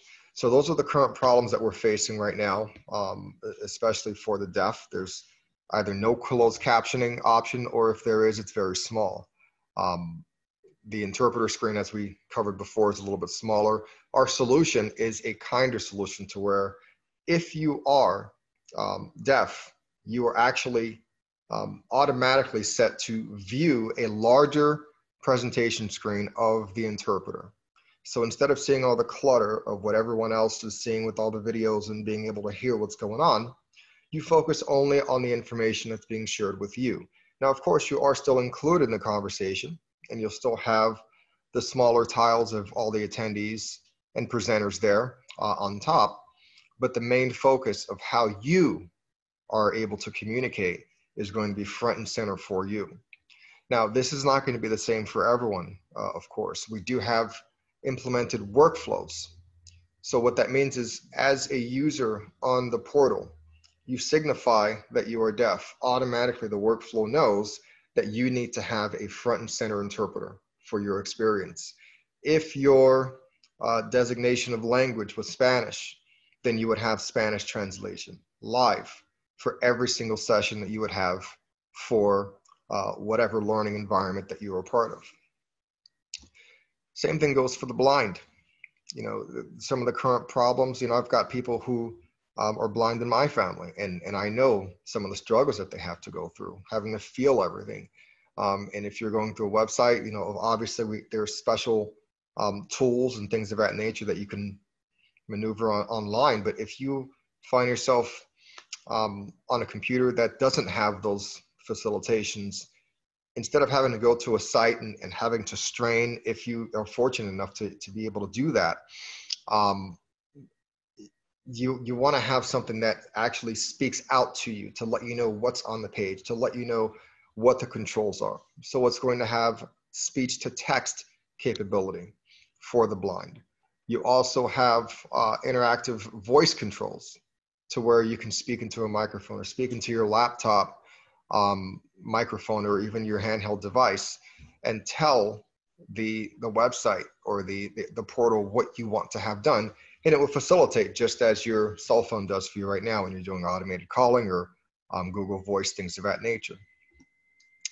And of course for non-native speakers this is a, a, a big issue as well um, a lot of times you have smaller class sizes if any for people who are not native speakers when it comes to the subject matter being taught. Obviously, biggie here in the United States is the Spanish language. There are some Chinese dialects as well, uh, Mandarin, Cantonese, that there are uh, second language programs that, that are able to help the students along. When you're talking about remote learning, it's almost non-existent. So we will have real-time translation um, that's actually built in to the software. So just as we have right now um, on Zoom, for instance, we have small tiles of interpreters who are trying to communicate for the deaf and things of that nature. We will have uh, communication for non-native speakers as well. So it'll be translated from Farsi or Italian or whatever the case is from one language to the next. Um, there's many instances where even, you know, when you're talking about face-to-face transactions to where you want to set a, a doctor's appointment and that appointment has to cancel because they weren't able to get an interpreter for you. And so now you've got to reschedule and hope that they'll have one next time. That is no longer the case when you're talking about a kinder way to interact. You will not even have your appointment scheduled if there is no interpreter available for you.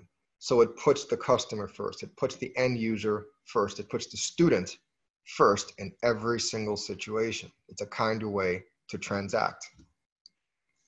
So, kinder, our motto is one conversation at a time because we're making the world a kinder place one conversation at a time. What makes us different um, is we actually offer live interpreting for every single session. And again, it's within the workflow confines that uh, you set up as, as part of your sign up process. So you're going to pick your location as far as where you want to have uh, interaction from, where you want to get a tutor from. We're, we're going to be offering tutor services. We're going to be offering um, education platforms. We are uh, working with other uh, classroom management software as well, like Google Classroom, like uh, Big Blue Button is one of them. Moodle is another. So we're going to have integration with a lot of these platforms that are already in play to help facilitate um, how learning interactive uh, environments are, are facilitated with um, for the accessible community. Okay. Now, this is kind of a, a screenshot of uh, some, uh, just a, a wireframe as far as how we have our software set up. It's still in development for the most part, um, but uh, we're slowly bringing it to market and, and hopefully within the next uh, two to uh, two to three months, we should have a working rendition to where everyone can take part in a kinder learning environment. So as you can see here, we'll have the ability to have uh, the location as far as, and this is an example, for instance, for the tutoring platform that we'll have. You'll get to select your subject, your location. Um, if you have a special need, you can signify whether you're blind or deaf or whatever the case is. You can choose your language if you're not a language, uh, a, a, native language speaker of, of who you're reaching out to. Once you select your items here, uh, you'll, you'll have a list of tutors in the area or available um, facilitators for that subject matter. It'll be alphabetized, and of course, you'll be able to see them through their ranking system. Everybody has ratings now, it's a big thing, um, and we don't want to deprive them of that experience. So you can see who's ranked the highest, you can see the number of students that they've tutored in the past, you can see their schedule, their available schedule, their credentials, um, and, and help you to select the best tutor for, for, for you at that point. Now, of course, once you select somebody, you can choose an available slot in terms of time slot, what's, what's best for your schedule. So on the flip side, as far as the tutor or the educator on their side, they're gonna have an administration portal. So you can see the call schedule of what classes you have when, who has signed up for those classes. Um, right now, um, there, there's not very much in the way of integrating with scheduling software in terms of some of the education software that's, that's being used through, through remote access.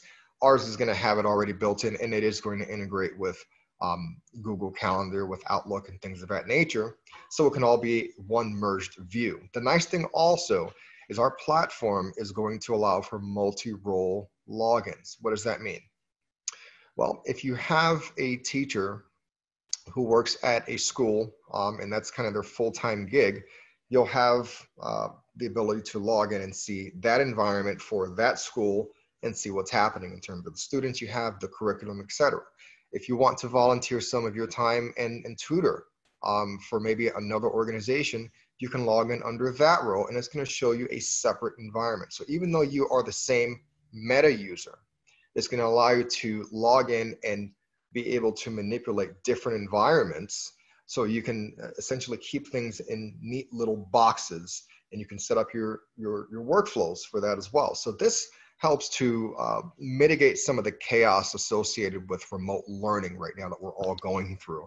Um, so, um, you know, we don't have all the answers, but we do find that if we find a kinder approach, that if we put the student front and center, if we address the, the issues that are being faced by teachers all around the world of how to get the interaction they're looking for, how to better get an assessment of if a student is getting the subject matter, if there's something else that is a barrier, this will help to find out what those issues are so that we can um, get together with more um, plausible solutions. Okay. Fred, Fred, it's uh, amazing to uh, to hear about Kiinder, your mission, your strategic approach, your community approach, and especially emphasizing uh, on full accessibility and uh, person and personalization, which is a unique approach.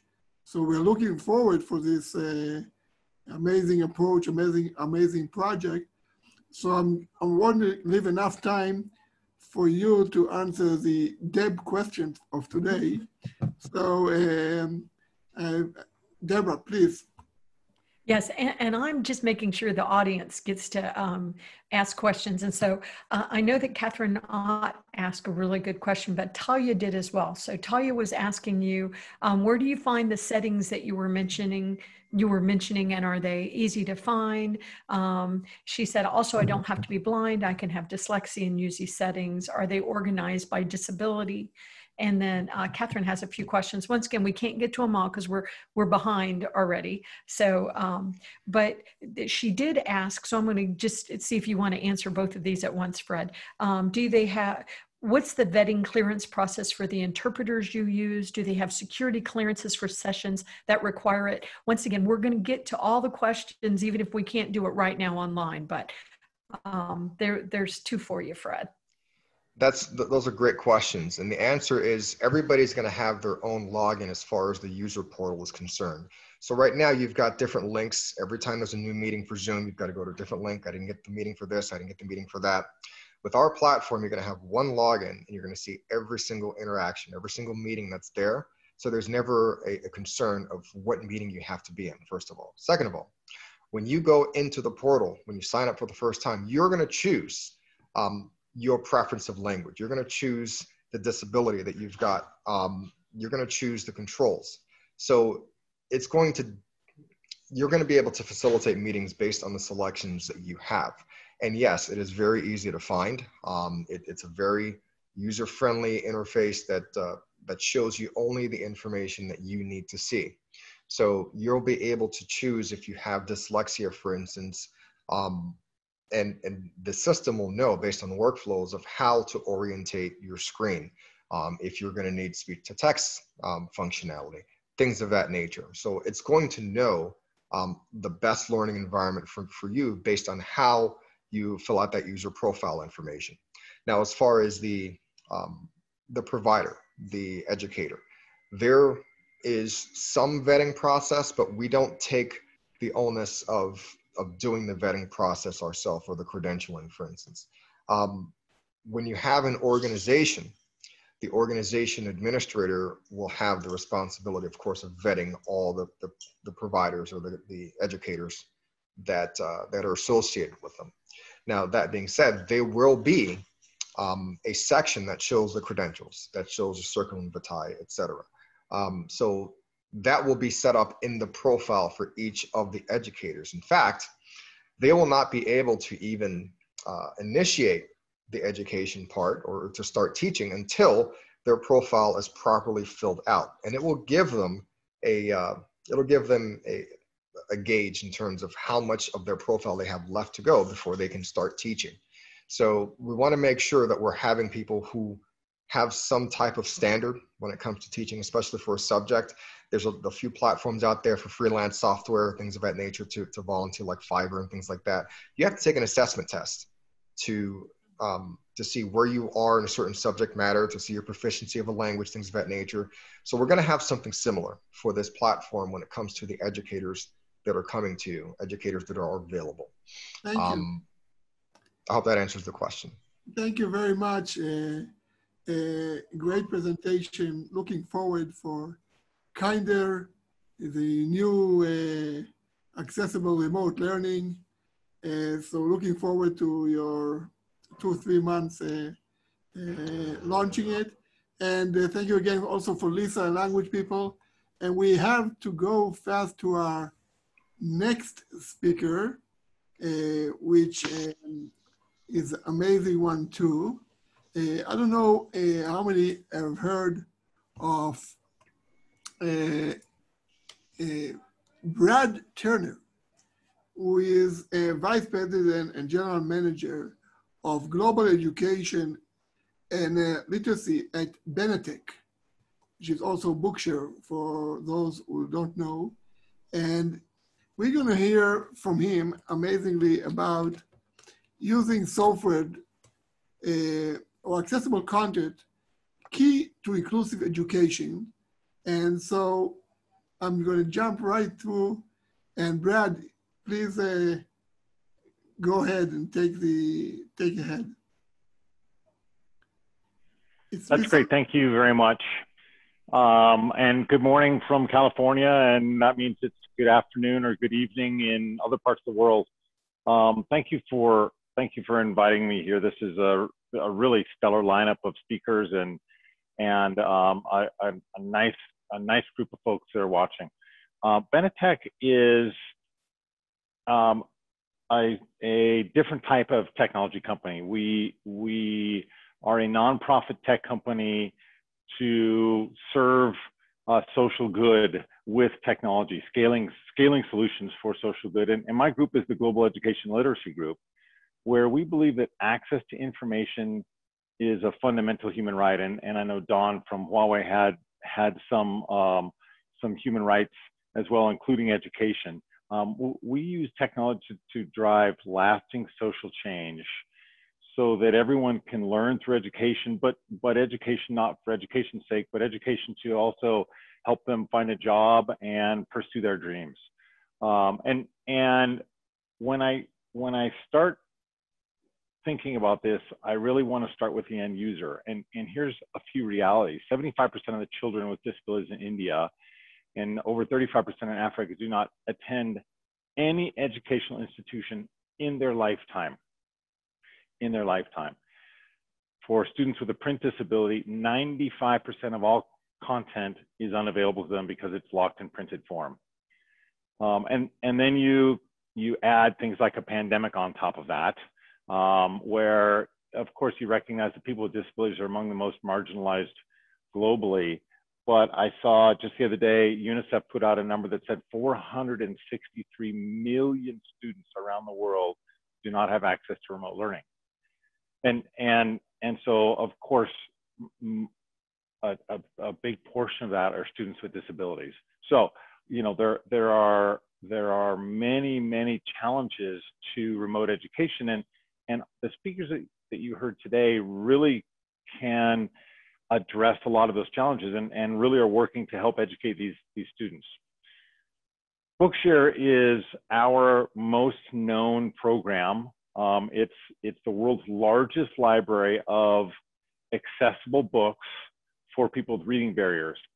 Uh, we've talked a lot about blindness um, today, but, but we support people who are blind, who are low vision, who have a learning disability, most likely like dyslexia um, or a mobility impairment.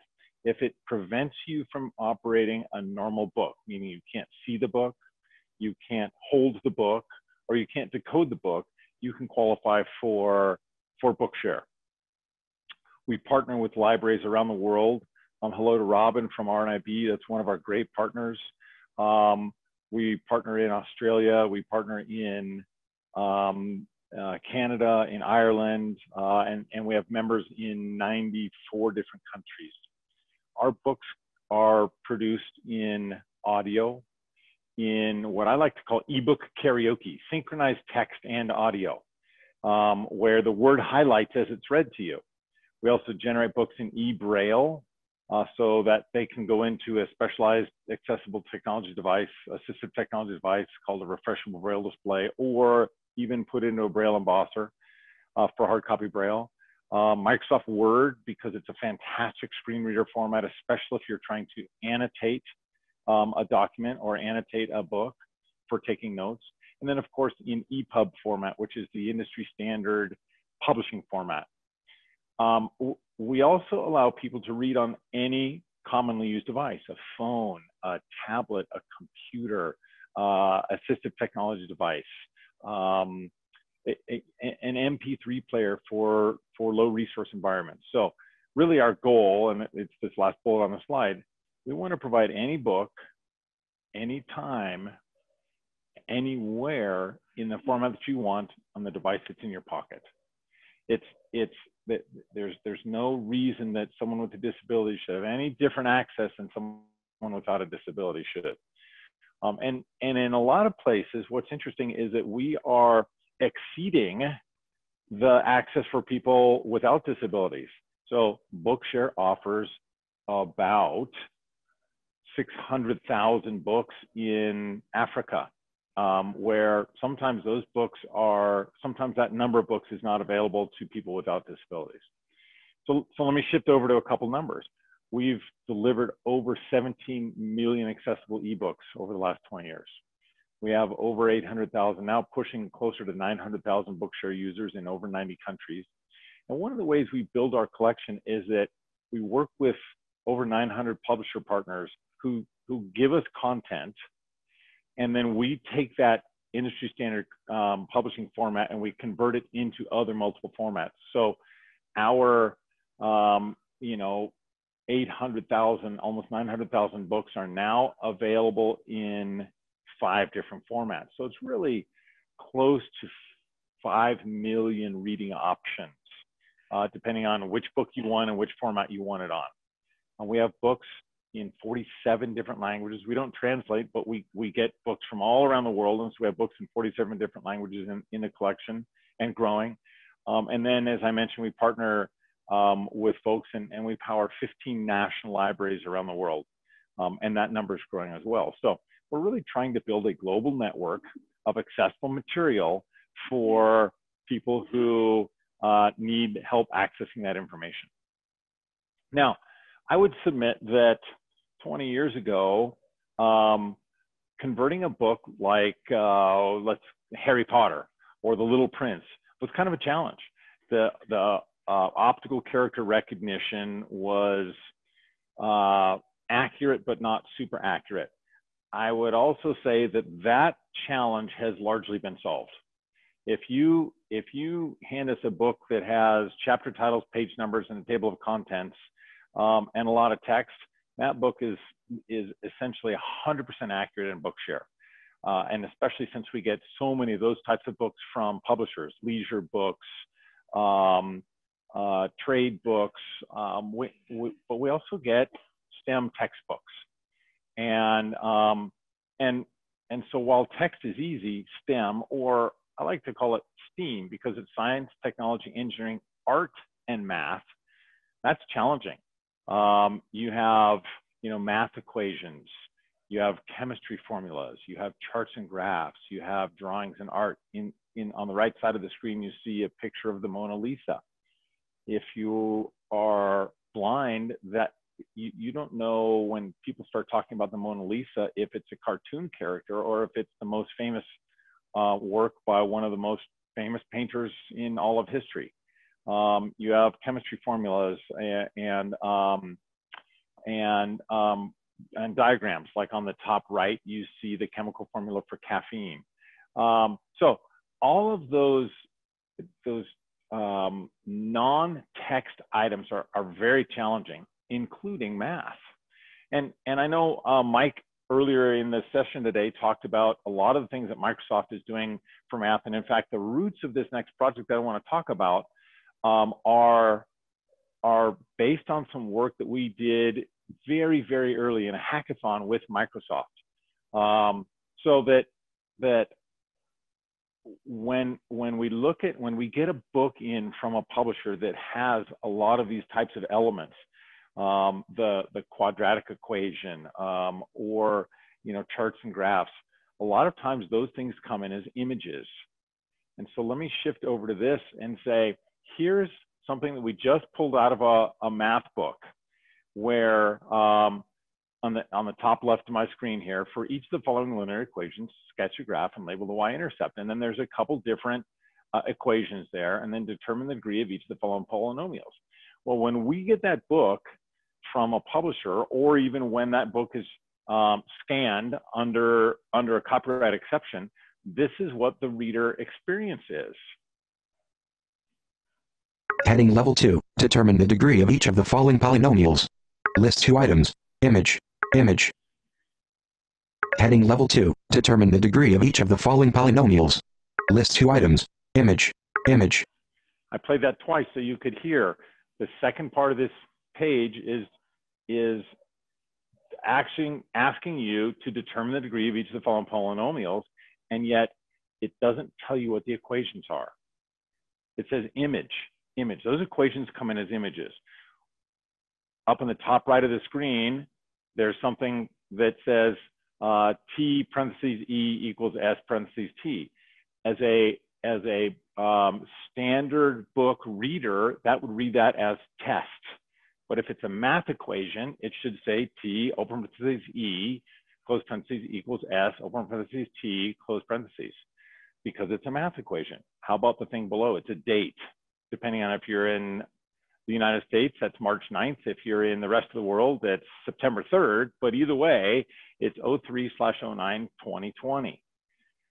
Is that a math equation or is that a date? So what we've done is we've embarked upon a project to use artificial intelligence to really lean into math. if text is easy, let's make math easy as well.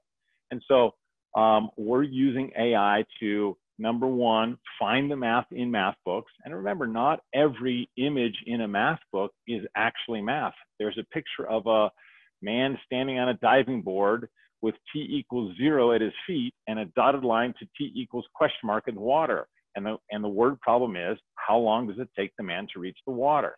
That's not something that we can describe using math equations, but it's an important uh, part of the math book.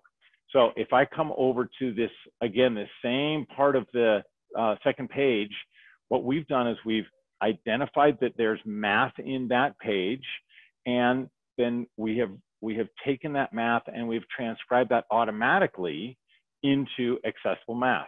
Take a listen to this one. Heading level 2. Determine the degree of each of the following polynomials. List two items. F left parenthesis x right parenthesis equals fraction start, x to the 4 over x squared, end of fraction, minus 3.5x to the 1.5 plus 0.85 math 1 of 2. f left. Okay, so, so if I had 5,000 equations in a math book and I had to manually transcribe that, my student wouldn't get that book for probably two to three months. With the automation that we've built now, and and with it's in test, and so you'll see this start to roll out, roll out over the next few months. But I can convert that book in probably a day, and so all of a sudden, what that does is open up the world of math to students who, in, in many cases, especially in developing worlds, aren't allowed to learn math past eighth grade because the materials aren't there. So that so they're not allowed to take math classes.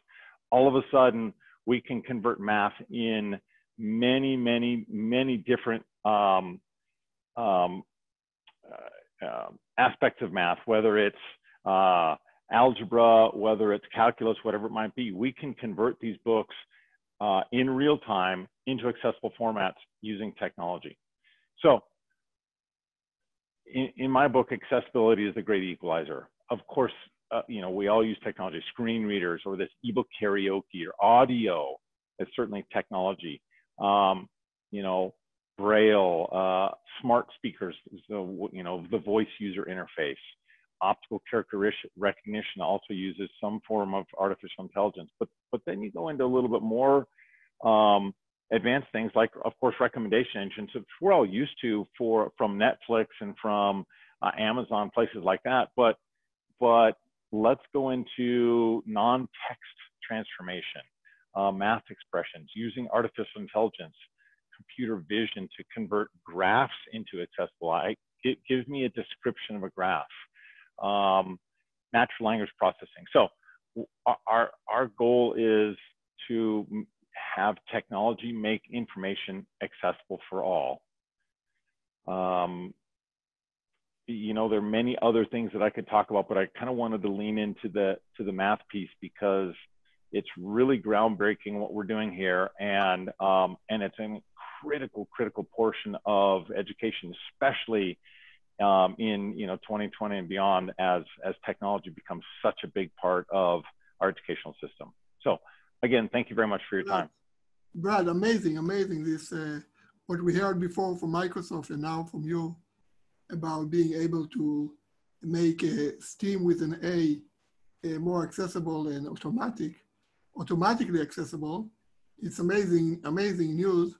And we would love to, you know, do another webinar more, more for tech guys, more for, to, to deep down to learn how it's really done uh, behind the scenes.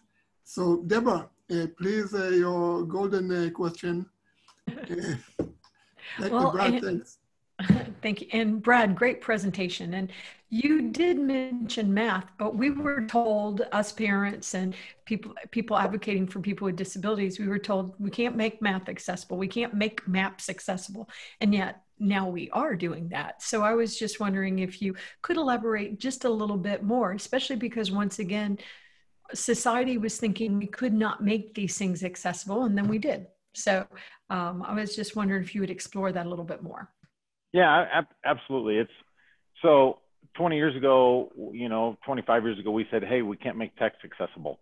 Um, and now Bookshare, if if you hand Bookshare an, an an e-text book, a, a, book with, with just text in it, it's accessible in, it's, it's in the collection within an hour. Um, and so we're starting to push the boundaries of other, um, of other aspects of that. And so math, of course, is the first one because that's sort of the universal next, the universal STEM topic, if you will. Not everybody takes physics. Not everybody takes art history. Almost everybody takes math. And so, and so that's the first piece. But, but, but with our, with this conversion engine and using machine learning and neural networks, some of, some of these advanced artificial intelligence technologies, what, what we believe is we can start to extend this into um, other aspects of STEM. So math and then into chemistry and into physics and into some of the art topics. Um, and, and in fact, we believe that within the next few years, the technology will be available to add alt text or long descriptions to all of the images in a book. Now, let me let me pause before people get too excited. I believe that context is incredibly important there. That the author knows why they put that picture in. If I'm showing you a picture of a pen, is it that um, it's because I want to talk about the pen as a writing implement or I want to talk about the pen as a tool that I fidget with? Context is super important. If we can get authors and publishers, and we have a program that we're working with publishers to build books accessibly in the first place. We call it our Born Accessible Initiative. If a book can be born digital, it should be born accessible. And that way it's the same book for everybody. But until that is a reality for every single book published, libraries like Bookshare will be around converting and and and that means we need technology to continue to advance the art of the conversion so that more than text all of the STEAM topics are available as well. Thank you very much. Uh, amazing. We have so many questions to ask, but I'm sure we're going to do a tech, uh, more tech webinar specifically I'd love to do it. Thank you. Because uh, it's amazing, both of the fun functional way and the usability of it, but also how it's really done behind the scenes. So Brad, keep on the, the great work that Benetech is doing and it's uh, great to have you with us. So thank you very much. And we will jump to our last uh, uh, speaker for the technical, for, for the technology, technolo technology part, sorry. And is uh, also our sponsor. Um, it's AbleDocs. And Adam Spencer, uh, also is a global leader. And if you don't know, is the leading company in the world of uh, making accessible documents. And uh, so Adam is going to talk about preparing inclusive classroom for accessible boardrooms through document accessibility. And so uh, we're looking forward for this uh, presentation. So Adam, thank you again for both sponsoring the webinars and also uh, sharing with us your knowledge, your great 20 years knowledge about making documents accessible. So your, your speaker is on. Thanks, Yuval. Uh, really appreciate it. You can hear me okay? Perfect. Super. I actually, when I signed on to this webinar, I was actually in a car and I, am hoping I didn't make anyone motion sickness as I was going along our tremendous highways here in Toronto. Uh, great to have uh, everyone on board and, and, pleasure to meet all of you. Um, one of the things, as, as Yuval mentioned, I've, I've been in PDF accessibility for a, a very long time, and AbleDocs was founded to really push the boundaries of what we can do with PDF accessibility. And, and you know, hearing all of these great speakers talking about a push for technology is such an important part of what we do and understanding the transition from education into the real world and recognizing that accommodation not is not necessarily always available so getting people and authors to understand how to make content more accessible from the start is really a big part of what we're doing in higher education. Um, I've been working with probably over a thousand higher educational institutions over the years and, and getting them to understand where the gaps are in, in producing accessible content. You know, we still see challenges with publishers producing accessible or even digital uh, access to texts uh, which makes the job that much harder. You know, we get stuck in things like uh, copyright requirements, where we've got educational institutions scanning in textbooks, debounding textbooks, trying to then accommodate a student on a short turnaround, which really isn't a sustainable approach. It can be done, but it's not the best way forward. I know we don't have a lot of time today, and if you ever have any document accessibility questions, please feel free to reach out. Oh, let's go slide transition. There we go. So a typical approach is a reactive one. Uh, organizations will have an accessibility or an accommodations office recognizing that students need to uh, have barrier-free access to technology or to content without really understanding what's involved. And we've seen a varied approach uh, across the world uh, in, well, we've worked in 48 languages from do we do this in advance? Do we have everyone creating, you know, in, in our case, tagged PDF um, to make that, that content more accessible? Or do we skim that down to a plain text document so that it's readable out of a, a piece of adaptive technology? Where I come from, it's either PDF UA or the Universal Accessibility for PDF. It is an ISO standard. It's been ratified by over 50 countries. Uh, and it's really the, the mark of whether that file is accessible or not. And this isn't just for screen readers. And, and one thing that you have to remember is PDF isn't dying anytime soon. Over 2 billion PDFs were added to the internet last year alone. Uh, and that's the public facing internet. That's not including files that were either internal to organizations or behind firewall or behind password protection. So when we talk about preparing people for the real world, it's really important to me as, a, as kind of a personal mission and for us at AbleDocs to get PDF technology to be as accessible as possible. And there's a, there's a lot of great work that's going on. Um, I, I, still can't believe that I'm fighting for a format and there's still format wars and I'm not just pro PDF. I believe that every format has a place. Um, it, we really need to look at how that content is presented, how it's going to be distributed, and how someone is going to better interact with it. I think that that last presentation from Brad was great, talking about math uh, we work in MathML constantly to try and push the limits of what it means to be accessible and moving away from checklist accessibility. Oh, look, I passed all my testing tools versus is this actually usable? So we see a, a whole bunch of, of curves when it comes to accessibility and higher education is often in, in the US in particular initially sued for physical accessibility access, ramps and elevators, then we move into an OCR complaint or the Office of Civil Rights, where a student is being discriminated against for their disability. Obviously, in Canada and Europe and other parts of the world, the disability um, or accessibility legislation is there to be proactive. And, and so, where I live in Ontario, Canada, we have some of the most uh, stringent accessibility laws in the world.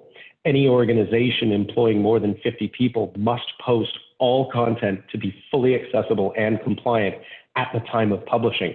Otherwise, they're, they're contravening the law. Then we see organizations push into website accessibility. Great, let's make sure our website's accessible. But we forget that a huge amount of content is locked into PDF files. And converting that into HTML makes no sense whatsoever. I once got yelled at uh, and was accused of being a liar when I said at a conference that we had tagged a, a thousand page textbook. And the, this person yelled at me saying, There's no such thing as a thousand page PDF. And I said, Well, that, that's just not true. In fact, we've tagged a document that was over 250,000 pages. And the concept of a 250,000 page document being converted into one long scrolling web page just made my head spin as bad as the PDF was. But we're dealing with a reality of what these documents are. And we talk about author intent and expectation of how content is going to be navigated. And EPUB is a great format, except no organization outside of education is publishing EPUB on a regular basis. They just aren't. It doesn't fit into the workflow. And that's not knocking one format over another, but we've got to be re- recognizing that strict accommodation in lower education helps learning early on, but we're not preparing students for the real world. Telling a bank that you need to provide me my bank statement as an EPUB form is not going to happen. It just won't. Um, the, the amount of time that it's going to take versus the investment that's being made into making document formats accessible like Word, PowerPoint, Excel, uh, PDF is a much more sustainable approach because that's how most authors are creating content. So why is document accessibility so hard? I always get told uh, HTML is just easier. Um, and the answer is it can be, but most professors, for example, have no idea how to write a web page. Um, most professors barely can get to a computer and type up a quiz. We see so many handwritten quizzes that are coming in or, or tests that are being requested at a last minute, trying to make sure that they get through their material. And how do we accommodate that for a student with a print disability?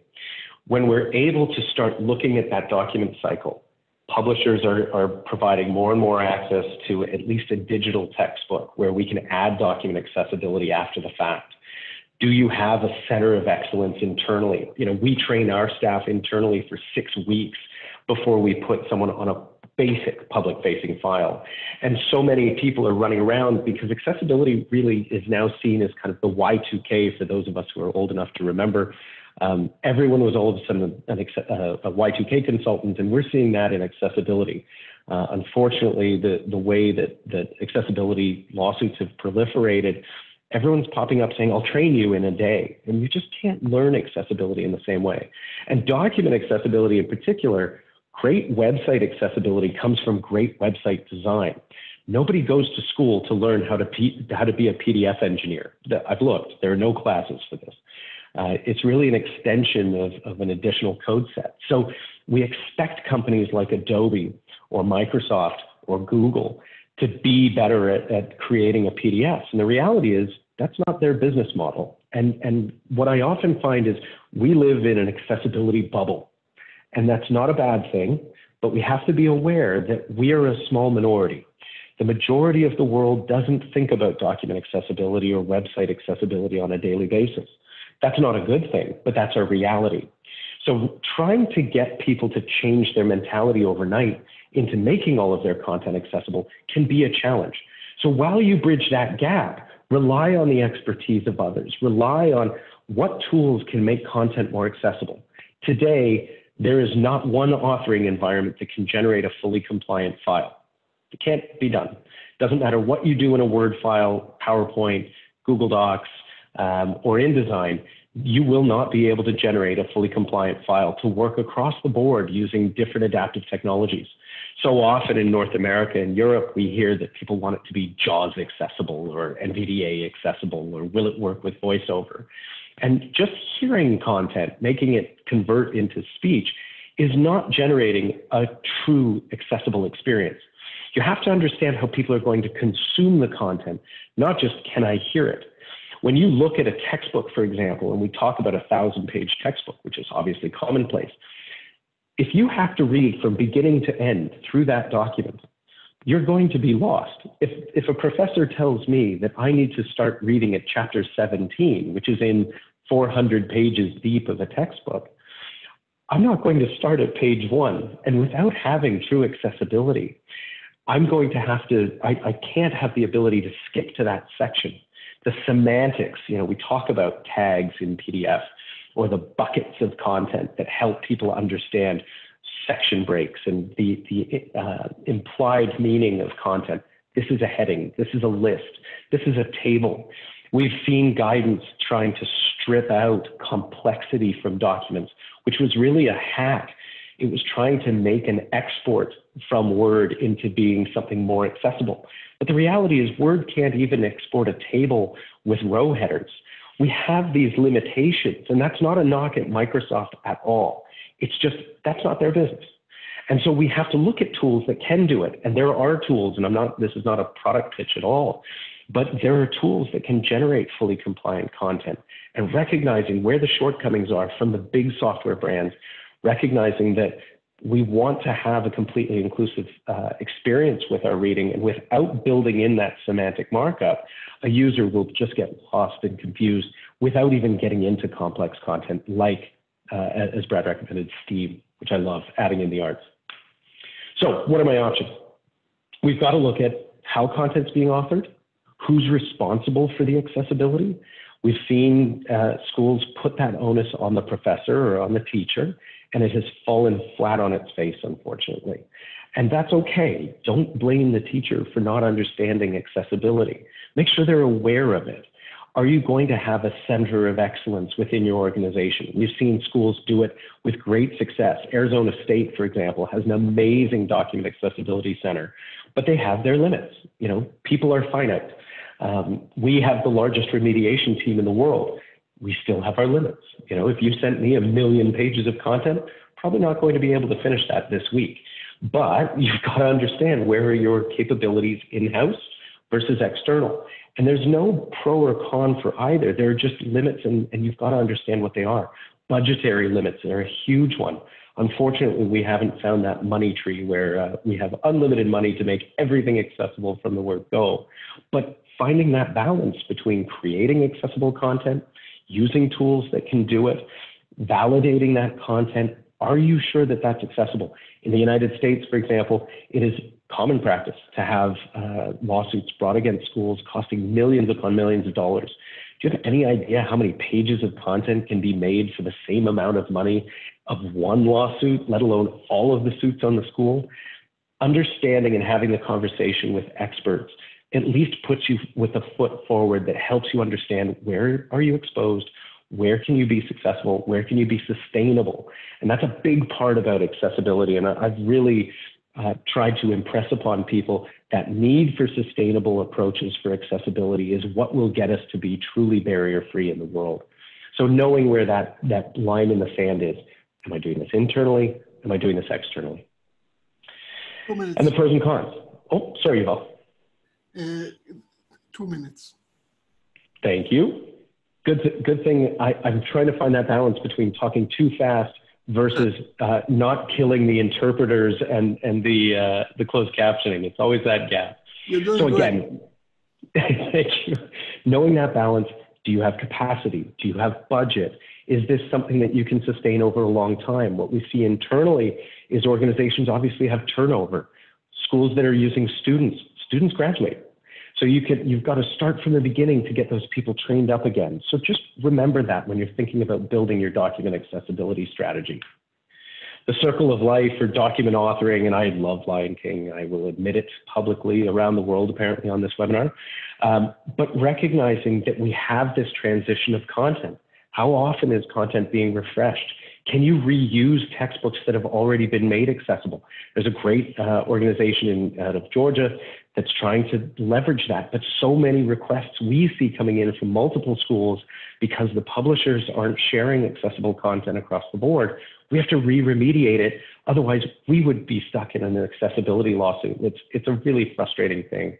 Understanding how students are going to interact with the content and how often they're going to do it. Keeping a repository internally to the Office of Accommodation or Accessibility is really important as well. Remember, not all documents are created equal. You know, the old apples and oranges. Is this a simple memo? Is this a simple test? Is it an interactive form? Is this complex content? What authoring environment is it coming out of? Is it built in Word, PowerPoint, InDesign, Google Docs, uh, Sheets, and Self? Or is it coming out of InDesign? And your, does your graphic designer really understand what accessibility is? The number of times we see documents, don't worry, our designers have gone through this and they say it passes every checker. I can spoof a checker in an instant. I can tag every single page as, a, as an image, put my alt text as quote space quote, and it will pass. But do you actually have an accessible experience for that user? And the answer is no if we're truly considering accessibility, we need to make sure that that content can be used by a multitude of, of, different print disabilities and reading experiences. And it's not just does it work with a screen reader. Screen reflow is incredibly important across multiple devices. And a fully accessible PDF is just as accessible as a fully accessible web page. When we see these posts saying PDF isn't, isn't uh, accessible, that's from people who don't really understand it and don't understand how to interact with it or don't understand how to create that content. Ask the experts. We're here to help. And it's not something that we even charge for. Just ask. Using the right tool for the job. Make sure you've got the right software, generating the right content, or the right people on the job. And don't forget, ask for help. The cool thing about this industry and accessibility, we're all here to help each other. Uh, and I am always happy to answer. Yuval, I'm done. No, it's it's it's such an important. Yeah, it's great and great presentation and such an important message to all to understand that it's a win-win situation. Do it right. Uh, accessible information is important. Do it in advance. And uh, uh, so uh, great tip, great path you suggested to our listeners. And uh, Deborah, your, your final question for this lecture. Yes, and I will just give a shout out to Adam because um, my my company's actually partnered with Adam, and um, and this Richard uh, was reminding me on text of the time when we sent him an emergency, you know, one night, and um, which you shouldn't respond to emergencies, but he did, and he was so good. And, and I think that what's really important with the points that Adam was making is that I hear all the time in the States because we do sue each other and we're going to continue to sue each other because people are not taking this seriously. Education, we've seen great corporations today, but uh, you know, we're still not seeing accessibility and disability inclusion taken as seriously as I would like it to. So I thought it was a good point where you were talking about how all the stakeholders need to work together. But I often see signs that say we're fully accessible, we're using US language, Section 508 compliant, when all that they're doing is maybe doing an overlay and ignoring the rest of this complication. I mean, the PDFs have to be accessible, all the documents, all the different moving parts. And I was just wondering, and of course, I know your answer, you talked about it, but do you continue to see that as well? That people think all they have to do is put an overlay on their website and they're done and everything's fully accessible for us? You know, it, it's something that has been um, kind of a, a, stake in the heart of those of us who truly care about accessibility and, and seeing the, this overlay approach, look, people looking for the easy button. And the reality is, accessibility isn't easy. That doesn't mean it's impossible, but we have to recognize that trying to overcome something like a, a, a, Section 508 complaint or an EU complaint that we're seeing uh, starting to happen now with the deadline coming in in the end of September. This this approach of yeah yeah don't worry we've taken care of it we got this little button and we only pay you know 50 bucks a year or something that is not accessibility in anyone's definition of the book other than those organizations and it, it really gives a disservice to the people with print disabilities trying to interact with that content. It, if you make a, a website accessible, it really shouldn't cost any more than building a great website. It shouldn't take any longer, but you have to know who you're requesting that work to be done by. And, and asking the questions in advance really help us overcome it. We see so many organizations, and I cannot tell you, there is going to be a wave of backlash against organizations that are looking for that easy button with the overlay, or we've seen it in, in documents with a QR code that has no structure. How do you read a bank statement without any structure? How do you understand the relationship of content between uh, blocks of text without structure? You can't. And, and I think that, that companies that are trying to take that, um, that broad brush of, of oversimplifying simplifying accessibility. Just give me a plain text document. I can read it. That may work for one person's reading experience, but it doesn't work for all. And we need to start with the most accessible approach possible fully accessible websites, fully accessible documents, and recognizing that we can export to 28 different formats in one click. If you have a, a preference, it's one click because we're starting from an accessible place. Thank you very much.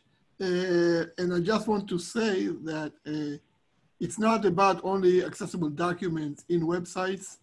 Uh, people with disabilities can ask any uh, service giver for accessible documents. And we're talking about schools today, about education, we have uh, exams, we have uh, working materials, we have a lot of things that should be accessible. And again, I want to thank this part for Adam again for uh, being a partner, sponsoring all the uh, presentations are being uh, accessibly by AbleDocs for you to see and watch. So thank you again. And I'm closing this session, this part and going to the third uh, part, saying two things. One, thank you, when, uh, thank you very much for Deborah Ruh uh, from Global Impact that worked with me on this session and all their help. I think we had a good time and hopefully we had some good questions. And the second thing that I want to, uh, you know, to say that you keep thinking about it. Imagine a world where all things will be done accessibly in advance. Okay? Think about this. This is the main goal of ours to the future, being making the future tech era accessible in advance. It's smarter, it's uh, uh, uh, it's less expensive, and it's uh, uh, more accessible for all.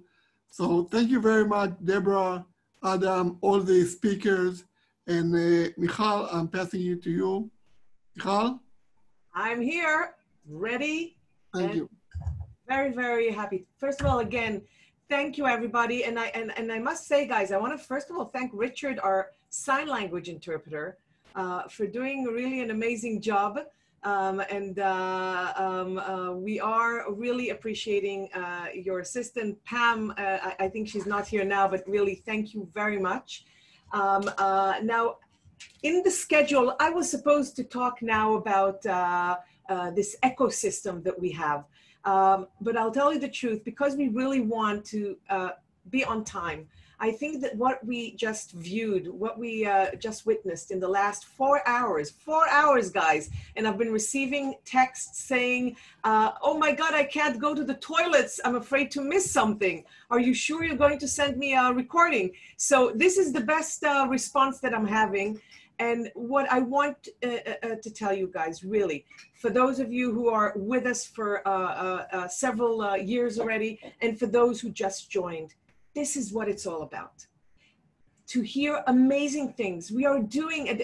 You can you can take into account that people are doing great stuff all over.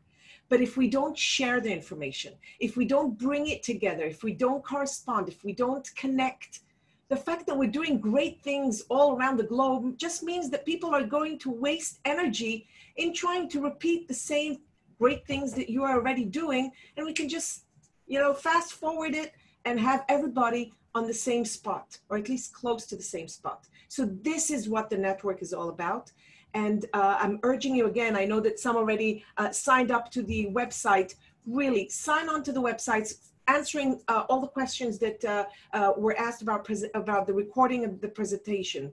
Sign up to the website. We are going to post the recording for uh, this webinar and the previous webinars on the website, uh, and everybody will receive a message saying that it is on there and all the presentations from uh, those uh, uh, speakers who are sharing the presentations will be, of course, accessible by AbleDoc, AbleDocs and then uh, uh, uploaded. So we will have it and then we can start the ripple effect. This is the network. This is what it's all about. So again, thank you very much. And now the third part, we handpicked and chose amazing um, speakers that are not necessarily technologies and are not from governmental uh, officials. They are just amazing practices, innovating practices, uh, um, uh, great speakers that are going to share with us again case studies that are worth repeating, are worth learning from. And the first one um, uh, that I would like uh, uh, to introduce here is actually four speakers from New York City. They assured me that they, even though there are four speakers, they are going to uh, um, uh, be on time and we are trying to uh, stick to timetable. And I know they're going to be very interesting after talking to them. New York experts sharing innovative practices on teacher and parents training and encouraging inclusive remote social meetings with students. I'm happy to introduce Lisa Nielsen, uh, a senior director for digital literacy and inclusion at the New York Department of Education. Laura Ogando is the project manager for digital literacy and inclusion. Ru- Ruchika uh, Chopra, I hope I'm uh, not mispronouncing terribly. Um, uh, he uh, serves as the director of the Office of Inclusive Education of District 75. That's the same district that um, uh, we were introduced before that brings together uh, kids with disability, special needs uh, in New York City. Uh, I saw them in action in an amazing yoga session in a, in a stadium in Staten Island, and it was really a great inspiration. and Jose Rios Lua, the Director of Family Empowerment and Communications for the Division of Specialized Instruction and Student Support. New York gang, go for it.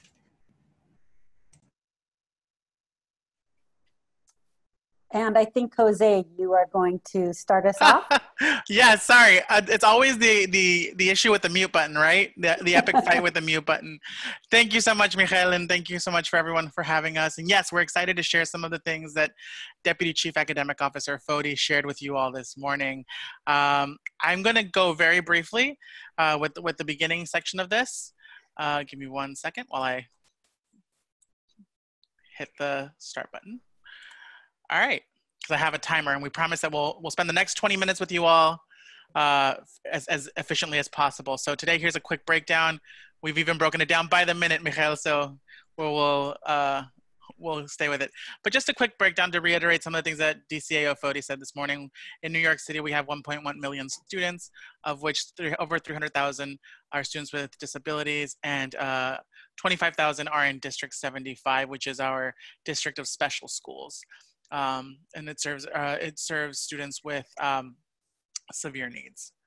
Um, I've added some links here, and when you all have access to the presentation afterwards, you'll be able to click on these just to give a more um, uh, overview of, of the landscape of education uh, in, in New York and in, in uh, the US. So part of this is the uh, our, our, our website, schools.nyc.gov, the special education section, uh, the section on the website that the DOE has around accessibility, and then of course just some general uh, United States uh, common terms, uh, the Individualized Education Program, the IDEA, the Individuals with Disabilities Education Act, and then the, the big one, FAPE, a free and appropriate public education for students.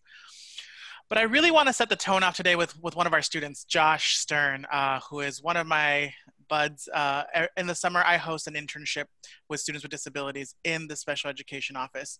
Um, and they get to come and share their insights and work on policies. And, and so one of the things that Josh was particularly uh, passionate about this last summer was accessibility. And so he created a video to talk about why accessibility is important. And while uh, Josh is talking about physical accessibility in his in his video. I think it translates so well to digital accessibility as well. So I want to just set that tone and let me know if you cannot hear the audio so I can figure something out.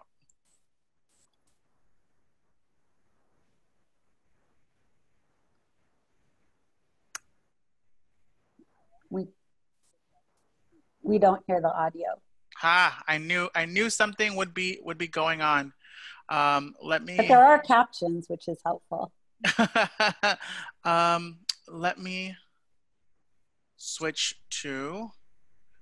Let me take my headset off and see if that will help because I don't see on a Mac computer how to share my audio.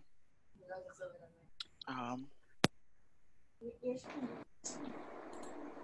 hear, we hear some, yes. Who has attended, is attending, or will be attending a school has an enormous amount of potential. However, when a student's basic needs are not met, like entering a building, using an elevator, or having access to an accessible restroom, there is no way to fully focus on education. These things become distractions, and students become focused on how they will get to class, use a restroom, or even how they will enter a school building. Accessibility benefits everyone.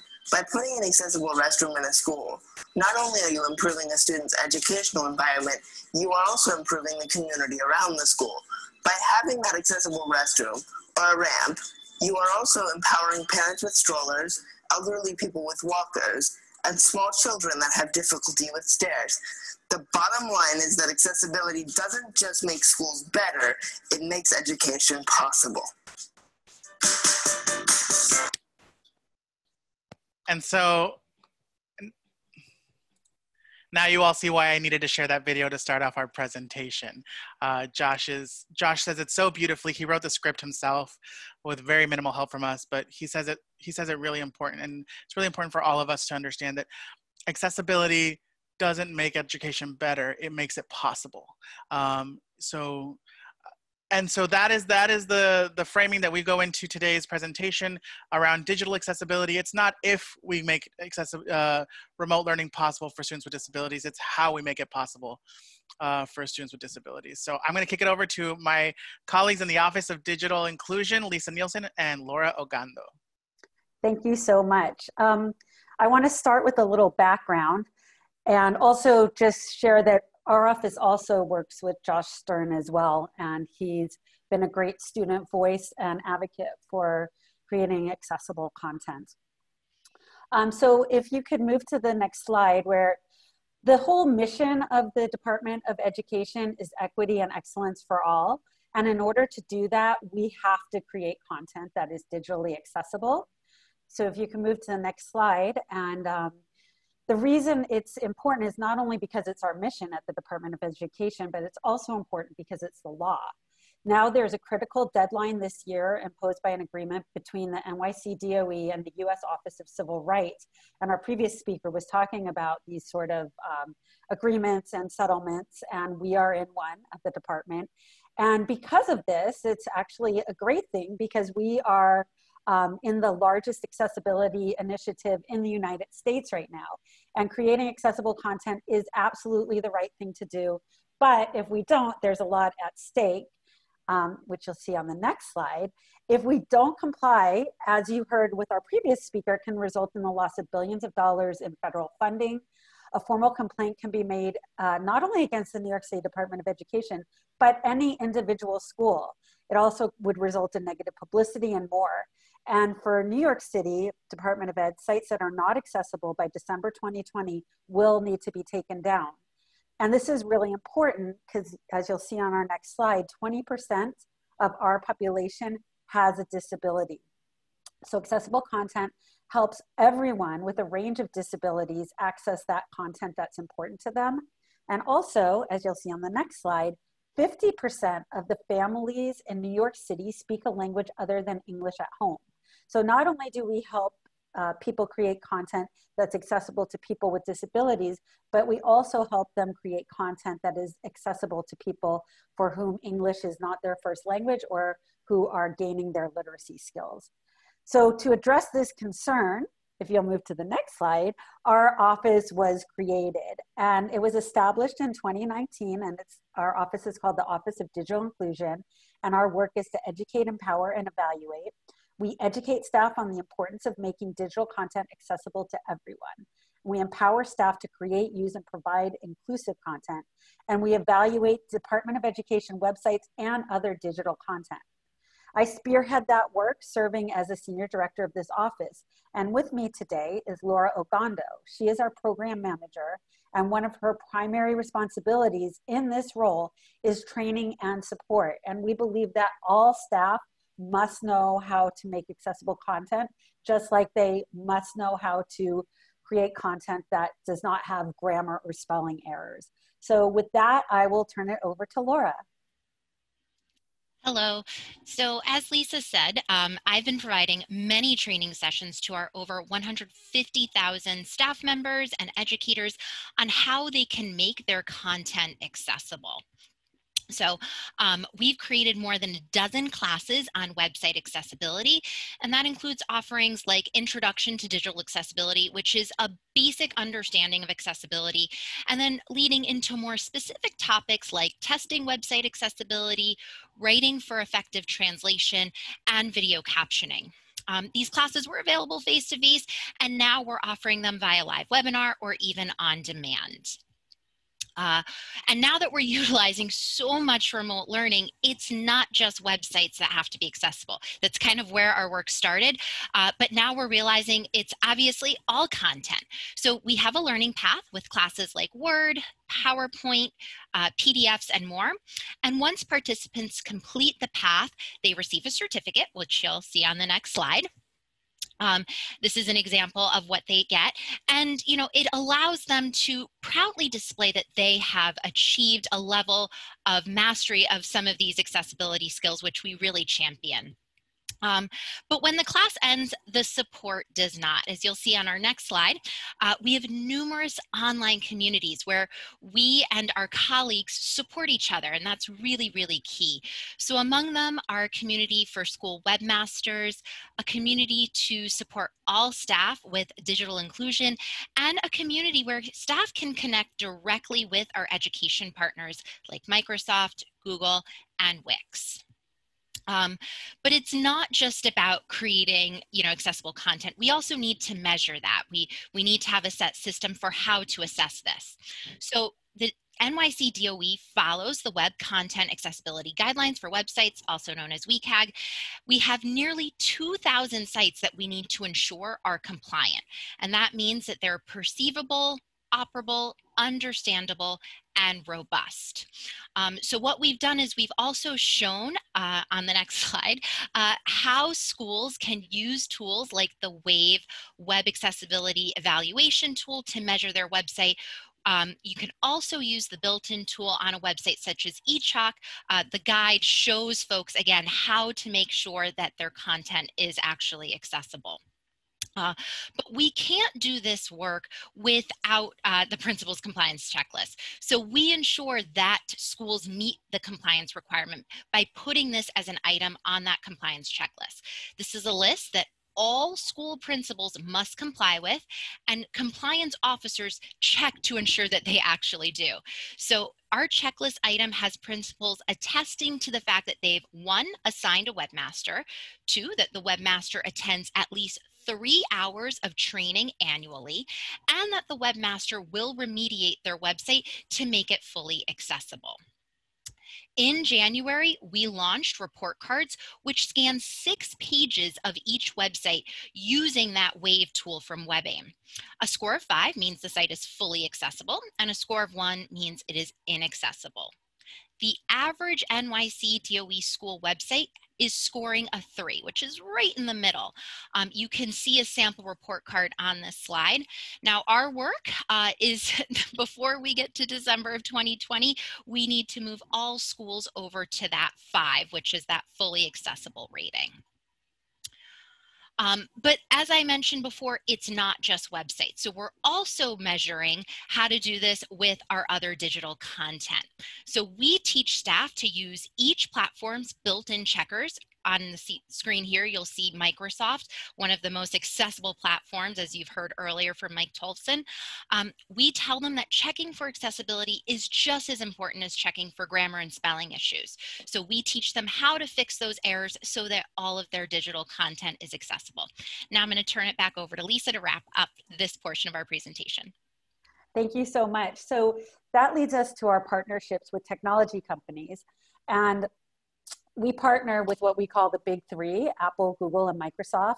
Um, if you can move to the next slide, the, there's their logos. We, we don't partner, as was brought up earlier, with Adobe, but that's not our choice. We would love to be partnering with them, but they have not been uh, a great accessibility partner, unfortunately. Microsoft has been absolutely amazing. And Apple, Google, and Microsoft provide accessibility training to our staff. And um, also, as was mentioned earlier, what we're really looking for with Google is to push them to get an accessibility checker built into G Suite, just like it's built into Microsoft. So I really hope that comes up on their roadmap. And then we also partner with a variety of the website platforms that are used at the New York City Department of Education. And uh, the way we develop these partnerships is I just wrote to each company individually. And if they did not respond, I tweeted to the companies asking them if they cared about accessibility. That did get uh, the attention of all of the partners that you see here. And we kind of put them into three groups, super partners, partners, and non-partners. So our super partners go above and beyond in providing training, partnering with us, with us on our projects, they participate heavily in our online communities, and they have or are in the process of creating built-in accessibility checkers. And then our partners also are great. They provide training. They generally participate in the online communities, and hopefully they are on their way to develop built-in accessibility checkers. And then we have two website platforms that uh, intentionally and explicitly did not want to partner with us, and those are Squarespace and Weebly. So we do um, ask schools to pick a platform other than that because they will not provide um, support or training in helping to create accessible content. Um, so I think, I hope that we've given you a good idea of the landscape of New York City, background on how we came to be, how we're training and supporting staff, how we measure and evaluate success, and how we partner with companies. Now you'll learn a bit more about students and inclusion, as well as tools to learn from home. So I'll turn it over to Ruchika um, from the Division of Specialized Instruction and Student Support. Thank Hi, thank you, Laura and um, Lisa. Um, Jose and I will speak briefly about um, how our students during this remote time have been accessing um, social networks to be able to speak to some of the work that they've been doing over the years. So one of the exciting things that we do in the New York, in New York City Department of Education for the last 10 years is that we partnered with Parents for Inclusive Education to do uh, what we call the Inclusive Education Student Summit. And um, over the years, we've kind of brought these students together to talk about um, why they think uh, inclusion is important. Why do they think that all learners should be part of classrooms and why and how they can build these communities. Um, next slide, Jose. I just want to say before we move on to the next slide that the, the it's important to note that this event is a partnership with a nonprofit, a, yeah. a parent advocacy group, and I think that when we're talking about inclusion, um, those those built-in communications, we, the DOE doesn't do these. We don't do these things in a vacuum by ourselves. We bring in community partners to build in relationships. Uh, so I just wanted to share that. No, that's great. And and those partnerships have been extremely powerful in letting us guide us through these times of COVID. And one of the things that came from it was um, instead of doing it um, in person, of course, this uh, spring, we met with these students again after they came back after doing the work that they did last uh, during the 2019 20 2020 school year when they came back um, and we did a virtual event with them, um, which brought together so many more families and staff than we had ever been able to access. And um, during this remote learning time, we were able to hear from students across the across the city as to why uh, being in an inclusive environment uh, during this time of of being by yourself, how inclusivity was so much uh, so much important and so uh, necessary so here's an example of what the what the expo looked like. This is, it's just a screenshot from our Teams meeting, and here I put a, a, an arrow to Josh, who you saw earlier in the presentation, and he was presenting to us about paraprofessionals. And so you can see the captions, you can see his his deck, and you can see his camera in the Teams meeting. Uh, the important thing, and I'll move on to the next slide, and Richard can talk a little bit more about this. But the important thing to know is that the Inclusion Summit is an opportunity for students to come and learn about inclusion. And then the Inclusion Expo is an opportunity for students to come back and teach us what they did, share with us what they did in schools to advance inclusion. And, and so that's where this. Go ahead. Yeah, and they continued. No, no, and they continued that conversation even after both the summit as well as the expo. And we used Flipgrid to help us through that, um, where students posted their uh, their presentations other students commented on it um, and we continue to oh, and this is a learning from this year that we've had that we hope to continue over the years now is to build this virtual environment because we were because there were so many voices that we weren't able to reach before that this particular environment actually was able was able to guide us through and so here are some of the past topics. We won't read them all. You all you'll all have access to this presentation afterwards. Um, but the other thing that's amazing is uh, we also did our uh, Disability Pride Parade uh, visual art contest virtually this year. And so this is something that Ruch and I, Ruchik and I also worked together on. And um, in 2015, New York City uh, started having a Disability Pride Parade. And so we then decided to launch the Visual Arts Contest to create uh, uh, a poster for the, DO, for, the, for the DOE's involvement in the parade. Um, so I'm just gonna click through these really quickly. But and our theme this year has been nothing about us without us which has been a common uh, uh, phrase for the disability rights community but so in the effort of we moved into uh, remote learning the parade was canceled and our reception was canceled. So what we ended up being able to do which was actually kind of amazing is we had a virtual gallery uh, for students that had that not only students can click through but also had audio descriptions of the arts. Um, and so if so you could listen to what's on the art. You can you can feel like you're going through a gallery space.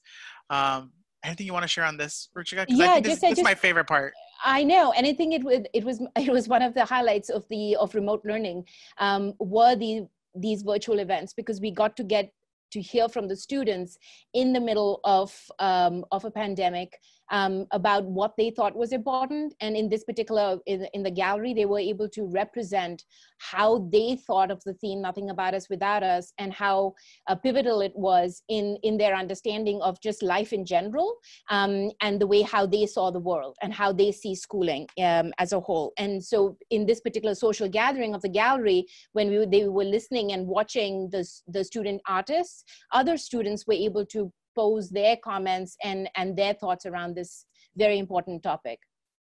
and i know we're running up uh, up on time but i want to spend just one or two more minutes um, on one of the things that has been super crucial for remote learning and that's providing families and parents at home with the tools that they need to facilitate education and so um, i've added a link and you'll have access to these links as well of some of the resources that we quickly pulled together. Christina shared in the morning that overnight we mobilized to, to create resources and so that is that is absolutely accurate. So we had resources for different therapeutic services so to support uh, physical therapy speech therapy occupational therapy we uh, we built a partnership with the get ready project to create a yoga based uh, curriculum to get uh, students uh, with and without disabilities uh, to uh, get ready for the day and transition the mind into a learning mode.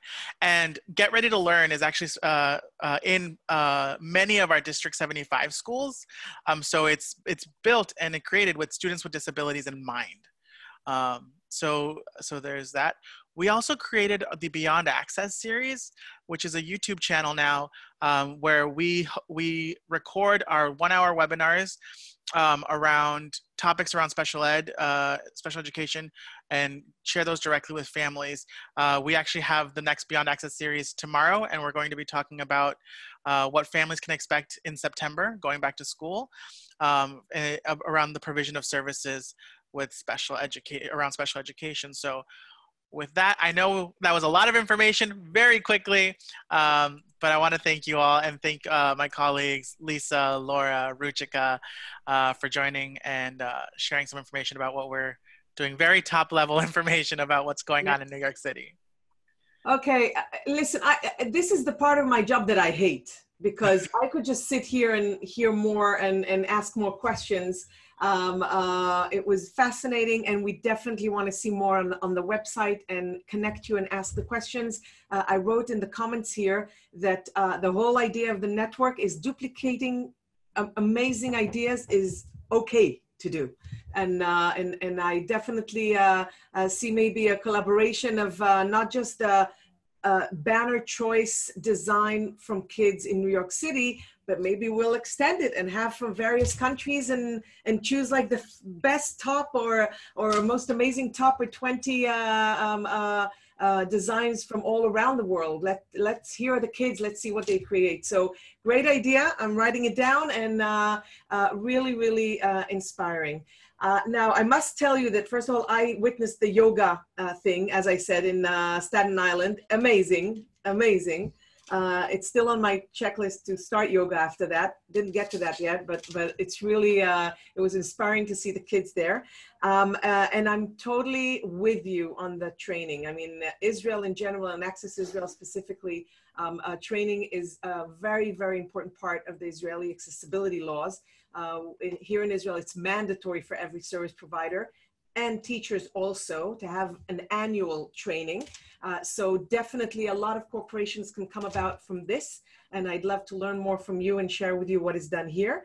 Um, uh, and I think that one of the things that we saw throughout the day in various uh, uh, lectures here and in webinars from the past is that the COVID took out something very interesting. You were talking about community partnerships.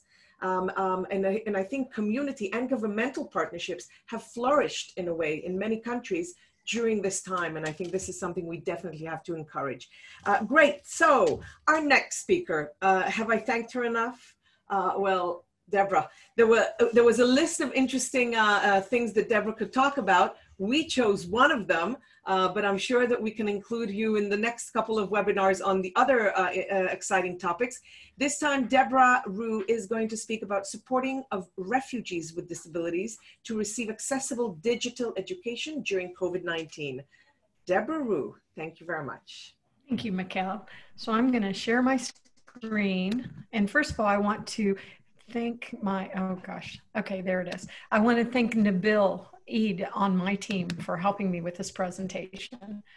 He, um, he has spent a lot of time supporting uh, refugees with disabilities, and there's so much work. I also want to say that I know that we're over time, so I'm going to really do good. I'm going to do really hard to stick to my time, but my slide presentation is way too long. So what I did, what we did, so I'm not going to talk about that, but one thing that we did, we always like to make sure that if we're going to do a presentation that it's helpful for you later on. So even though there's 19 slides and I'm not going to cover all of the data, we did it so that it's helpful for you to take back and maybe use the information. So I'm not going to cover every single thing. I'm just going to give you the highlights so we can get to the points. But the numbers continue to grow with our refugees. We know there's 79.5 million people that are forced to leave their home. They are identified as 45.7 internally displaced, which means they're displaced within their own country, and then 26 million are refugees. They had to leave their country. There's estimated 30 to 34 million children um, below 18 years of age. Every day it's growing by about 44,000 people every two seconds, a man, a woman, a child are forced to flee from their home. It's really, really scary. It's also very important to note that before, when people were refugees, hopefully they were only refugees for a few months, a few years, but we're finding that on average, people spend 17 years in refugee camps. So we have to educate people. They are living their entire their entire childhood in some cases in refugee camps. So we still have because of this crisis situation we don't always have as much good official data about disabilities as other um, but of course as you're fleeing from a really bad situation it is going to cause more mental health problems. It's going to cause, um, you know, we're finding girls are vulnerable being dropped out due to sexual harassment, child marriage, gender discrimination. Um, children with disabilities are frequently overlooked, denied school, hidden sometimes, discounted. Um, the migration journey this horrible journey causes more people to become disabled, have things, mental health issues like post traumatic stress disorder, and PTSD shows up years and years later. So, we, the, the best estimates are that 1.9 million of these people are living with severe disabilities. Um, today, there's around 3.7 million refugees that are um, not in school. And in the United States, we were told that 40% of children were denied, were not able to access the virtual, um, the digital schools when we first went home with the pandemic. And so it, this the, being a refugee just makes this crisis more and more uh, difficult. So I'm not going to cover all of the statistics only because I want to be conscious of our time, but we provided it because we thought it would be helpful for you if this is a topic that you're interested in. So there's international conventions that provide for the rights of refugees, including our CRPD, the Convention on the Rights of Persons with Disabilities, and each country's laws but despite this, we see the research that the educational experience of refugees, it all varies depending upon which country, wh- what your host country is. Um, we also know that education is the best way to protect and empower these people and to make sure they live their best life and they're able to, um, to really contribute to society but we have to close this educational gap. We have to make sure that we're doing a better job. And I'm not just going to tell you the negatives. I'm actually going to tell you some hopeful things towards the back of the this. But there is a lack of education for children with, def, um, with disabilities in refugee camps. Um, once again, there's cultural barriers. There are families that are reluctant to report um, a pre-existing disability because they're afraid that they're going to, you know, they're going to lose their immigration status or other things will happen to the family. Uh, they are very worried about stigmatization. Um, there's lots of language barriers. Um, and once again, different cultural beliefs um, about disabilities depending on where your host country is as well. So what these people are are dealing with it, it's just chilling. It's it's really really terrible. And once again we as society need to do a better job. We need to do a better job of adopting human rights models instead of only looking at it from the medical model which we still see happening all over the world. Um, the discrimination the isolations the low expectations the prejudice the cultural misunderstandings all the stuff that we see with people with disabilities are only exasperated by um, being a refugee. And then once again, the lack of knowledge.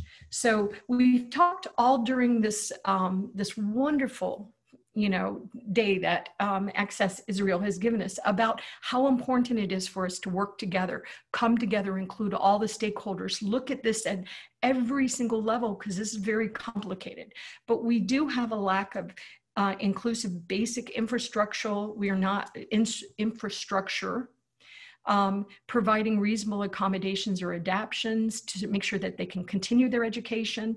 Um, I believe in some cases it's a lack of political will of really wanting to do the right thing by these people, um, including um, making sure our teachers are prepared, they have the right resources, the right, you know, funding. So there's a lot of work to do. Um, the UN is doing job to continue to remind them what the, key, the key principles are for inclusive education social protection, consciousness raising, controlling capacity building, participating, participatory decision making, accessibility, and two way accountability. Um, and to promote education inclusion and make sure that we are, once again, the intersectionality of disability is so important. Uh, looking at a student's gender, their skin color, their ethnicity, their sexual orientation, their language, their religion, all these different things continue to be to cause widespread discrimination, but then you go into the refugee camps and it's even worse. Very, very important that we work hard make sure that these children have um, access to education because this is how we change the world. If we educate these people, they can really make a big difference in the world because of the experiences they've had. Um, many of the refugees with disabilities are already facing um, additional challenges and um, they don't have the, the, just the basic needs um, it you know so and a lot of this stuff we know. So once again i will make sure i'm going to get to the um, some of the solutions we're seeing. So of course covid-19 is just making things worse. We all know that. Um, the pandemic has exposed all kind of gaps from connectivity clean water sanitation housing transportation employment opportunities and they all all of the stress has a direct impact on these children children with and without disabilities and their ability to learn so we need to make sure that we are following the things that we already know, that we have to make sure things are reasonable. Braille and textbooks, materials, um, accessible products. Um, we, we need to focus on some of the biggest barriers we're seeing connectivity, portability, language barriers, cultural barriers, and then situational disabilities. Because in these situations, if you have a disability, it's going to be exasperated.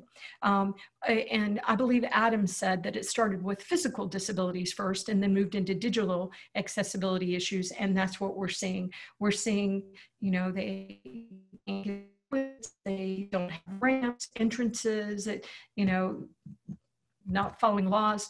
But education for all, we really need to have a call for action. Support policy planning, data collection, access to inclusive education, support our teachers and strengthening partnerships and elaboration, and engaging with the host countries.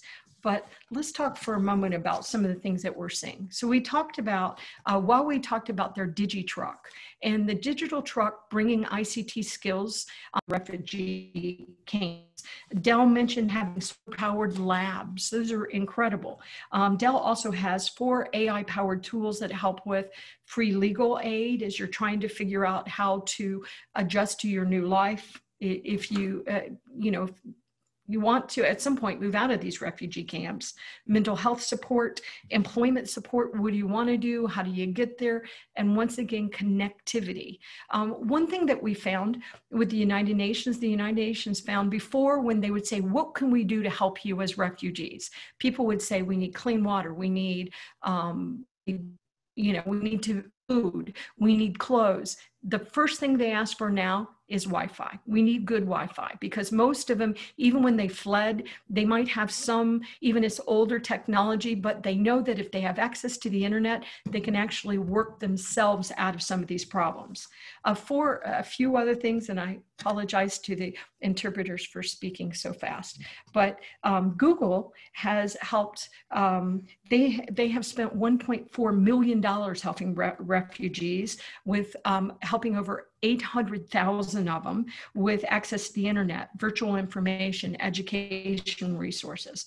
Microsoft has artificial intelligence for humanitarian aid, which is $40 million being used to support uh, the teachers and the students with um, free resources, education, did, um, and classes on digital literacy, digital acting, the Digital Act, on coding, um, and the UN agencies like the UN HCR is collaborating with a lot of these large, large corporations. I also wanted to make a note of one Sesame Street. Sesame Street is 50 years old in the United States. And you know, we've been learning many, many, uh, we've been learning a lot. My children learned from Sesame Street. So they started working um, with refugees around the world. Um, it, began, it began as an experiment in television and became a global world uh, model for early childhood education. The project was launched um, in Syria, Iraq, Jordan, and Lebanon, um, really rethinking how do we train children with and without disabilities how do we make sure they have the education they need so that they they can thrive and they have a hope for a better um, a better life in the future. I think there's a lot that we need to do, and um, corporations are stepping up, but organizations like Access Israel is also supporting it. It's going to take all of us to change these things, but um, there is some promising things happening, including recognizing what these people are walking. So I know I talked really fast and I apologize. Deborah, thank you so much. It was fascinating. Again, I would give this a whole hour uh, and I'd love to learn more. And more importantly, I'd love to see how we can help and how we can uh, cooperate to, to assist in this matter. Um, uh, but amazing, amazing. Okay, guys, we are, thank you for- Michal, I would say I would say one more thing. I'm so sorry. Uh, there are some real experts in this, like including one that already left, David Banes and Nabil Eid, they, and many, many, many more. But there's a lot of work being done. But gosh, there's a lot more to do. So, okay, Michal, I'm going on mute. Perfect. Uh, thank you very much, Deborah. Um, and now we're off to our next speaker, all the way from Brazil. And I must say that we have a lot of Brazilians uh, joining in today. Um, um, and we're very proud to have Mr. Pedro Prata. Uh, he's going to talk about inclusive hyperconnection, accessible information in the forefront. He is the coordinator of Escola de Gente, Masters in Communication at the State University of Rio de Janeiro. Um, there's more, more, more uh, amazing uh, titles and, and things, but I'll allow you to uh, see him directly. Uh, thank you very much, Pedro. Looking forward to what you have to say. Hello, everyone. First of all, I'm going to share my screen. Is that okay for you? Not yet. And now? Is that okay? Can you see that? No, we can't see. Try again. Um, While you're doing it, I'll say hello to Claudia. I see her joining. Hello to Claudia. Great seeing you. Here you go. Now- Now we see it. Perfect. Well, I'm very grateful, grateful to Access Israel for the invitation. And I would like to thank Zero Project 2, our partner for years, and everyone who is with me in this panel, especially my friend from Brazil, Rodrigo Mendes. First of all, I feel the need to describe what's on, this, uh, on the screen. I am a white and Latin man with a short brown and gray hair, black glasses, a bird, and a black shirt. Behind me, a white wall and a painting. I am using now a presentation, and the first slide, there is a very colorful globe with a background on the and the title, Inclusive Hyperconnection, September 2019. The next slides have a frame on the same colorful style. In the white center, there are expressions and phrases. Describing what is on the screen is a measure of accessibility that costs no money and that can be used by anyone. Well, first of all, let me introduce the, the organization that I run. Escola de Gente is a non-profit organization based in Rio, Brazil. We carry out projects across the country and we have already been to 19 countries. We have two major fields of work. The first one is the implementation of training projects. We use different strategies such as workshops, culture shows, webinars, seminars, books, and other kinds of activities to train young people for an inclusive society. The other field of work is the advocacy work. It is very important. These two work areas feedback daily. They are fundamental for our work. Our actions are always for everyone since we were created 18 years ago. No one can be left out. Everything we do, absolutely everything, is with total accessibility. Our seminars, for example, always count with total physical accessibility, sign language, live subtitles, audio descriptions, even with tactile, tactile sign language for persons that are blind and uh, deaf at the same time. We have books in nine accessible formats. The shows of our theater groups are the first in Brazil and probably in the world, fully presented with all accessibility. We have sign language interpreters from the entrance of the theater. Our videos are always produced with sign language, audio description, and closed captioning. Every activity at Escola de Gente is a complete experience of how the places and all the products in the world should be. That means accessible to everyone. And it is because this experience that we managed to arrive at this solution that I'm going to present here today. Well, um, everything we do is based in two rights. They're basic, very basic rights, but they are violated every day and almost nobody cares about them. These two rights are the right to communication, to communicate, and the right to be communicated. Simple, isn't it? But how many times have you seen this right disrespected? And for these two rights to really happen, we need to practice communication under two ways. Accessible communication and inclusive communication. They are different things. Accessible communication is that communication made with all the necessary resource for all people to be able to communicate. They are, as you know, the accessible features. They are urgent and fundamental. Inclusive communication goes beyond that. In addition to be fully accessible, it is a communication that respects human diversity. It is a communication that knows that every human being has the same human value. Last year, we immersed ourselves in a fully digital project for the first time. Based on our experience, Brazil has a growth of accessible culture project in recent years. But this created a new challenge.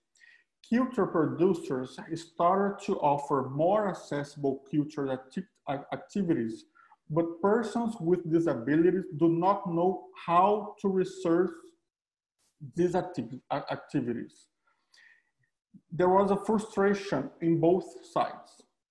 That's why we, that's why we created Venka, an application that is a platform on which culture producers can register and publicize their activities. And on the other hand, persons with disabilities or anyone can search and find activities. We researched a lot, including the product at Zero Project Awards, and we did not find a similar project in the world.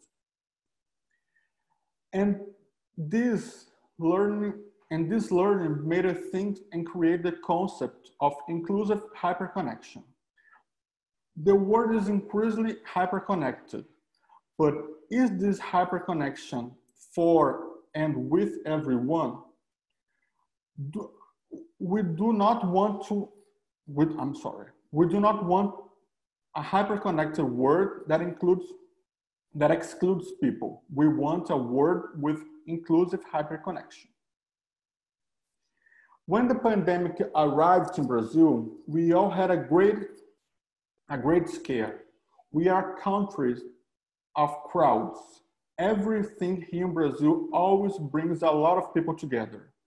We are the country with the best, the biggest party in the world, the carnival. We are the country of football. We are, we have beaches. Uh, our beaches are always crowded of, of people we have the largest music festival in the world. Even our political protests are immense. It is not uncommon to have 3 million people in the same avenue in São Paulo. This need to bring people together happened even during the pandemic. Brazil became the country with the biggest live and virtual transmission in the world. Of the 10 biggest lives in the world, eight of them are Brazilian. A Brazilian singer gathered at the same time three and a half million Brazilian on YouTube at the same time. Last week, a Brazilian congressman did the biggest live on Facebook.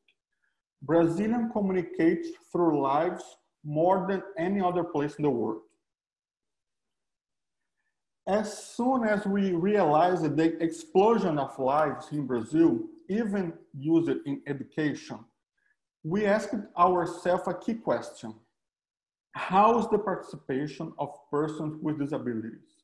How can persons with disabilities be informed and communicate if there is no accessibility on lives? How can persons with disabilities know how to prevent coronavirus if even the World Health Organization communication is not accessible? that was a moment that we felt lost, but we realized that it was our task to seek solutions. So we decided to do our first live and we chose to do it on Facebook. The theme would be mental health and we would offer the three accessible features used on audiovisual content, sign language, subtitles, and audio description but we got completely surprised. How, uh, how are we going to include the sign language interpreters window in the Facebook stream? How can we insert subtitles live produced by a company that we trust and not the automatic subtitles? And how we can do audio description on a second audio channel. Our fright was that Facebook does not offer any of these tools so users can insert the accessible features. And we take more scarce. No other platforms of lives offers these features. It was then when we decided to look for a method so that our lives could be accessible and even more, that any person or organization in the world could also make their lives accessible too. That's how the Inclusive Hyperconnection project came out. The project is not a platform, a software or a product. That, and that is, that is why exactly we consider it so relevant. It is a solution that brings together platforms and softwares that are for free or very cheap and that combined allows everyone to make a life with accessibility. An important point to understand the project is that it's not a product. We don't want to sell our solution. We want to teach, to share, and to encourage people to use the solution. So finally, let's go to the solution. The first, the first steps to choose the online meeting platform. We mainly use Zoom, but any other platform can be used. And how do we solve and how do we solve each of the three accessible features? The sign language interpreter must be one of the participants of the online meetings. When there are two interpreters, the two ones must always be on the meeting, okay? For captioning, you need a person or a company that do it in live captioning. There's a, this is a job that can be more expensive but it's fundamental. To date, we still don't fully rely on automatic captions. They don't say, for example, who's, who the person that is talking. This, the third accessible, accessible feature, that is audio description, has been the most challenging for us. From what I see, it is the least used because people don't know how to implement it. It is a feature that needs a second audio channel. For example, if I move my hands like this, he or she needs to describe for blind persons. It, this is equity in communication. For the second audio channel, here in Brazil, we use a tool called Beplay. But you guys can use, for example, Zoom's translation tool. Instead of using this feature for Portuguese to English translator, for example, it is possible to use these mechanisms to the audio description. And how we organize all these resources in a live on Facebook, on YouTube, or for example, in an online class. For this, we use online broadcast programs. Our favorite is OBS Studio. It is a for free software, but there are other pro pro programs or softwares with the same function. It brings it all together and allows. One minute, please. Thank you. Okay. Okay. Um, like everything we do in terms of accessibility, it is important to take special cares. For example, it, it is very important for speakers to be well lit places because of people with low vision and other things. And how we implemented these actions in practice. We have had six lives like this to date. We had 600 people at the same time on our lives and with a lot of things, mental health, work, basic income benefits, education. We did a live to teach how to make accessible lives. And my favorite one, a fully accessible life for children, bringing together children with and without disability. It was amazing. Our next steps, first one, a tutorial on how to do accessible lives in many languages. We'll do the first virtual theater show with total accessibility this month, it will be on September 19th, that is the National Day of Accessible Theater in Brazil. We believe this is the first virtual theater accessible in the world. and we want to put pressure on social media platforms. Well, this is a long way and a fight for everyone because we believe that uh, everyone should have the right to do your meetings, your lives, or your online transmission with uh, total accessibility, okay? So Right. thank you very much. Thank you. Thank you, Pedro. Um, uh, very, very interesting. And I know, and I've been following for years, the amazing job your organization uh, is doing. Um, and I have no doubt that there will be corporations between our organizations because it's definitely there. Uh, so thank you very much. And again, Claudia, thank you. Um, uh, I know about your involvement and your uh, um, uh, contributions there. So, so thank you very much. Um, and uh, in order to make short timing, uh, Yuval, I'm turning to you. You are already introduced. So please, your presentation on preparing your accessible lesson, practical, go for it. You're on mute, Yuval? I'm just sharing the presentation.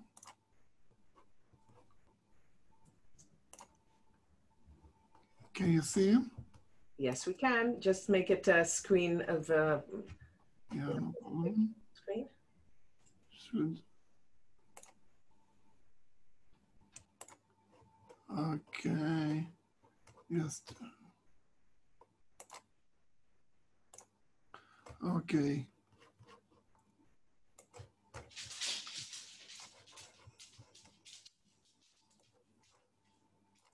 Okay, so uh, thank you again.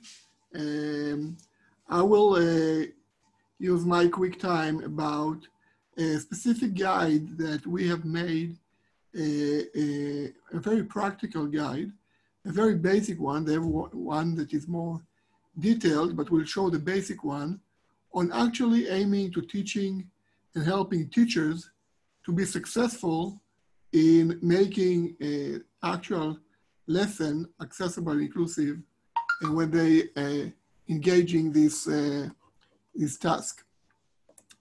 So um, as, you all, as we all know, uh, we we started a few months ago uh, dealing with this COVID-19 and uh, many, many countries like in Israel immediately changes the way of teaching to remote learning and starting understand and dealing with all the challenges.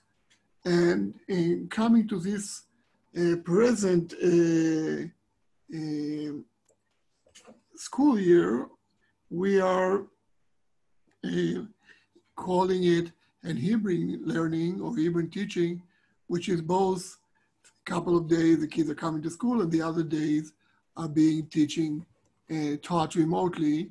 And I'm going to focus on the uh, remote part. And, you know, when you do remote learning, you have to understand that the basics is to have technologies. You have to make sure you have, uh, you are teaching digital orientation for both the teachers and the students, and sometimes to other staffs and the parents.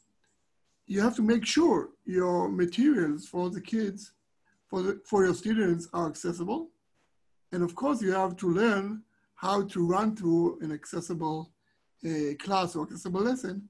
And this is again what I'm going to emphasize on that.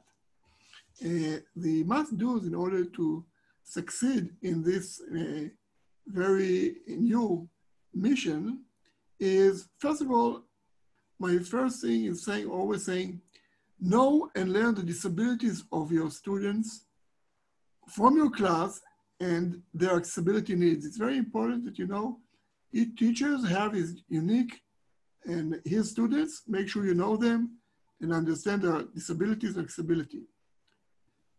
The ministries of the, of the education are choosing for you the, the best remote teaching, teaching technologies.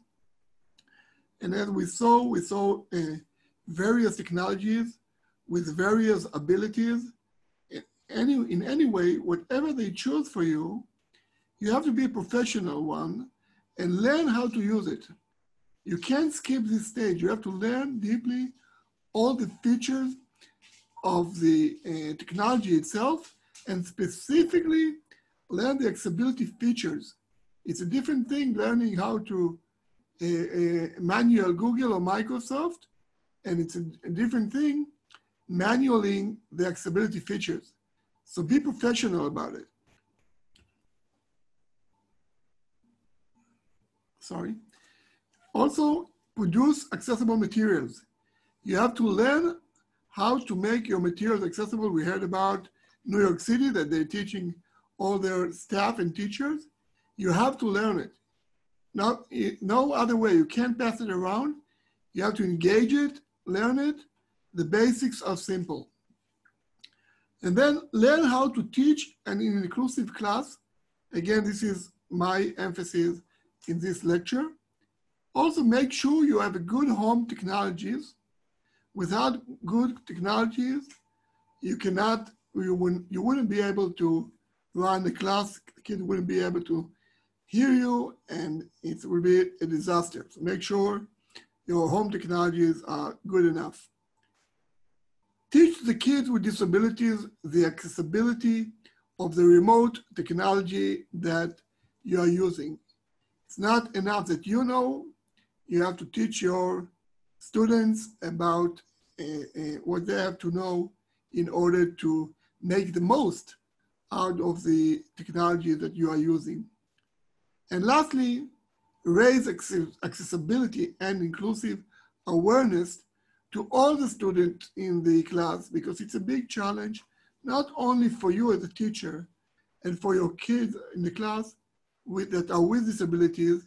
The way to success, if you all partner around this, and in order to do that, you have to make sure uh, you are uh, making awareness and everyone is on board for this mission. So now this is the teacher's guide. It's the 24 steps that you have to uh, do in order to succeed. Of course, this is a basic guide. We have a more comprehensive one, but for the 10 minutes that I have, we go only on this one. So new challenge, you have to study it. No other shortcuts. Experience yourself the disabilities so you'll know how it feels.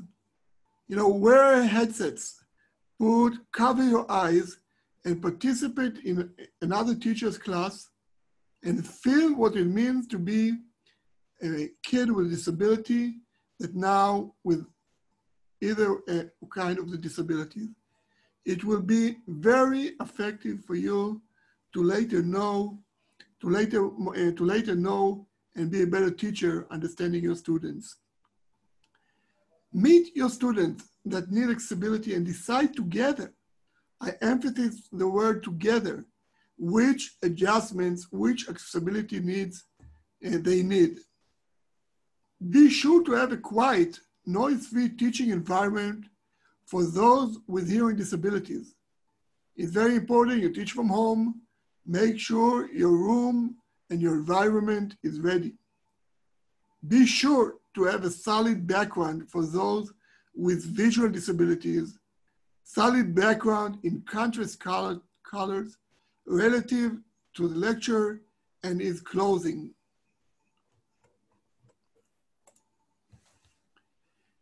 Be sure to have a high quality camera, camera, microphone, and speakers. Again, it's very important.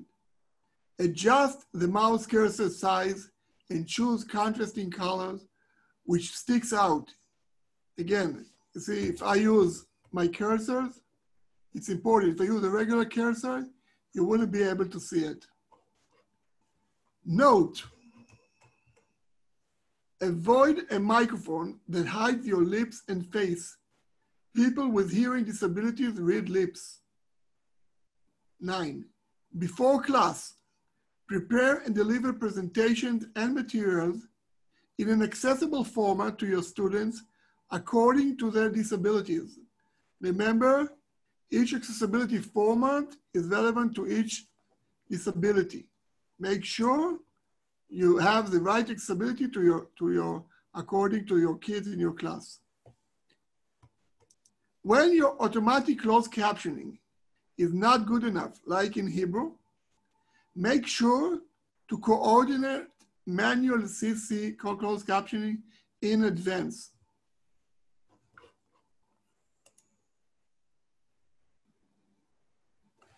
When sign language interpretation is needed, coordinate in advance.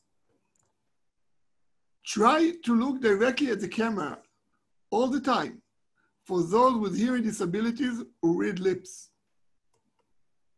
Be sure to speak at a normal pace, not too quick, to help the closed captioning trans translator and sign language interpreter.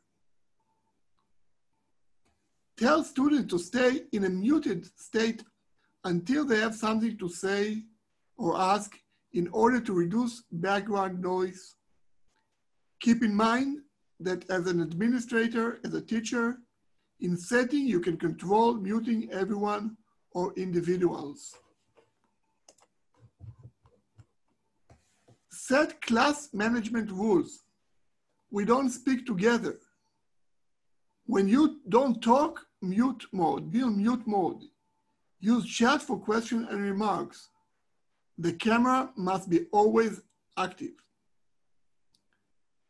Clearly repeat any question asked by each student during class before you reply. It's important to mention the name of the student asking questions for those with visual disabilities. During the lecture, describe in words the writing on the board or presentation or any picture to make it accessible, to make it accessible for those with, visual disabilities.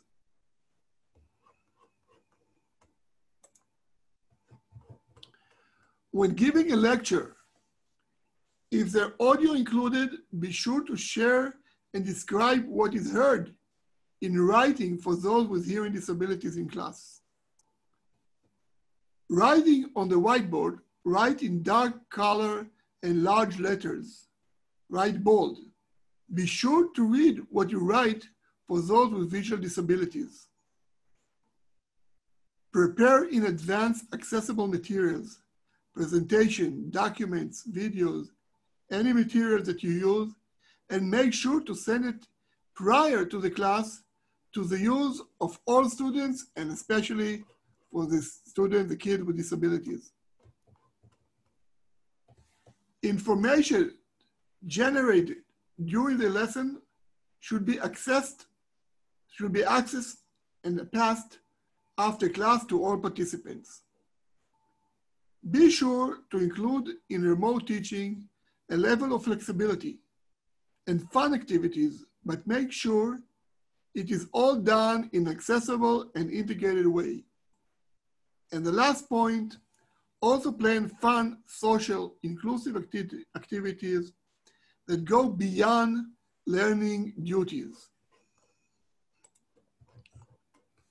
This is just a basic guide for teachers to accessible remote teaching. As I said, we had much more comprehensive guides for more advanced teachers that want to deep down their uh, abilities in succeeding in such classes. It's a new challenge for all of us. You must study it. You must be a professional about it. You must know the technologies. You must be a, with knowledge of accessible websites and accessible materials. You must learn new teaching methods for remote learning and especially for remote learning when you have uh, kids with disabilities in your, uh, in your class. And you also must widen your abilities and know about, about assistive, assistive software that is around there, helping you uh, uh, run the class and be successful in teaching your subject. In Israel, we are working on various guides, both for teachers and students. So we believe very much on the knowledge of the teachers and kids in order to succeed in, uh, in accessible classes.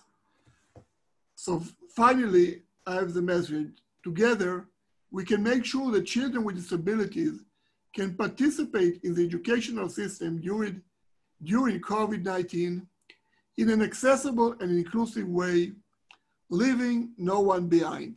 Thank you very much. Amazing, amazing, amazing. And uh, Yuval, I would really want you to go over the chats while you were speaking, because this was the whole idea of practical um, and really uh, easy to use um, uh, guidelines. Uh, and I, I want to answer so everybody can hear. One, the presentation will be uploaded to the website, as I said. Two, um, um I was asked privately um, uh, on this, and I will say we give lectures, full uh, length lectures on uh, uh, the elaborated guidelines that Yuval mentioned, and we'll be more than happy to do it and cooperate with organizations all over the world uh, to give those lectures and then have it translated uh, uh, to your languages. I think this is the whole idea. Um, and um, um, I think that, that what you gave now is really tools that we can take tomorrow, read it thoroughly, and make our teaching, remote teaching, more accessible. Thank you very much. Um, uh, another uh, thing that came up in the chat is how applicable it is to the workforce the inclusive workforce, especially during these times and uh, that we're all moving to Zoom meetings, etc. So here I will say that our next webinar in October is going to focus on um, the inclusive workplace during and post COVID-19. So um, uh, again, anybody here with projects, with ideas, with questions, with uh, uh, uh recommendations for great speakers, um, uh, now is the time. Next week is the time because we're going to round up, again, an amazing uh, um, gang of speakers from all over the world. Our next speaker is Joel Snyder. He's going to present to us audio description and aid to literacy.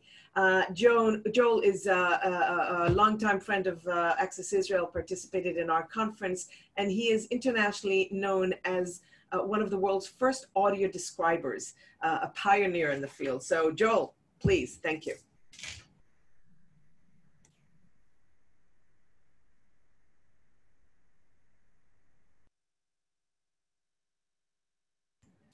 Joel, you have to unmute yourself.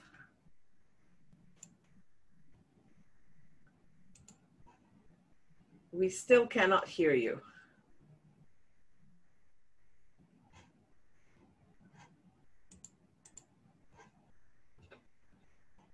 Joe?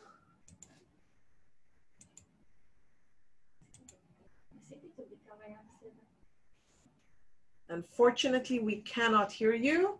Let's give it another try.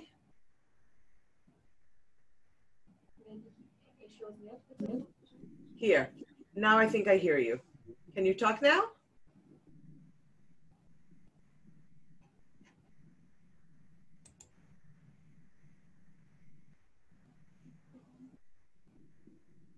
Unfortunately, do you have headphones uh, connected? Nope. Um, mute, unmute. Can you uh, mute him and then unmute him? Maybe it's stuck on the, uh, and now unmute. Let's give it a try, Joel.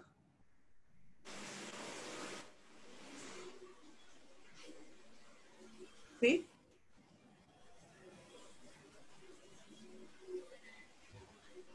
Yuval, can you unmute yourself? Oh, you're unmuted. Joel, unfortunately, we cannot hear you. Oh.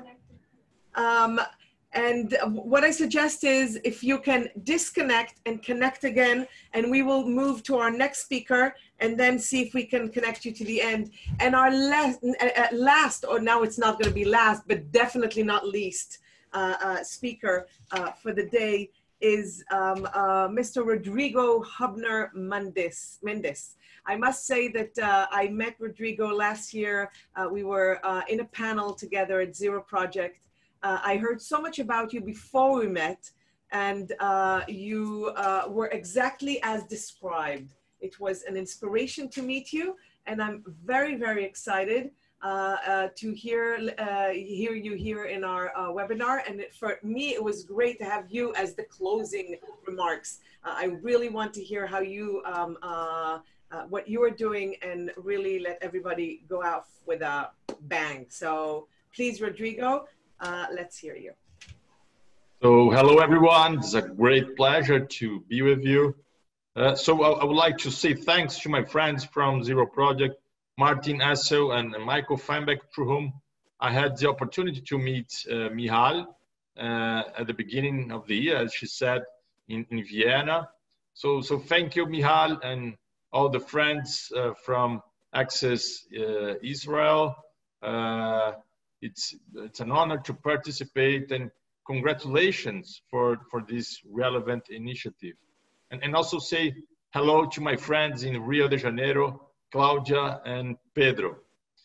Well, uh, I will organize my presentations uh, into two topics. First, I will share some experiences we have been following uh, and I believe can contribute to the field of best practices and then uh, I will share the results of uh, research about protocols for inclusive education in pandemic, which we had recently published. So talking about best uh, practice, uh, it is obvious that the challenge of leaving no one behind gains uh, a wider dimension in view of the limitation uh, implicit uh, on the distance learning model in terms of social interaction and in the construction of effective bonds.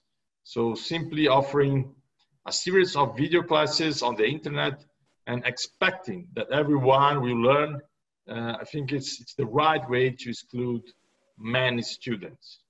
In, in several regions of Brazil, we have seen an exemplary capacity of the educators, leaders to mobilize the territories. In the city of Sao Paulo, for example, the education secretary promoted an enormous operation. First, they printed uh, activity books designed for the isolation period. Second, they uh, made a huge task force in order to update the students' database, which involved a call for action to all the parents. And third, they sent the books to each student through mail uh, in order to, to guarantee that no one would be excluded. The school principals did a double check contacting each family to ensure that everyone had received the material.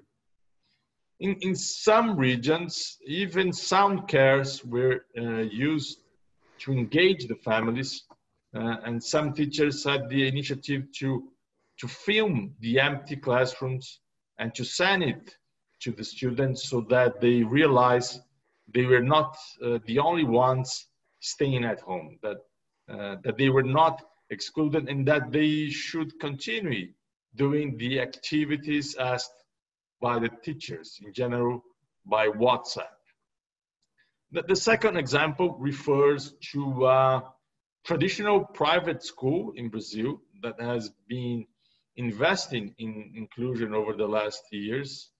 In this sense, they have a team of nine educators, specially dedicated on supporting the other teachers in terms of identifying barriers and eliminating them they, they also support the students with disabilities to uh, complementary activities uh, that are planned based on their singularities. Uh, it is very important to mention that those activities do not substitute the activities developed in the mainstream classes, but uh, as I said, they act as a complement in the case of Jonas, for example, a 12 years uh, old student that has an autism spectrum disorder, since last year, the teachers have been planning the classes considering the flexibilization of some activities. So what does, what does that mean for Jonas? Here, flexibilization means exploring different strategies, different formats of the content, and different dynamics to approach the same curriculum. In this sense, Jonas is allowed to work on the same curriculum through different ways. Right after uh, the school was closed, the teachers migrated all the activities to the remote model.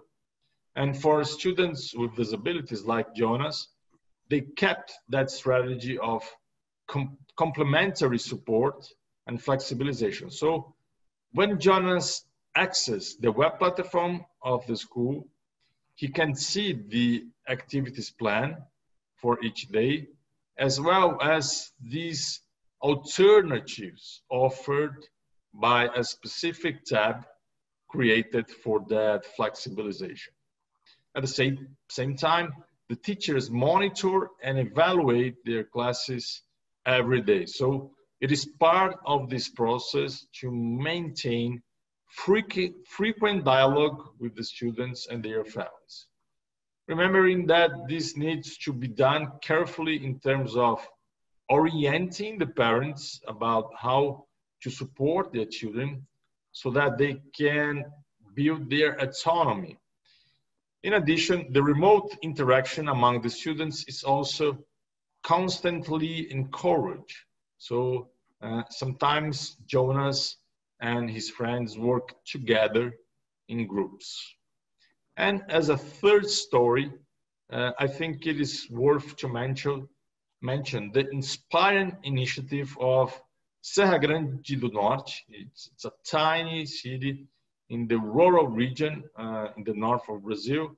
The majority of the families in that region do not uh, have access to the internet, so they decided to use the local radio station to allow the continuity of the contact between the teachers and the students, and therefore they created a program called uh, Education in Quarantine, which is broadcast every day, making the radio rele a relevant technology in the field of education again. Of course, we have a, a huge challenge of how to offer access to deaf students uh, but even though I think it's uh, an initial uh, idea that needs to be improved. So besides the, the amazing co collaborative work and the capacity to preserve the bonds between the schools and the students illustrated by those actions, I, I would like to highlight the notorious acceleration uh, of the use of technology by the pedagogical team. So according to a survey published last year, only 14% of schools had distance learning platforms. So I'm talking about last year. 24% of teachers still did not use technology as an education tool. And 79% of teachers were facing difficulties in using technology in learning activities. So I can say that all the experiences that we have been registered during the isolation period show heavy use, heavy use of technology. Uh, the most common resources are, as many colleagues mentioned today, Facebook, Instagram, Google Classroom, and here in Brazil, the most popular tool was the WhatsApp. Uh, in fact, it seems that the, the teams have significantly expanded their knowledge and creativity uh, in the use of those tools. Now, uh, I would like to conclude my, my presentation sharing the, the global research that the Rodrigo Mendes Institute produced uh, over the first semester uh, regarding protocols, as I said, for inclusive education during the pandemic. The, the study explored three sources of references. Uh, firstly, a network of uh, 50 specialists in inclusive education around the world. secondly, uh, international organization with emphasis on the UN agencies, uh, the World Health Organization, and the OECD. And finally, the ministries of education from 23 countries, which were already opening the schools at that time. So the, the survey considered Australia, Austria, Canada, China, Denmark, England, France, Germany, Italy, Japan, Jordan, Norway, New Zealand, Ireland, Portugal, Scotland, Spain, Singapore, South Korea, Taiwan, United States, uh, Uruguay, and Wales. So we ended up finding a lot of material and the research is already available for, uh, for download on our website. Uh, I, I, I, just share with you in, in the, the, Zoom chat right at the beginning of my, my speech. You can find the link for the download. So due, the, due our time constraints, I will focus uh, on the content related to reopening of schools, uh, which are organized in three axes. Uh, the, the criteria for returning the school to the schools, health issues, and uh, the third, social distance. So talking about the first axis, who can and who cannot return to the classroom? Uh, the research points out that there were there was a diversity of positions on this subject. In New Zealand, for example, everyone should return at the same time, while in Denmark and Singapore, students with disabilities should be uh, the last to leave isolation.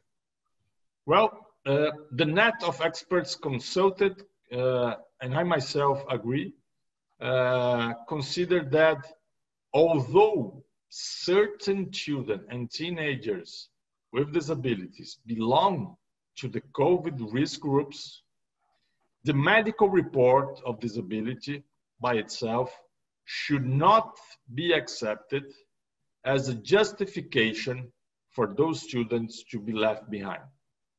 In other words, it is critical to clarify that there is no automatic correlation between disability and risk. Uh, the decision must be taken based on a case by case perspective, and the decision must involve the schools, the medical staffs, the families, and the students.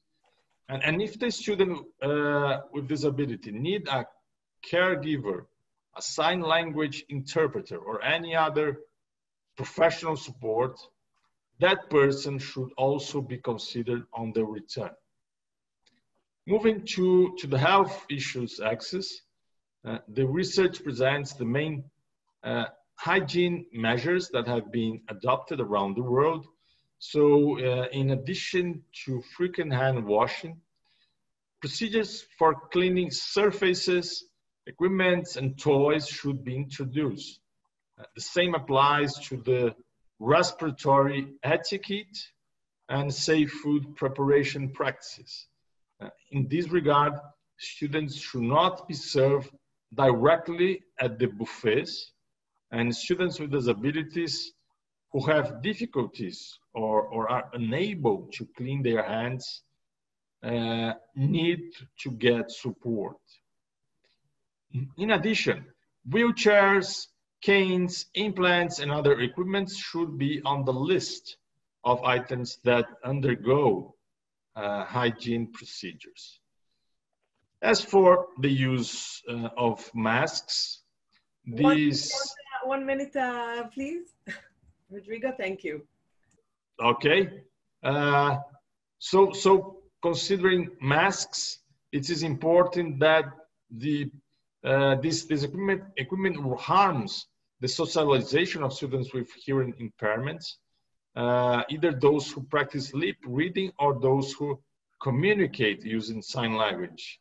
Uh, in such cases, a possible solution is to adopt the use of transparent masks, preferable throughout the school. So just to finish, Michal, my, my, my participation, uh, I would like to uh, reinforce that it is very important for those who are planning public policies regarding the uh, reopening of, of schools to uh, to keep this right uh, in mind. Students with disability disabilities should have the same opportunity to go back to school and uh, to continue their development. And we should not accept any kind of discrimin discrimination. This is a very uh, important moment, and uh, we, we don't want to subestimate the profound challenges that the, the COVID created, but it's, it is our job uh, to talk to the pub public managers and to uh, uh, work together so that when it is safe, it is safe for everyone. So thank you, Michal. Thank you, thank you, Rodrigo. And, and, and, and because I was so excited to move on to the next uh, speaker, I, I, I uh, forgot to give the whole uh, uh description of, uh, of what you do and, and where you're from. Uh, but I know from the chat that people already got into your website. Um, and, and what I neglected to mention is um, Rodrigo is the founder and CEO of the Rodrigo Mendes Institute um, uh, from Brazil, and he has a lot of credits and a lot of amazing uh, uh, things in his background. Uh, I was um, um, astonished when I heard that he is the first uh, uh, person um, um, sitting in a wheelchair, and he drove a race card using his mind. Now that is very intriguing, and I really urge you to look him up um, uh, and uh, and hear about it. But as we heard now, what you're doing is so much bigger and and and amazing, and I'm very happy to be in contact with you and uh, look to the future and do great things together. So Rodrigo, thank you very very much. And uh, people were uh, asking in the in the um, uh, chat uh, yes, we are looking for speakers for the next webinar. Uh, the next webinar is going to be about uh, employment and the one after that about tourism and higher education. And we are looking always for great uh, partners from uh, everywhere else. Um, uh, Joe, will give another try. And, and can you hear me? Yes. Can you, oh, good. Can you see the screen? Yes, we can. Wonderful. That's where I'll begin making it accessible yes, to, yes. Uh, thank you, Nicole, making it accessible to people who are blind or have low vision. Audio Description Associates, LLC, the Visual Made Verbal, presents Audio Description and Aid Literacy. Joel Snyder, PhD, President, Audio Description Joel, Associates. Joel, I'm afraid um, you're with echo and it's not. It's oh, not, no. Yeah, yeah, it's difficult to hear. One last try. And if not, I promise we'll have you for next is that better? One second. Is that better? Is that better? All right, good. I was reading the text on the screen there. Uh, I introduced myself. Access Israel 2020, Tuesday, September 8th, 2020, 1655, 1705 GMT. And at the bottom, the audio, American audio description symbol. The logo there, a white square within which are two letters in bold black type, an A and a D. The left side of that A is tilted just a bit to the right, and to the right of the curve in the D, three curved lines, period.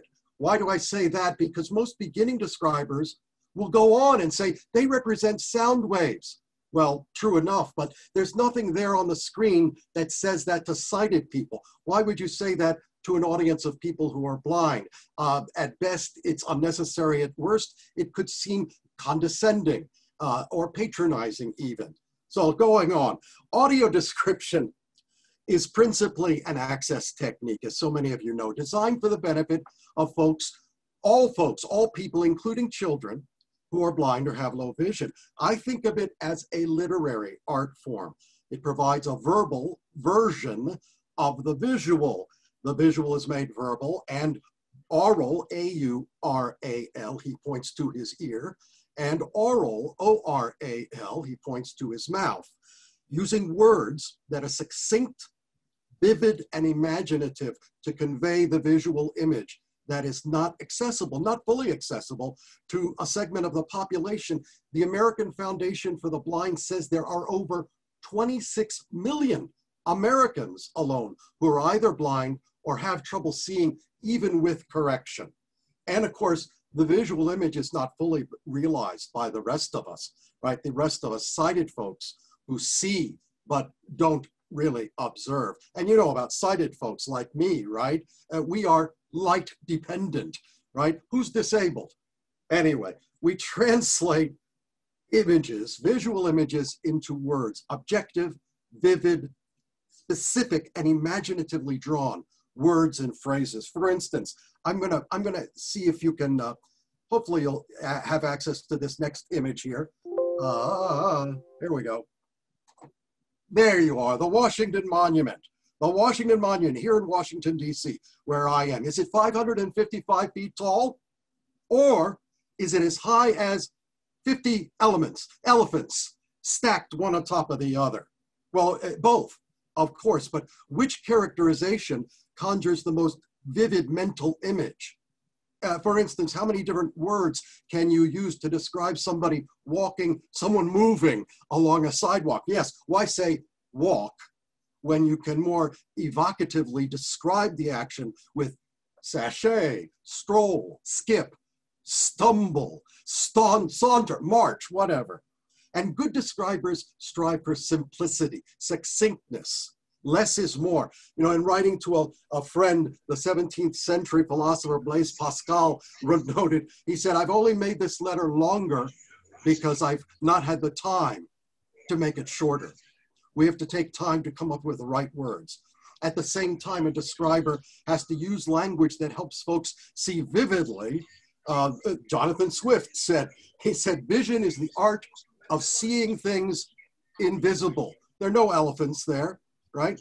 Mark Twain said it even better. He said, you can't depend on your eyes when your imagination is out of focus.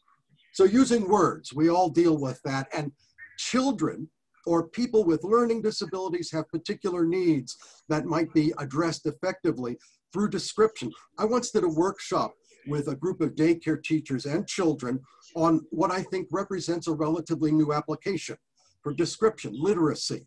We experimented with developing more descriptive language to use when working with kids in picture books. Think of it, picture books, they rely on the pictures to tell the story.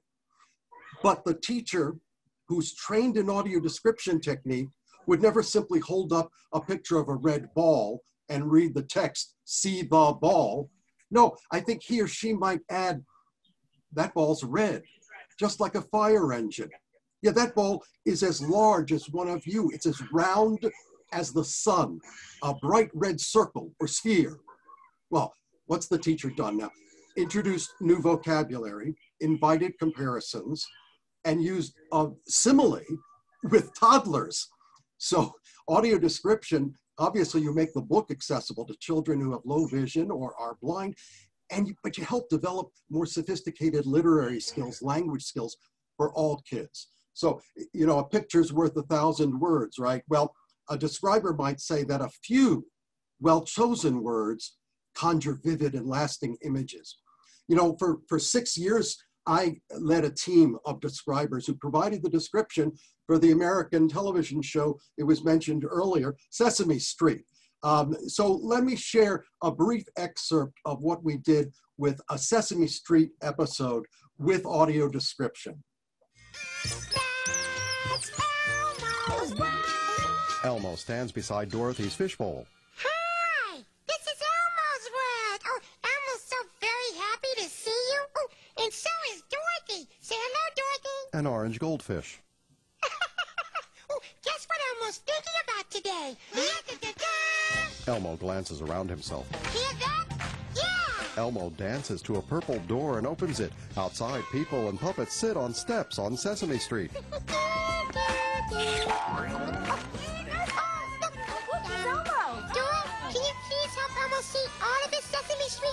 The doorway stretches wide. The people and puppets wave at Elmo. Elmo turns around. Oh, Sesame Street. Oscar pops up. Get lost. Oscar. You know Sesame Street. Elmo and the others dance. Now a bird puppet flies over Sesame Street. Alan dances with a broom. A man in ballet tights jumps up and down with letters. People and puppets bounce.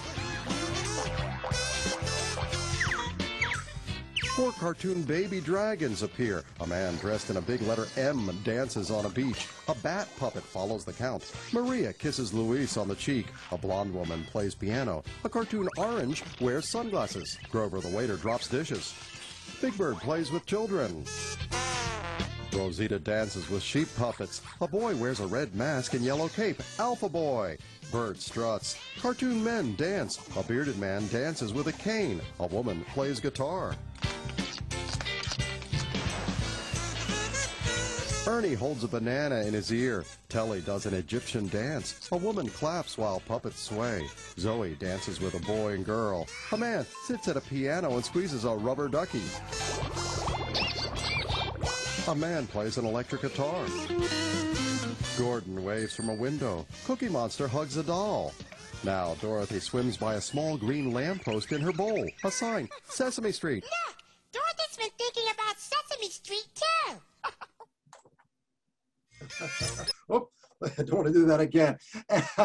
and and to illustrate further illustrate how description can nurture literacy, I'm going to play just a little bit of an excerpt from the feature film *The Color of Paradise*. Uh, because have I one minute, so- okay okay. Well, I'll tell you just to give you a taste of it, just a No t- quick taste. No Uh, problem. here it is. And uh, and then I'll give you some notes real quickly, and we'll end. Oh no no no! There we go.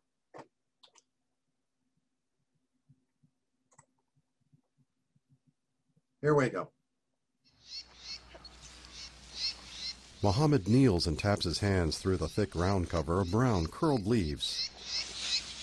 A scrawny nestling struggles on the ground near Mohammed's hand. His palm hovers above the baby bird. He lays his hand lightly over the tiny creature. Smiling, Mohammed curls his fingers around the chick and scoops it into his hands. He stands. There you go, a blind boy. And just quickly, a couple of notes about the description. You didn't get to hear the whole two and a half minutes. Color. Color has been shown to be important to people with low vision, even people who are congenitally blind. Timing is critical in description because we weave the descriptive language around the film's sound elements. Vivid verbs. He scoops the bird. He doesn't just pick it up, you know. Description is written to be heard, you know. So we talk about he taps, he tips, he that kind of thing. Alliteration adds variety and helps to maintain interest. What to include?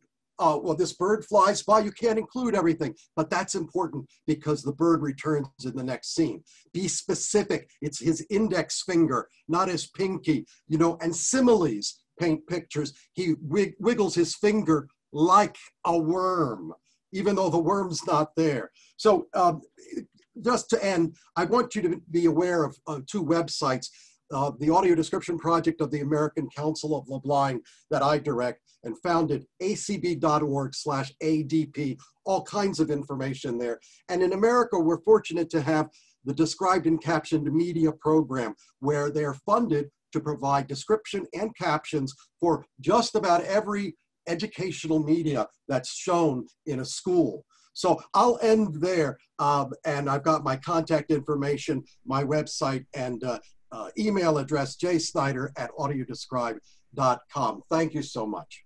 Perfect. And of course, you will upload your information and presentation to our website so people can see it again. Absolutely. And I tell you, uh, ending with uh, Elmo, that's a blast. Um, uh, I, I, I'm just thinking, Michal, probably one telephone is on because they have a big echo coming from you. It's from Joel. Joel put on mute. Thank you. I think it's okay now. Okay. Um, um, uh, again, because I'm thinking of our dear, dear Richard, I will stop here. I, I just want to ask one thing from you. If everybody can just put yourself on video, whoever can, raise your hands like this, and let's give a round of applause to everyone And that would be a great picture for the Facebook to show, share, everybody like this. And Shaloni, you're taking care of the picture? Perfect. And you know what? Whoever cannot raise their hands, because we are inclusive here, do something with your head or smile. Big smile will be just as welcome. Um, and, and guys, really, it was amazing. Uh, thank you for everybody. Remember, for your newbies, uh, Mundo uh, um, just joined us. And Mundo, you want the, the picture with the hands? You're joining in or you're, you're zooming out? Well, he's off. So, guys, um, uh, we will send you information about the we- next, next webinar. Please fill up the survey so we can always get better and better. And really, thank you again for everyone. And I'm looking forward to seeing you all in October. Bye bye, guys. And thank you, Richard, again. Bye. Thank you. Great job. Great job. Bravo, bravo. Bye bye. Thank you all. It was wonderful. Excellent. Great. Brilliant. My favorite part, by the way. Great job done. Great job. Thank you. Great was job. awesome. Thank you. That was a great webinar. Good to see you. Take care. Bye. job.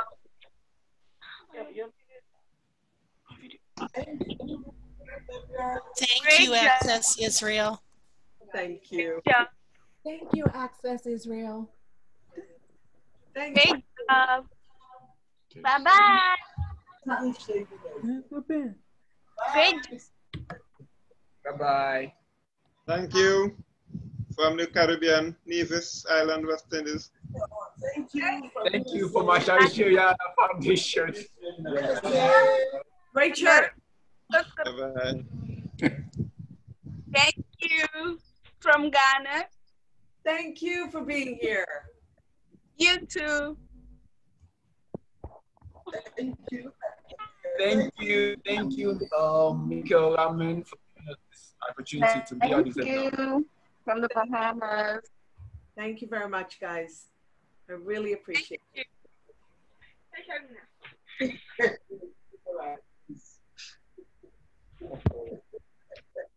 Thank you. Okay, bye bye. God bless everyone. Thank you.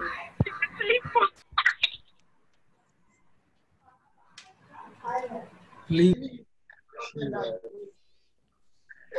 Thank you, Yuval and Michal, again, as always. Thank you. Amazing. For, thank you for amazing Richard. Amazing. Please, a massage. That's what he deserves. Yes, he does. Oh my God. Oh my God. You were spectacular. He, he is an amazing interpreter. We're we're just so fortunate. And he, um, Richard, I'm talking for you. You could probably talk now if you wanted to, but he so enjoys doing this. And as you can see, he's got the flag behind him. Absolutely. He was Yep. well uh, prepared. I saw that. Again, again. Thank you. Yes, I see the yarmulke, the, the flag. Yep. Amazing. Guys, He's on point. so much. And Jamie, bye bye. And Our I'll pleasure. See you in October, guys. Thank you very much. Yes. Richard, you can train me for my next marathon. Five hours? Wow. Oh. Amazing. Bye bye, guys. goodbye. Shalom. Tatikita.